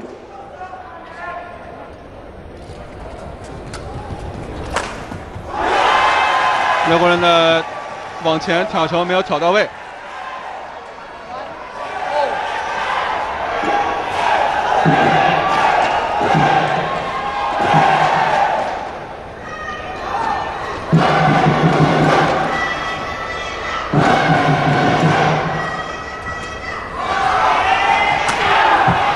劈杀，上网再扑。这个球是是这种时候的球，因为是三单。三单不像一单的选手水平那么高，其实，所以对于三单的运动员来说，打这种比赛，其实就是看怎么能够拼出来。你如果想太多，怎么去控制对手？就在这个水平线上的运动员，可能世界排名都到二十以后了。打得太保守，又是在团体赛当中，对他们是没有用的。刘国伦在第二局一上来，让人看到了一定的反击的机会。对单打这个时候就是拼，那么怎么拼呢？就是通过你的速度和进攻。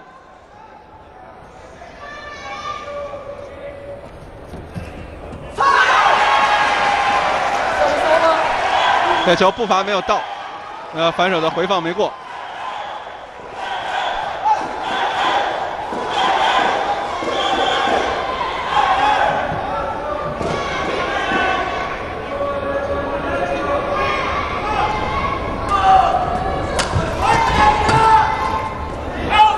力量稍微大了一点，这个球平推出了底线。马来西亚的其他队员都回头看现场的大屏幕回放。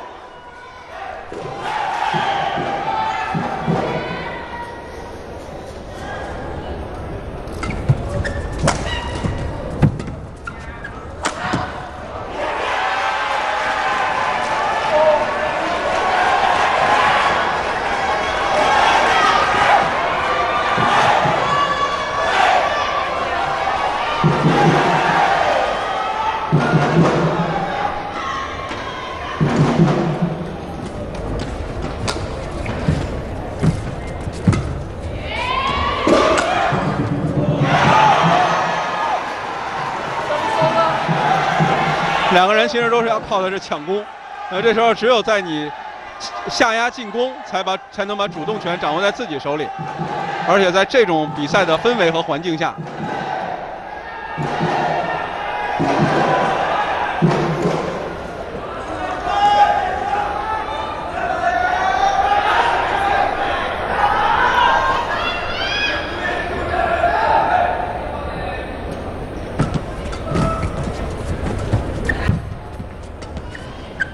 出界了。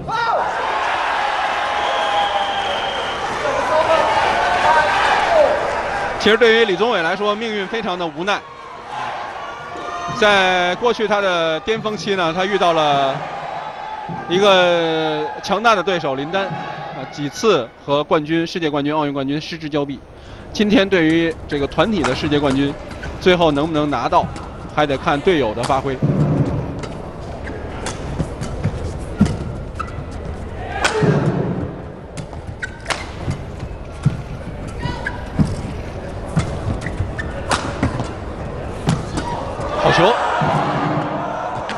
有点犹豫边线，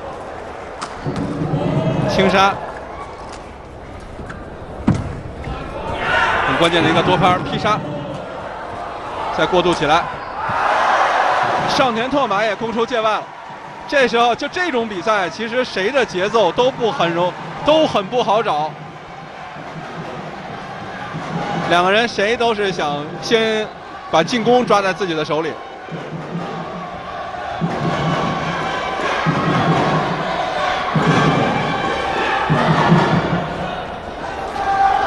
你攻呢又要有威胁，又要耐心，还要保证自己的接下来每一个球的体能，这真是非常大的一个考验。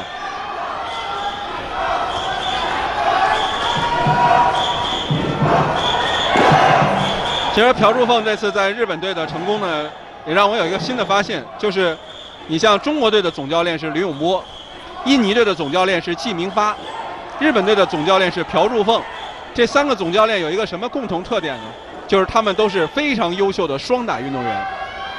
这是因为，我想就是因为双打它是一个团队合作，所以双打的优秀的双打运动员，他除了技战术之外，还有很好的与人协作和与人沟通的能力。所以这三个不同时代的最优秀的双打运动员，成为了中国队、印尼队和日本队的总教练。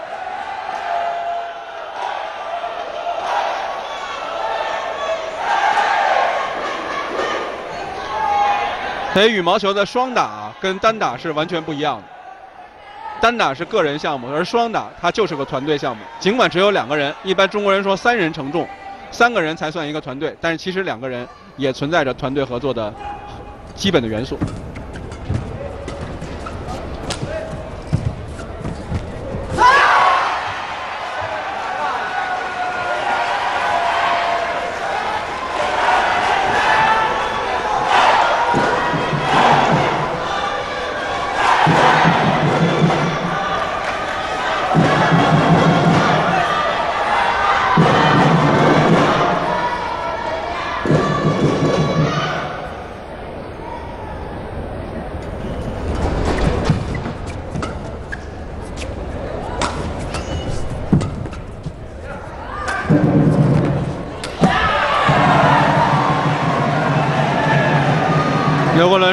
线劈掉，然后上网推扑，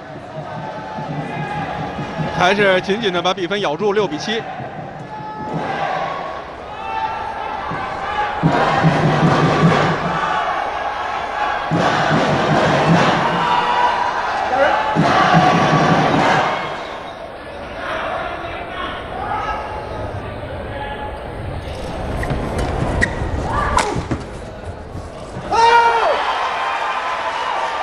刘国伦的手上技术确实是不是特别理想。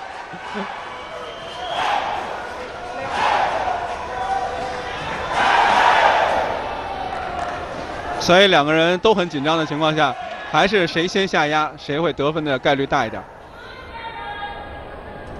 就看谁能通过控网和限制对方两底线，先找到自己好的下压机会。球！这一次刘国伦在往前逼得很凶，他不断的利用重复放网和推对方底线，来拉开上田拓马。终于，终于是造成上田拓马在往前是低点挑高球，抢到了下压进攻的机会。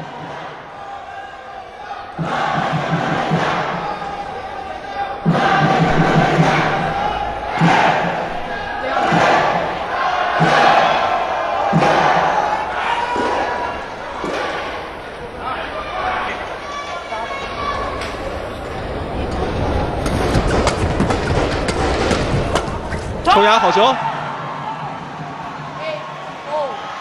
上田在抽完前两拍之后，这一拍的给到正手之后，他没准备。这球其实见的很多。其实李宗伟尽管没有像林丹这样获得世锦赛和奥运会的冠军，但他其实在马来西亚的运动员当中，他得到的荣誉和呃物质的回报也都已经是非常多了。他在因为马来西亚喜欢羽毛球的有钱的老板也特别多，尽管从羽鞋这一块没有太多的财力，但是其实李宗伟在马来西亚就跟林丹在中国差不多。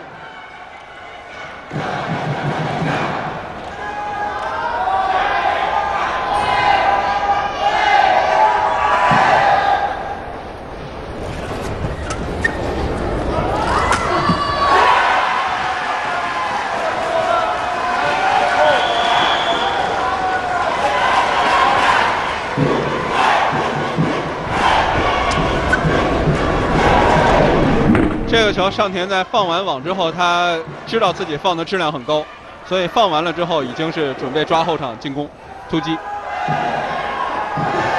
双方又打成九比九。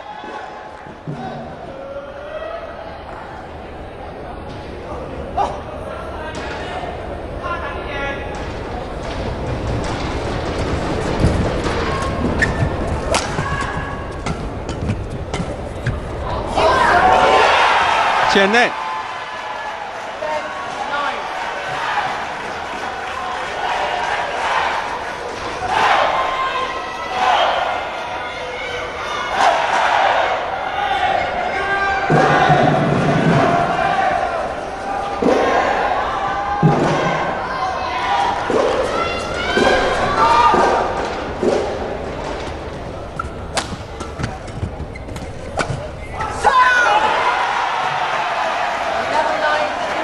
这球也力量大了，结果直接抽出了底线。十一比九，上田拓马领先第二局。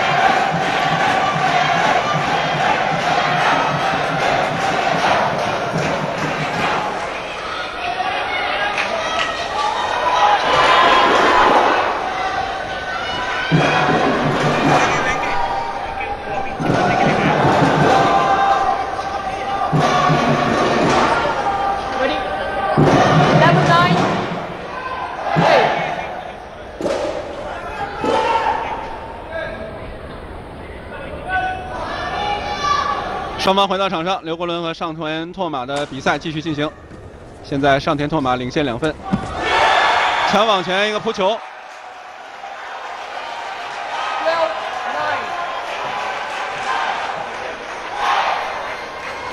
呃，从比赛打到现在呢，可以看出双方的技术实力水平确实是上田拓马的上风球。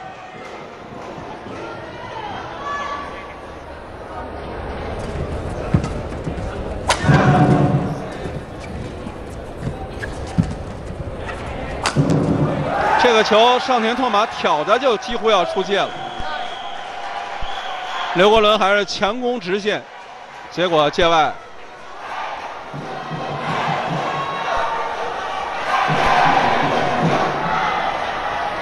但这场球作为刘国伦来讲，他还是拼尽了全力。其实从打两局打的情况来看，他确实不是上田拓马的对手。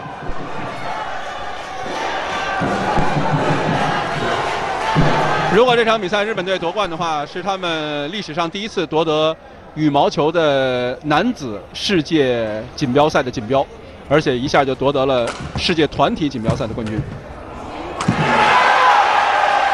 这场比赛的最后这个结果呢，不能不说又是一位韩国教练在外国的成功，就像金场博在中国一样，这一次是朴柱凤在日本。当然，在世界上体育运动当中，有很多的外籍教练都在异国他乡取得了相当优异的成绩。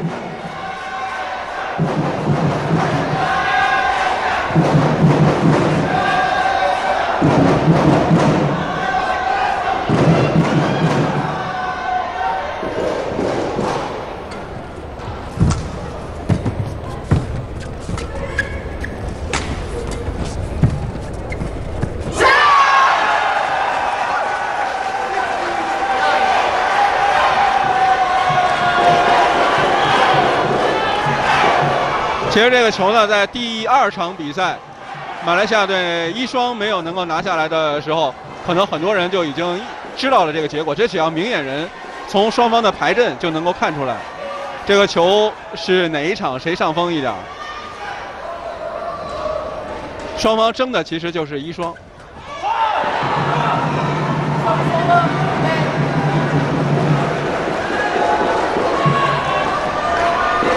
叶成万还没有放弃希望，那么场上的队员会不会给他呢？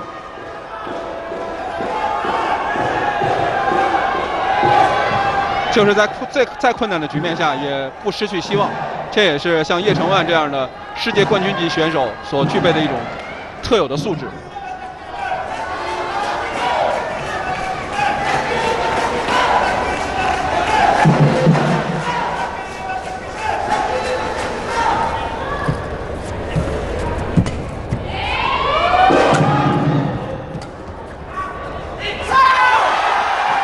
这球推底线，球又是出界了，十六比十。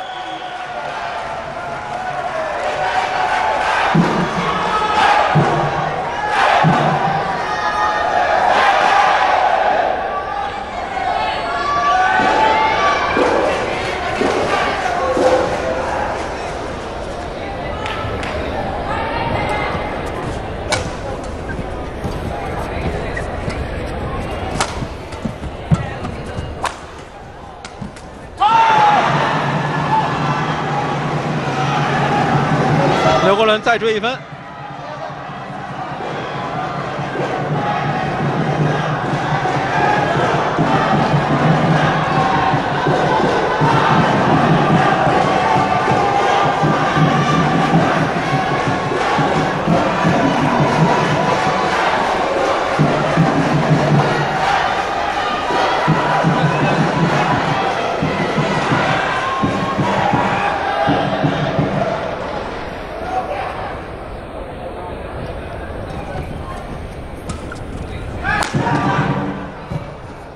回放中路，球出界了，十二比十六。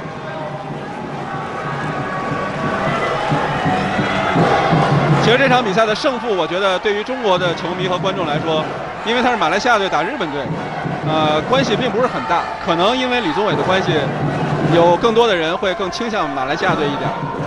但是这个比赛其实就跟今天凌晨北京时间今天凌晨进行的皇马对马竞那场比赛一样，到第九十二分钟，皇马才绝杀。留住了夺冠的希望。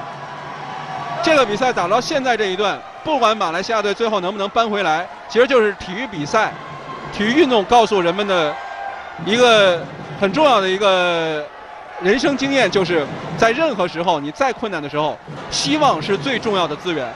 如果你放弃希望，那么将不会有取胜的可能，也不会有走出困境的可能。这场比赛其实。特别是叶成万在场边，他的他作为一个教练，能够通过他的肢体语言告诉场上的队员，不管你最后能不能扳回来，在补时的最后一分钟能不能取得这个进球，但是一定不要放弃希望，放弃希望。这一点是足球、羽毛球、乒乓球、排球、篮球所有项目全都一样。机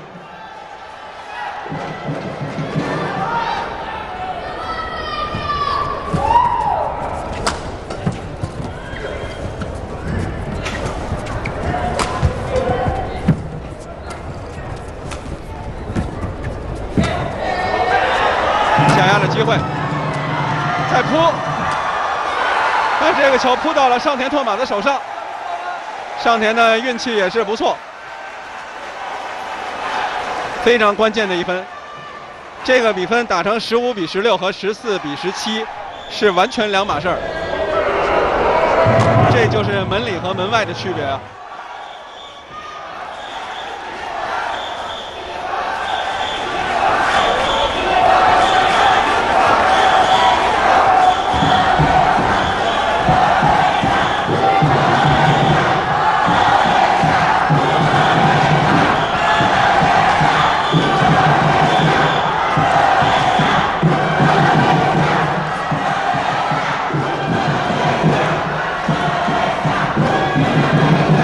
所以，其实作为羽毛球赛事来说，汤姆斯杯世界男子团体锦标赛其实是一个非常精彩的赛事。呃，它并不，它在过去的十几年可能没有什么悬念，但这个赛事本身，在六十年的历史上是奉献了很多经典的比赛的。非常有幸在今天的比赛当中，大家还能够看到。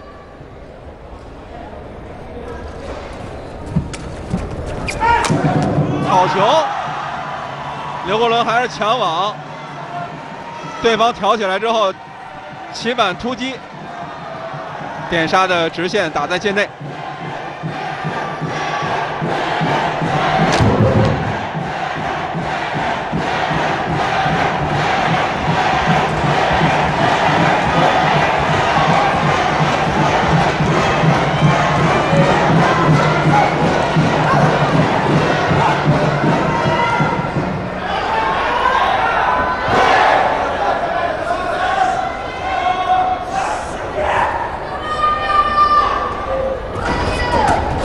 挑对方头顶，这个球上田拓马也非常机警，在打到对方反手底线之后，马上去抢网。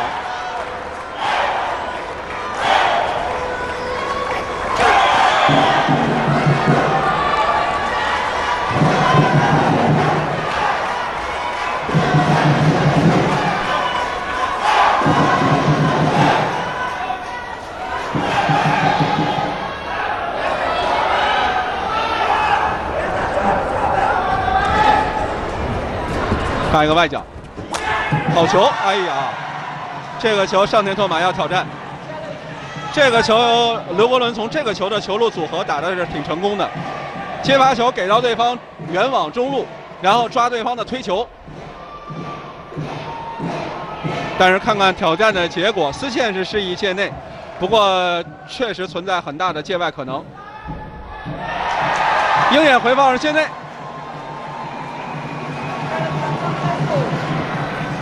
刘国伦再追一分，十六比十八。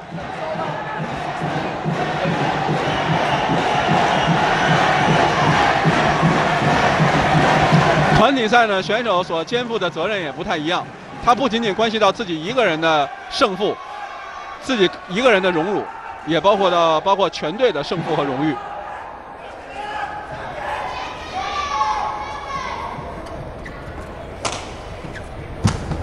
好球，过渡的不错，重复回放，还是给中路推球，漂亮。这个球，刘国伦在上网的时候节奏一个调整，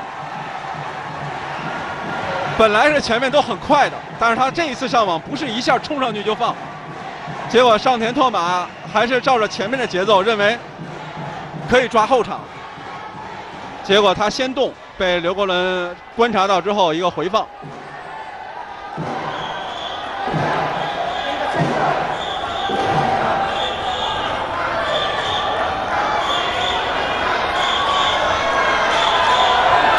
双方打成了十八比十七，第二局的比赛。上田拓马之前领先的五呃五分优势，十五比十领先的五分优势，被刘国伦一点一点的蚕食。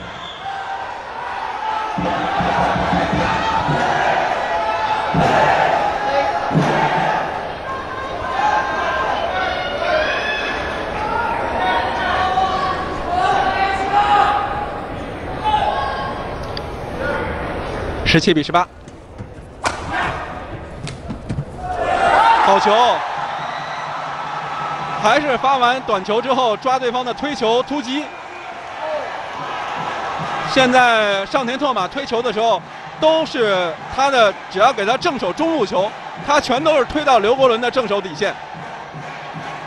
刘国伦抓正手突击也抓的很果断，主要他还有一个。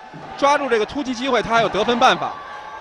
刚才这个球是点杀完直线之后上去再推对角。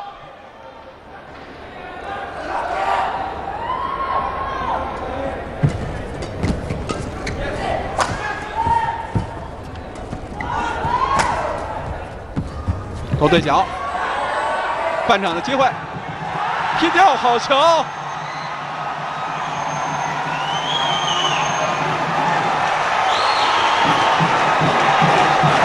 我相信在这场比赛呢，无论是现场观众还是电视机前的观众，在比赛开始的时候可能是没有倾向哪一方要取得比赛的胜利，但是经过这五个小时，每一个观众都和场上的球队球员产生了感情上的联系，这就是团体赛的魅力。它的时间确实很长，它确实要占很多电视转播的资源，但是这些资源的付出应该是有价值的。只要你能够坚和队员一样坚持到最后，你就能够体会到观赏团体赛的魅力和情感上的收获。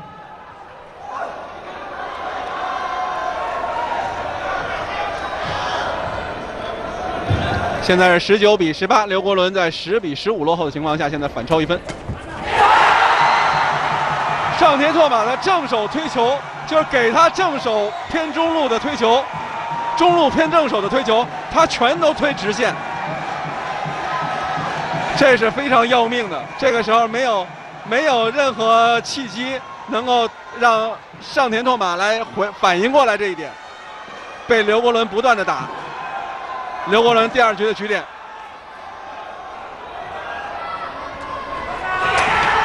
劈对角，再放到中路，头顶吊直线。上田拓马杀球出界，补时的绝杀出现了，这就是不要放弃希望。上天会给你机会。刘国伦在以弱对强的情况下，将比分扳成了一比一。这场马来西亚和日本队的汤杯决战打到决胜场，接下来要用决胜局来决定冠军的归属。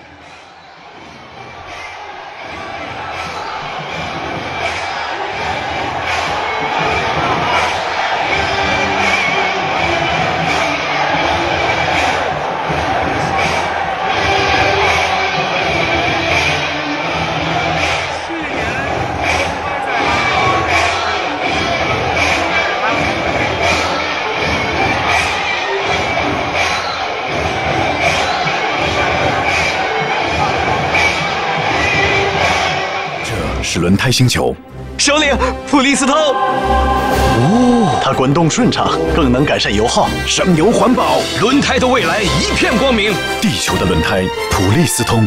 你是普利司通轮胎。你以为他在做决策，或许他只是聊天。你以为这是高层峰会，或许只是同学聚会。你一再猜错，但这不是你的错。帕萨特，镜自超然。你以为他在看日出，其实他在筹建深水码头。Das Auto。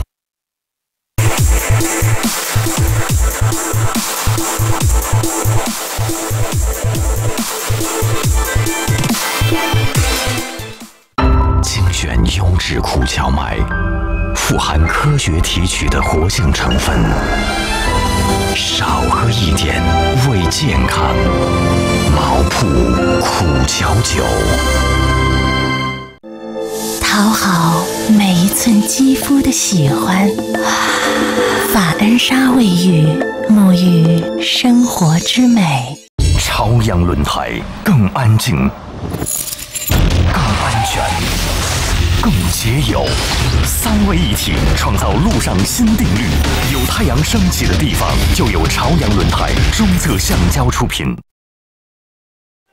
啊，观众朋友，欢迎大家继续收看2014年汤姆斯杯决赛，马来西亚队对阵日本队的比赛。现在双方到了最后一局的决胜，这一局的比赛的结果将会决定全队的胜负输赢。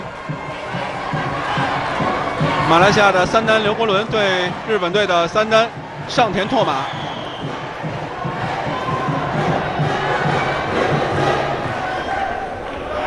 我们知道李宗伟在十几年的职业生涯当中，还从来没有世锦赛的冠军入账。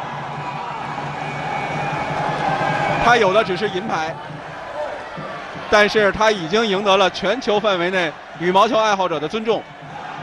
只是看在赛场上会不会能回报他一块含金量更高的金牌。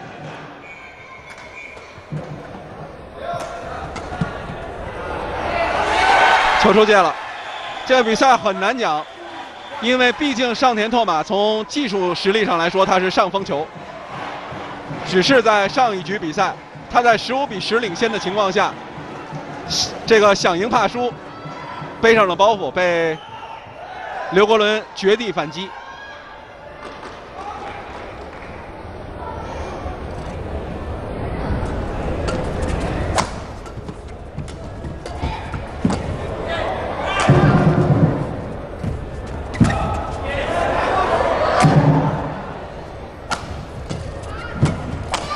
好球！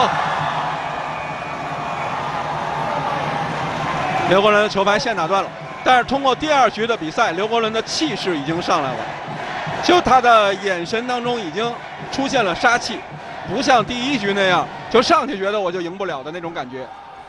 我相信在第一局失利之后，叶成万应该还是向他说了点什么。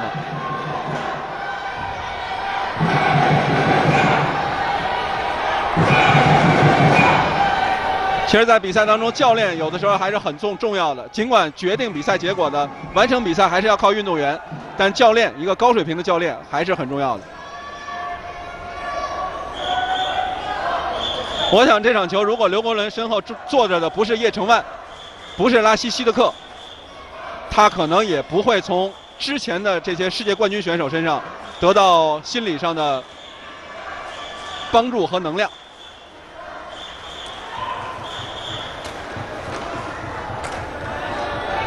因为他身后的这两个教练有过在运动场上成功的经验，他能够告诉自己的队员，在这个时候你需要做什么，而运动员也能够相信，因为来跟他讲这个要求的人是一位世界冠军，曾经是世界上最优秀的选手。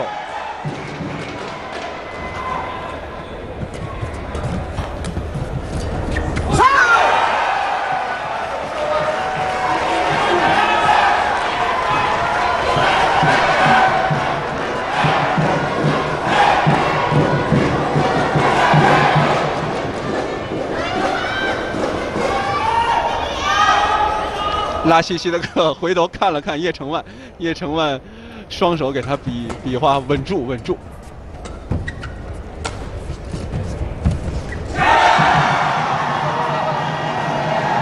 这个球挡网，球下网了，放网。叶成万从椅子上站起来，给刘国伦鼓掌加油。其实教练在场下的一举一动，队员在场上都能够感知到。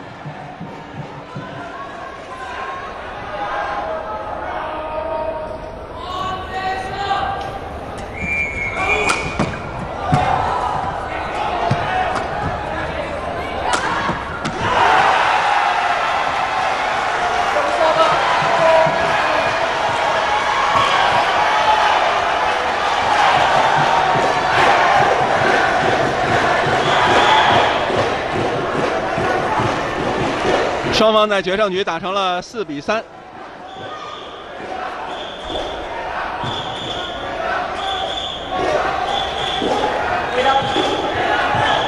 上田拓马是一九八九年出生的选手，比刘国伦的年龄要小一些。但是这场球，由于之前的团体赛两个人都不是上上场打满了所有的比赛，而且他们不是打一单的选手。所以这场球体能对于两个人来说都不是什么问题。上田拓马不仅是一位优秀的羽毛球运动员，他也是来自日本名校早稻田大学的早稻早稻田大学的高材生。当然，现在他已经毕业了。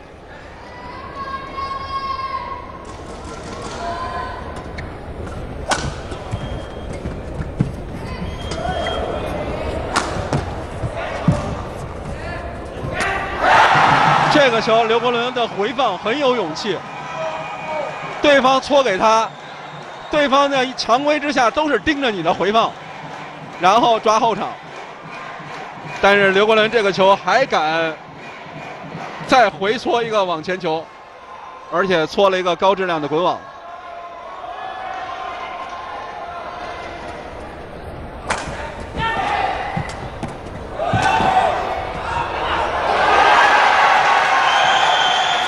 这个球是界内。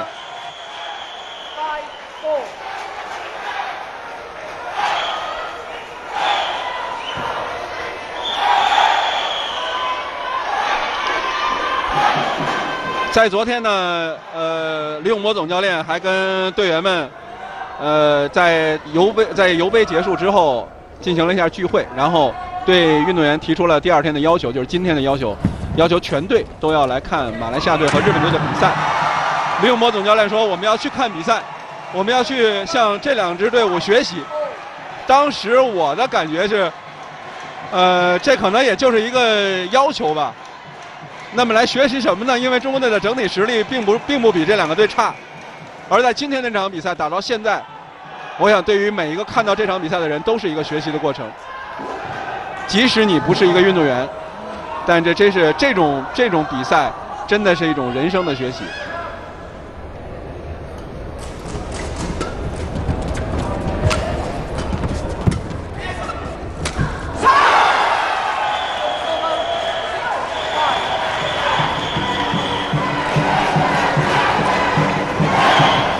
李宗伟真是恨不得自己上去打呀，但是那太欺负人了，他是一单的选手，不能出现在一三单的这个位置上。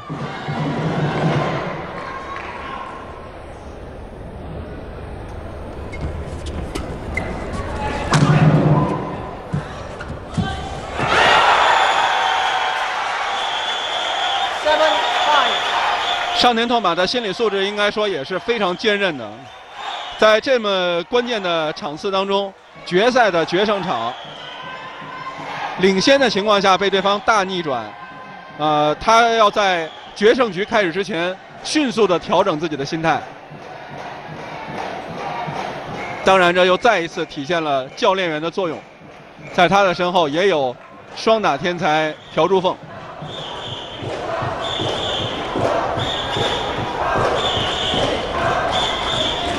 这场比赛的主裁是来自新加坡的裁判。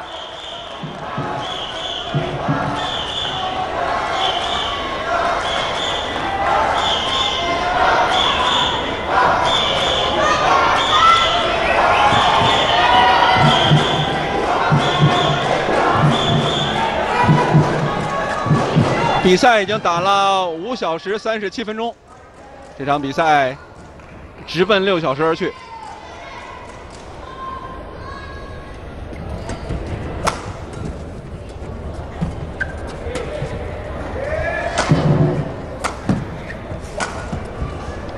双方重复压对方的底线。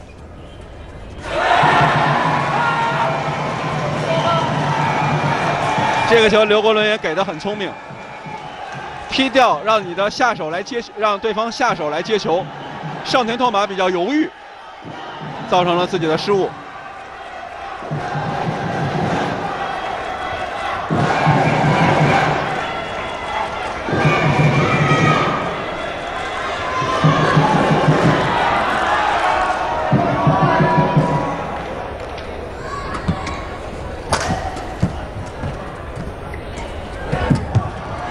突击，跟下一拍有点慢。上田拓马的反击没有能够打死，勾对角，好球！哎呦，这球没过，这球擦了一下网带，没有过来。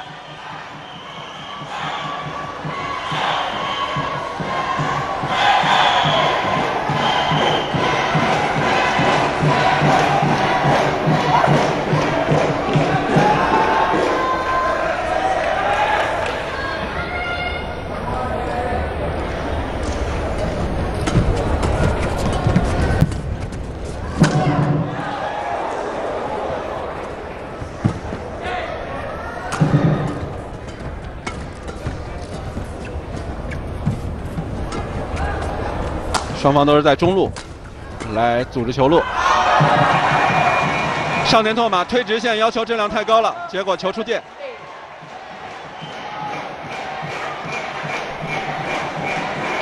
今天的比赛是李宗伟先为马来西亚队拿下第一分，二比零战胜了田二贤一。但是在接下来的一双比赛当中，陈文宏和他的新搭档云天豪一比零领先，被对方逆转，结果早川贤一远藤大由二比一取得胜利。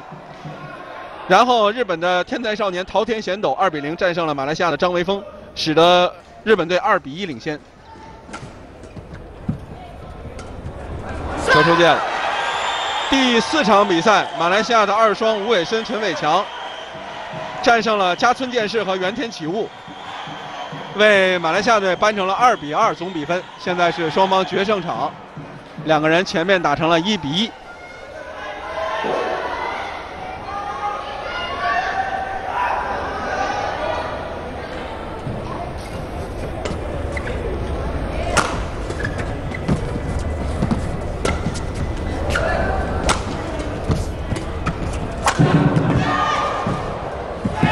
好球，劈对角，上网。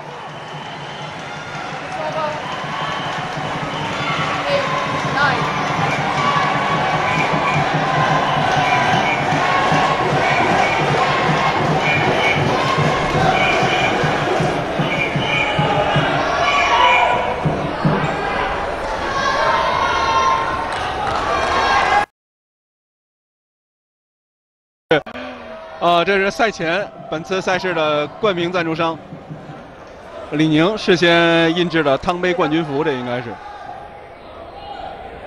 只不过进入决赛的双方，他们的赞助商还是在过去几十年羽毛球最大的器材和服装厂商。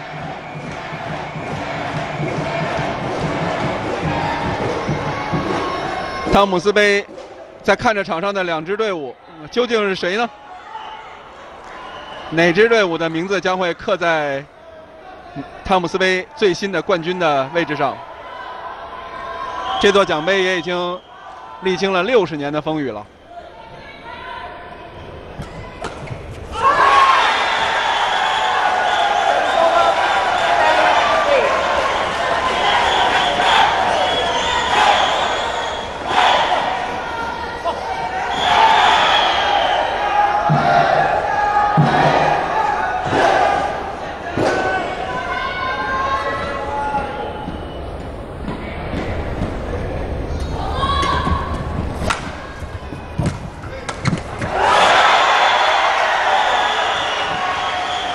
刘国伦的反手反手回球，这个球还是很软。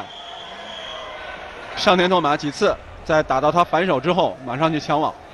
这样双方的比分现在是十一比八，上田拓马在决胜局领先，双方交换场地。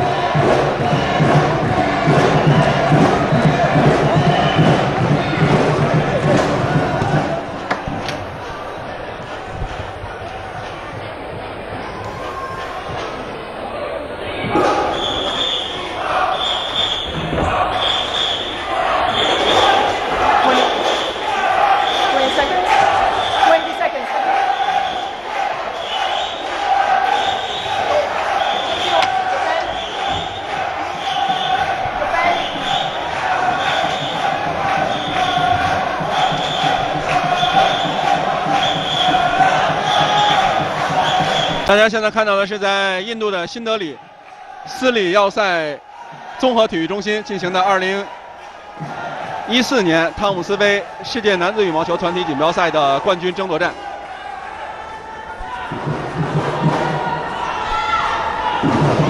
马来西亚队和日本队现在到了最后决定冠军归属的时刻。上田拓马发球。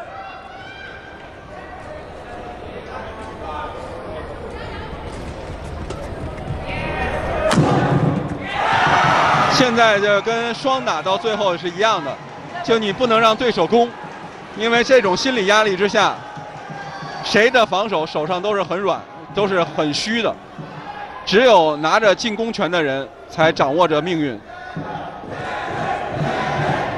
所以两人的从第二局很明显，两个人的战术就是在通过控网结合推底线来抓抢攻的机会。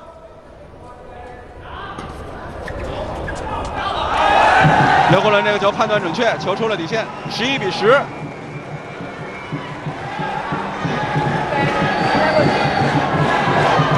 这场比赛有一个惊心动魄的过程，上田拓马和刘国伦两个人也不会让等了六个小时的观众，在最后的结尾上感觉失望。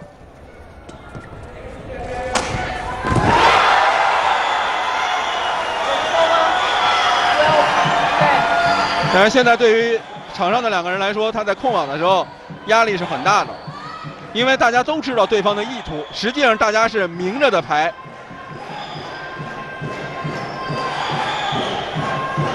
所以你是什么时候放？你如果放网的话，质量一定要好，然后推对方底线的弧线也是一样，推球的质量、放网的质量，决定着你有没有先下压的机会。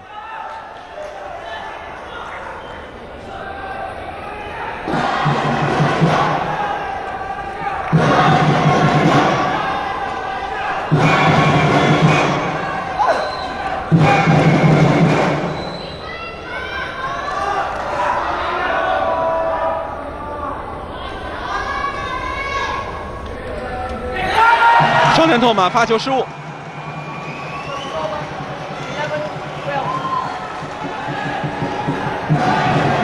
李宗伟和陈文宏两个人站在一块儿，和队友们在一起。马来西亚队场下大概三十人的一个团队。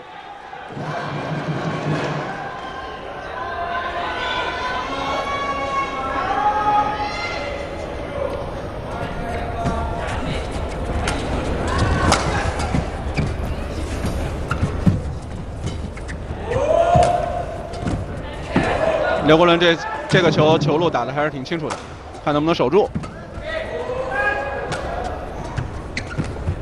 左对角，劈杀好球，这个球能看出来刘国伦在场上的思路非常清楚，因为上田拓马呢现在也是全力的要控网前，所以上田拓马在放完网之后，他的站位非常靠前。刘国伦推他底线的球，不用吹太平，都会造成上田拓马很被动。所以刘国伦是比较好的结合了放网和推对方底线。当然，上田拓马这时候的打法他稍微有一点简单，就是他完全是靠靠网前的搓球和放网。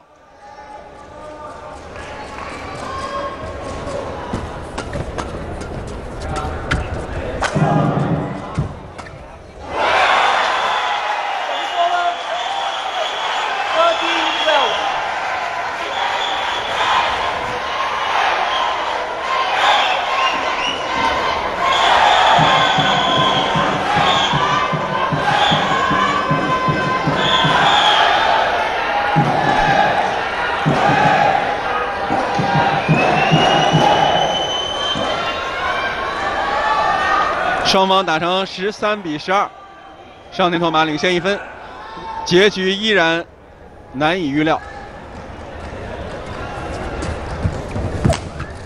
哇！刘国伦的反手底线还是偏软啊，但这也很正常，因为这毕竟是第三单的对抗，不像一单的实力那么强。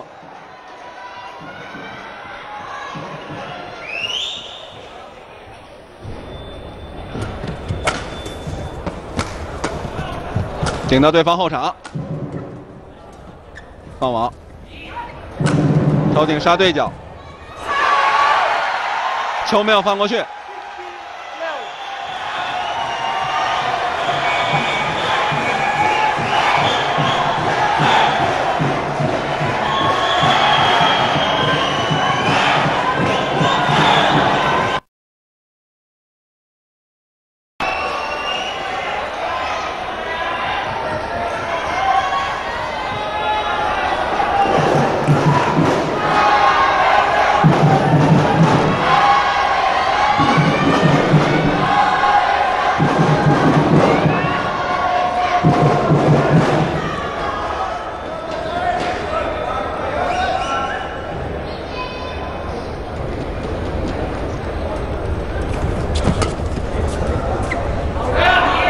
球出界很多。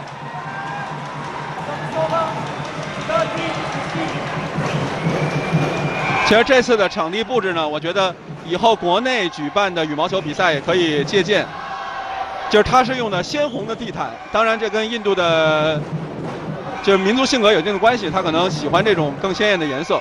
但是从电视转播的效果来讲，它比我们国内经常用的蓝色的地毯配绿色的塑胶。它的视觉效果要好得多。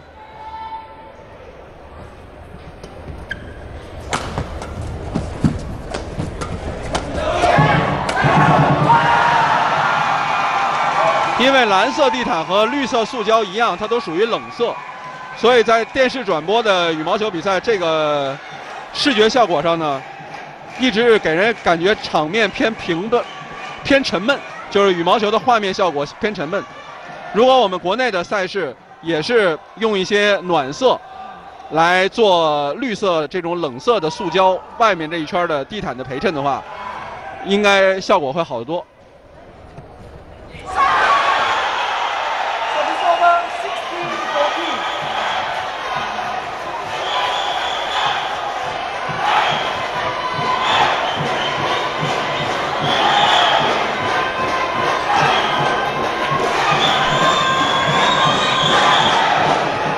其实这种这种球有一定的失误都是很正常的，就是别受失误的影响，不要影响下面的发挥。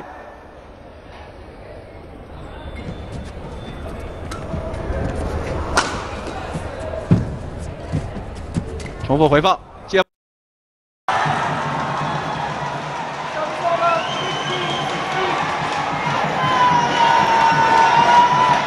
其实，在比赛当中，双方的技战术上也其实也并不是乏善可陈的。虽然它是三单的对抗，就这场球，刘国伦比较好的利用中路来组织战术，这样他呢，他也知道自己的水平不是那么高。他在场上多用中路球，他的失误率很很低。但是上田拓马还是坚持在两个边路控制对方打两个边线，可是上田拓马在两个边线的推球、挑球就有很多失误。这也是刘国伦在战术上比较聪明的地方。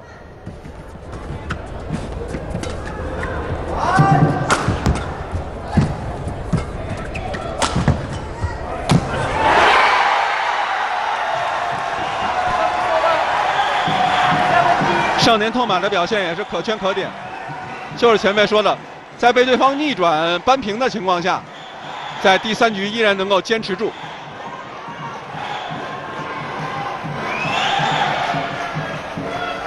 虽然他的实力是略占上风，但在这样的比赛当中，实力是第二位的，心理是第一位的。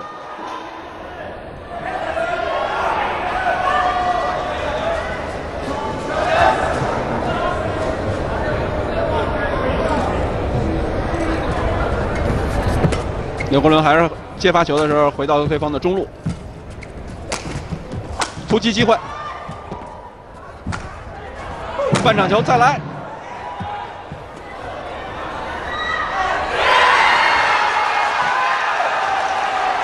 这个球是丝线示意界内，刘国伦提出挑战。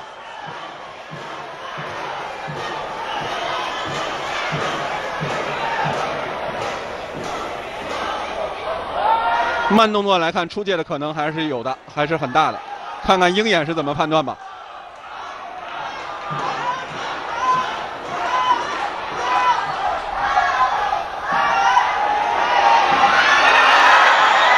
我就沾到了一点点啊！这就是这是鹰眼的局限性。其实从球的羽毛球本质来说，这种球应该算界外了。但是鹰眼呢，他绝对是客观的，这是很关键的一分。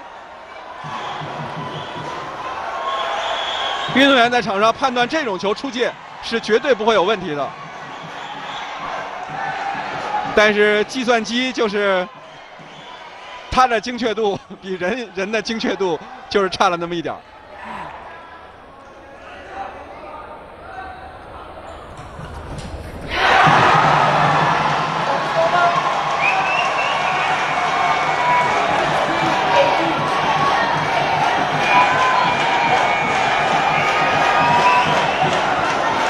这球刘国伦还是在中路推给搓给对方远网，这个球放远网之后，也是造成上田拓马回放的难度。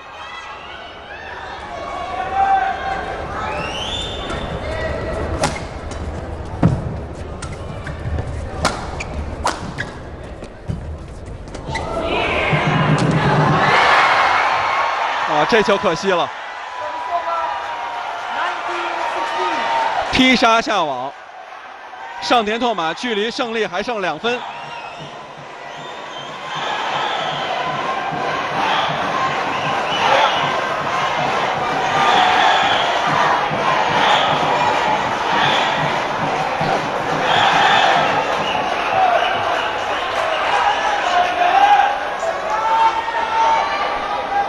这一个球下去，几家欢喜几家愁。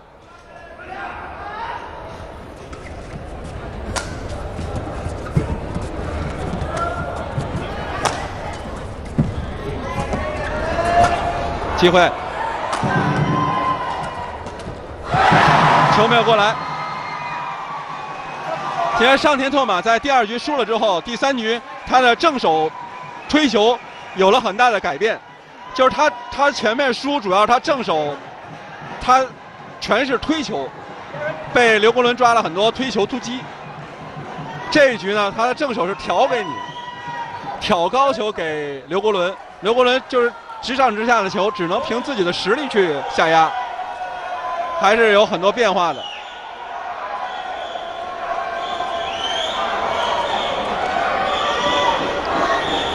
这场球尽管是一场三单的比赛第三单打的比赛但是两个人不仅体现出心理的对抗技战术上也是有很多的变化转化。内容确实很丰富不仅悬念重重而且故事也写的有血有肉。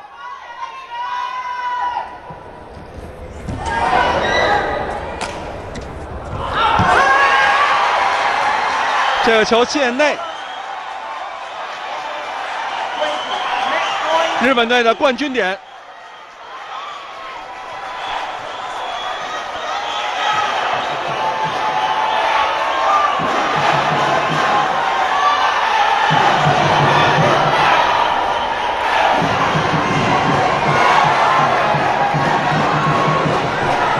在汤姆斯杯的历史上，只有三支队伍获得过冠军：印度尼西亚、中国队和马来西亚队。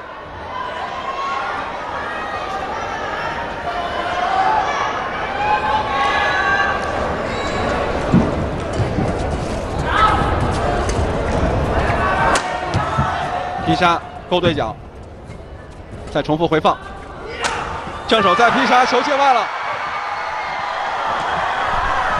这样，上田拓马在这场艰苦的男单第三单打的对抗当中，拿下了决胜场的比赛，二比一战胜了马来西亚的刘国伦。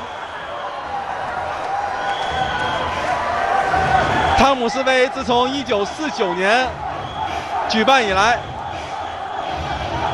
只有过去的27届只有三支队伍获得过冠军，日本队在印度的新德里成为了。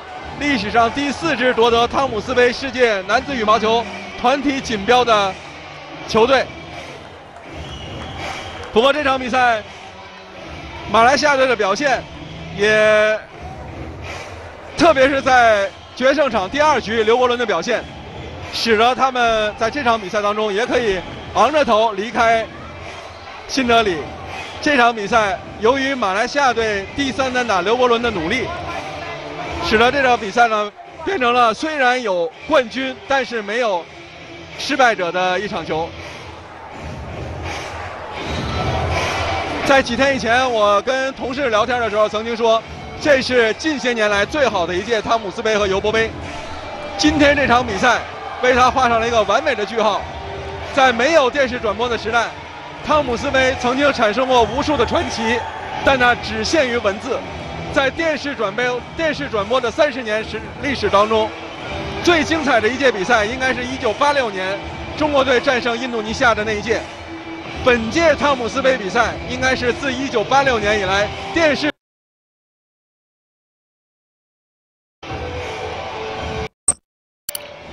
这球，我相信告诉很多人，真的在场上不要放弃希望，只要你不放弃希望。未必胜利会属于你，但你不会再是一个失败者。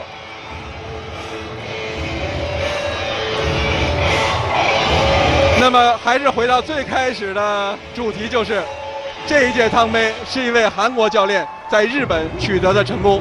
祝贺日本羽毛球队，同时也祝贺朴柱凤。好了，观众朋友，我们为您转播的汤姆斯杯世界羽毛球团体锦标赛到这里就告一段落了。由于这次比赛的精彩，使我们对这项传奇赛事的未来依然是充满希望和期待。我希望两年之后，在印尼的雅加达，羽毛球的故乡，能够有更精彩的比赛上演。观众朋友们，再见。好的，啊，刚才我们在前方的这个同事，我们的评论员呢，洪刚已经提到了。就是说，这一届汤姆斯杯的决赛应该是非常激烈的一届比赛。我们可以看到啊，从这个赛程的进展也可以看到，双方呢是通过了决胜场次的决胜局，最终分出了胜负。在这里呢，我们要这个祝贺日本队啊，成为了第四支夺取汤姆斯杯队的汤姆斯杯赛冠军的队伍，这也是他们第一次啊获得汤姆斯杯赛的冠军。那么同时呢，我们也是替马来西亚队感到惋惜。那么应该说呢，这两支队伍呢联手为我们奉献了一场非常精彩、非常激烈的汤杯的决赛。呃，冠军有是日本队，当然了，我觉得呃，马来西亚队呢不是失败者啊，应该。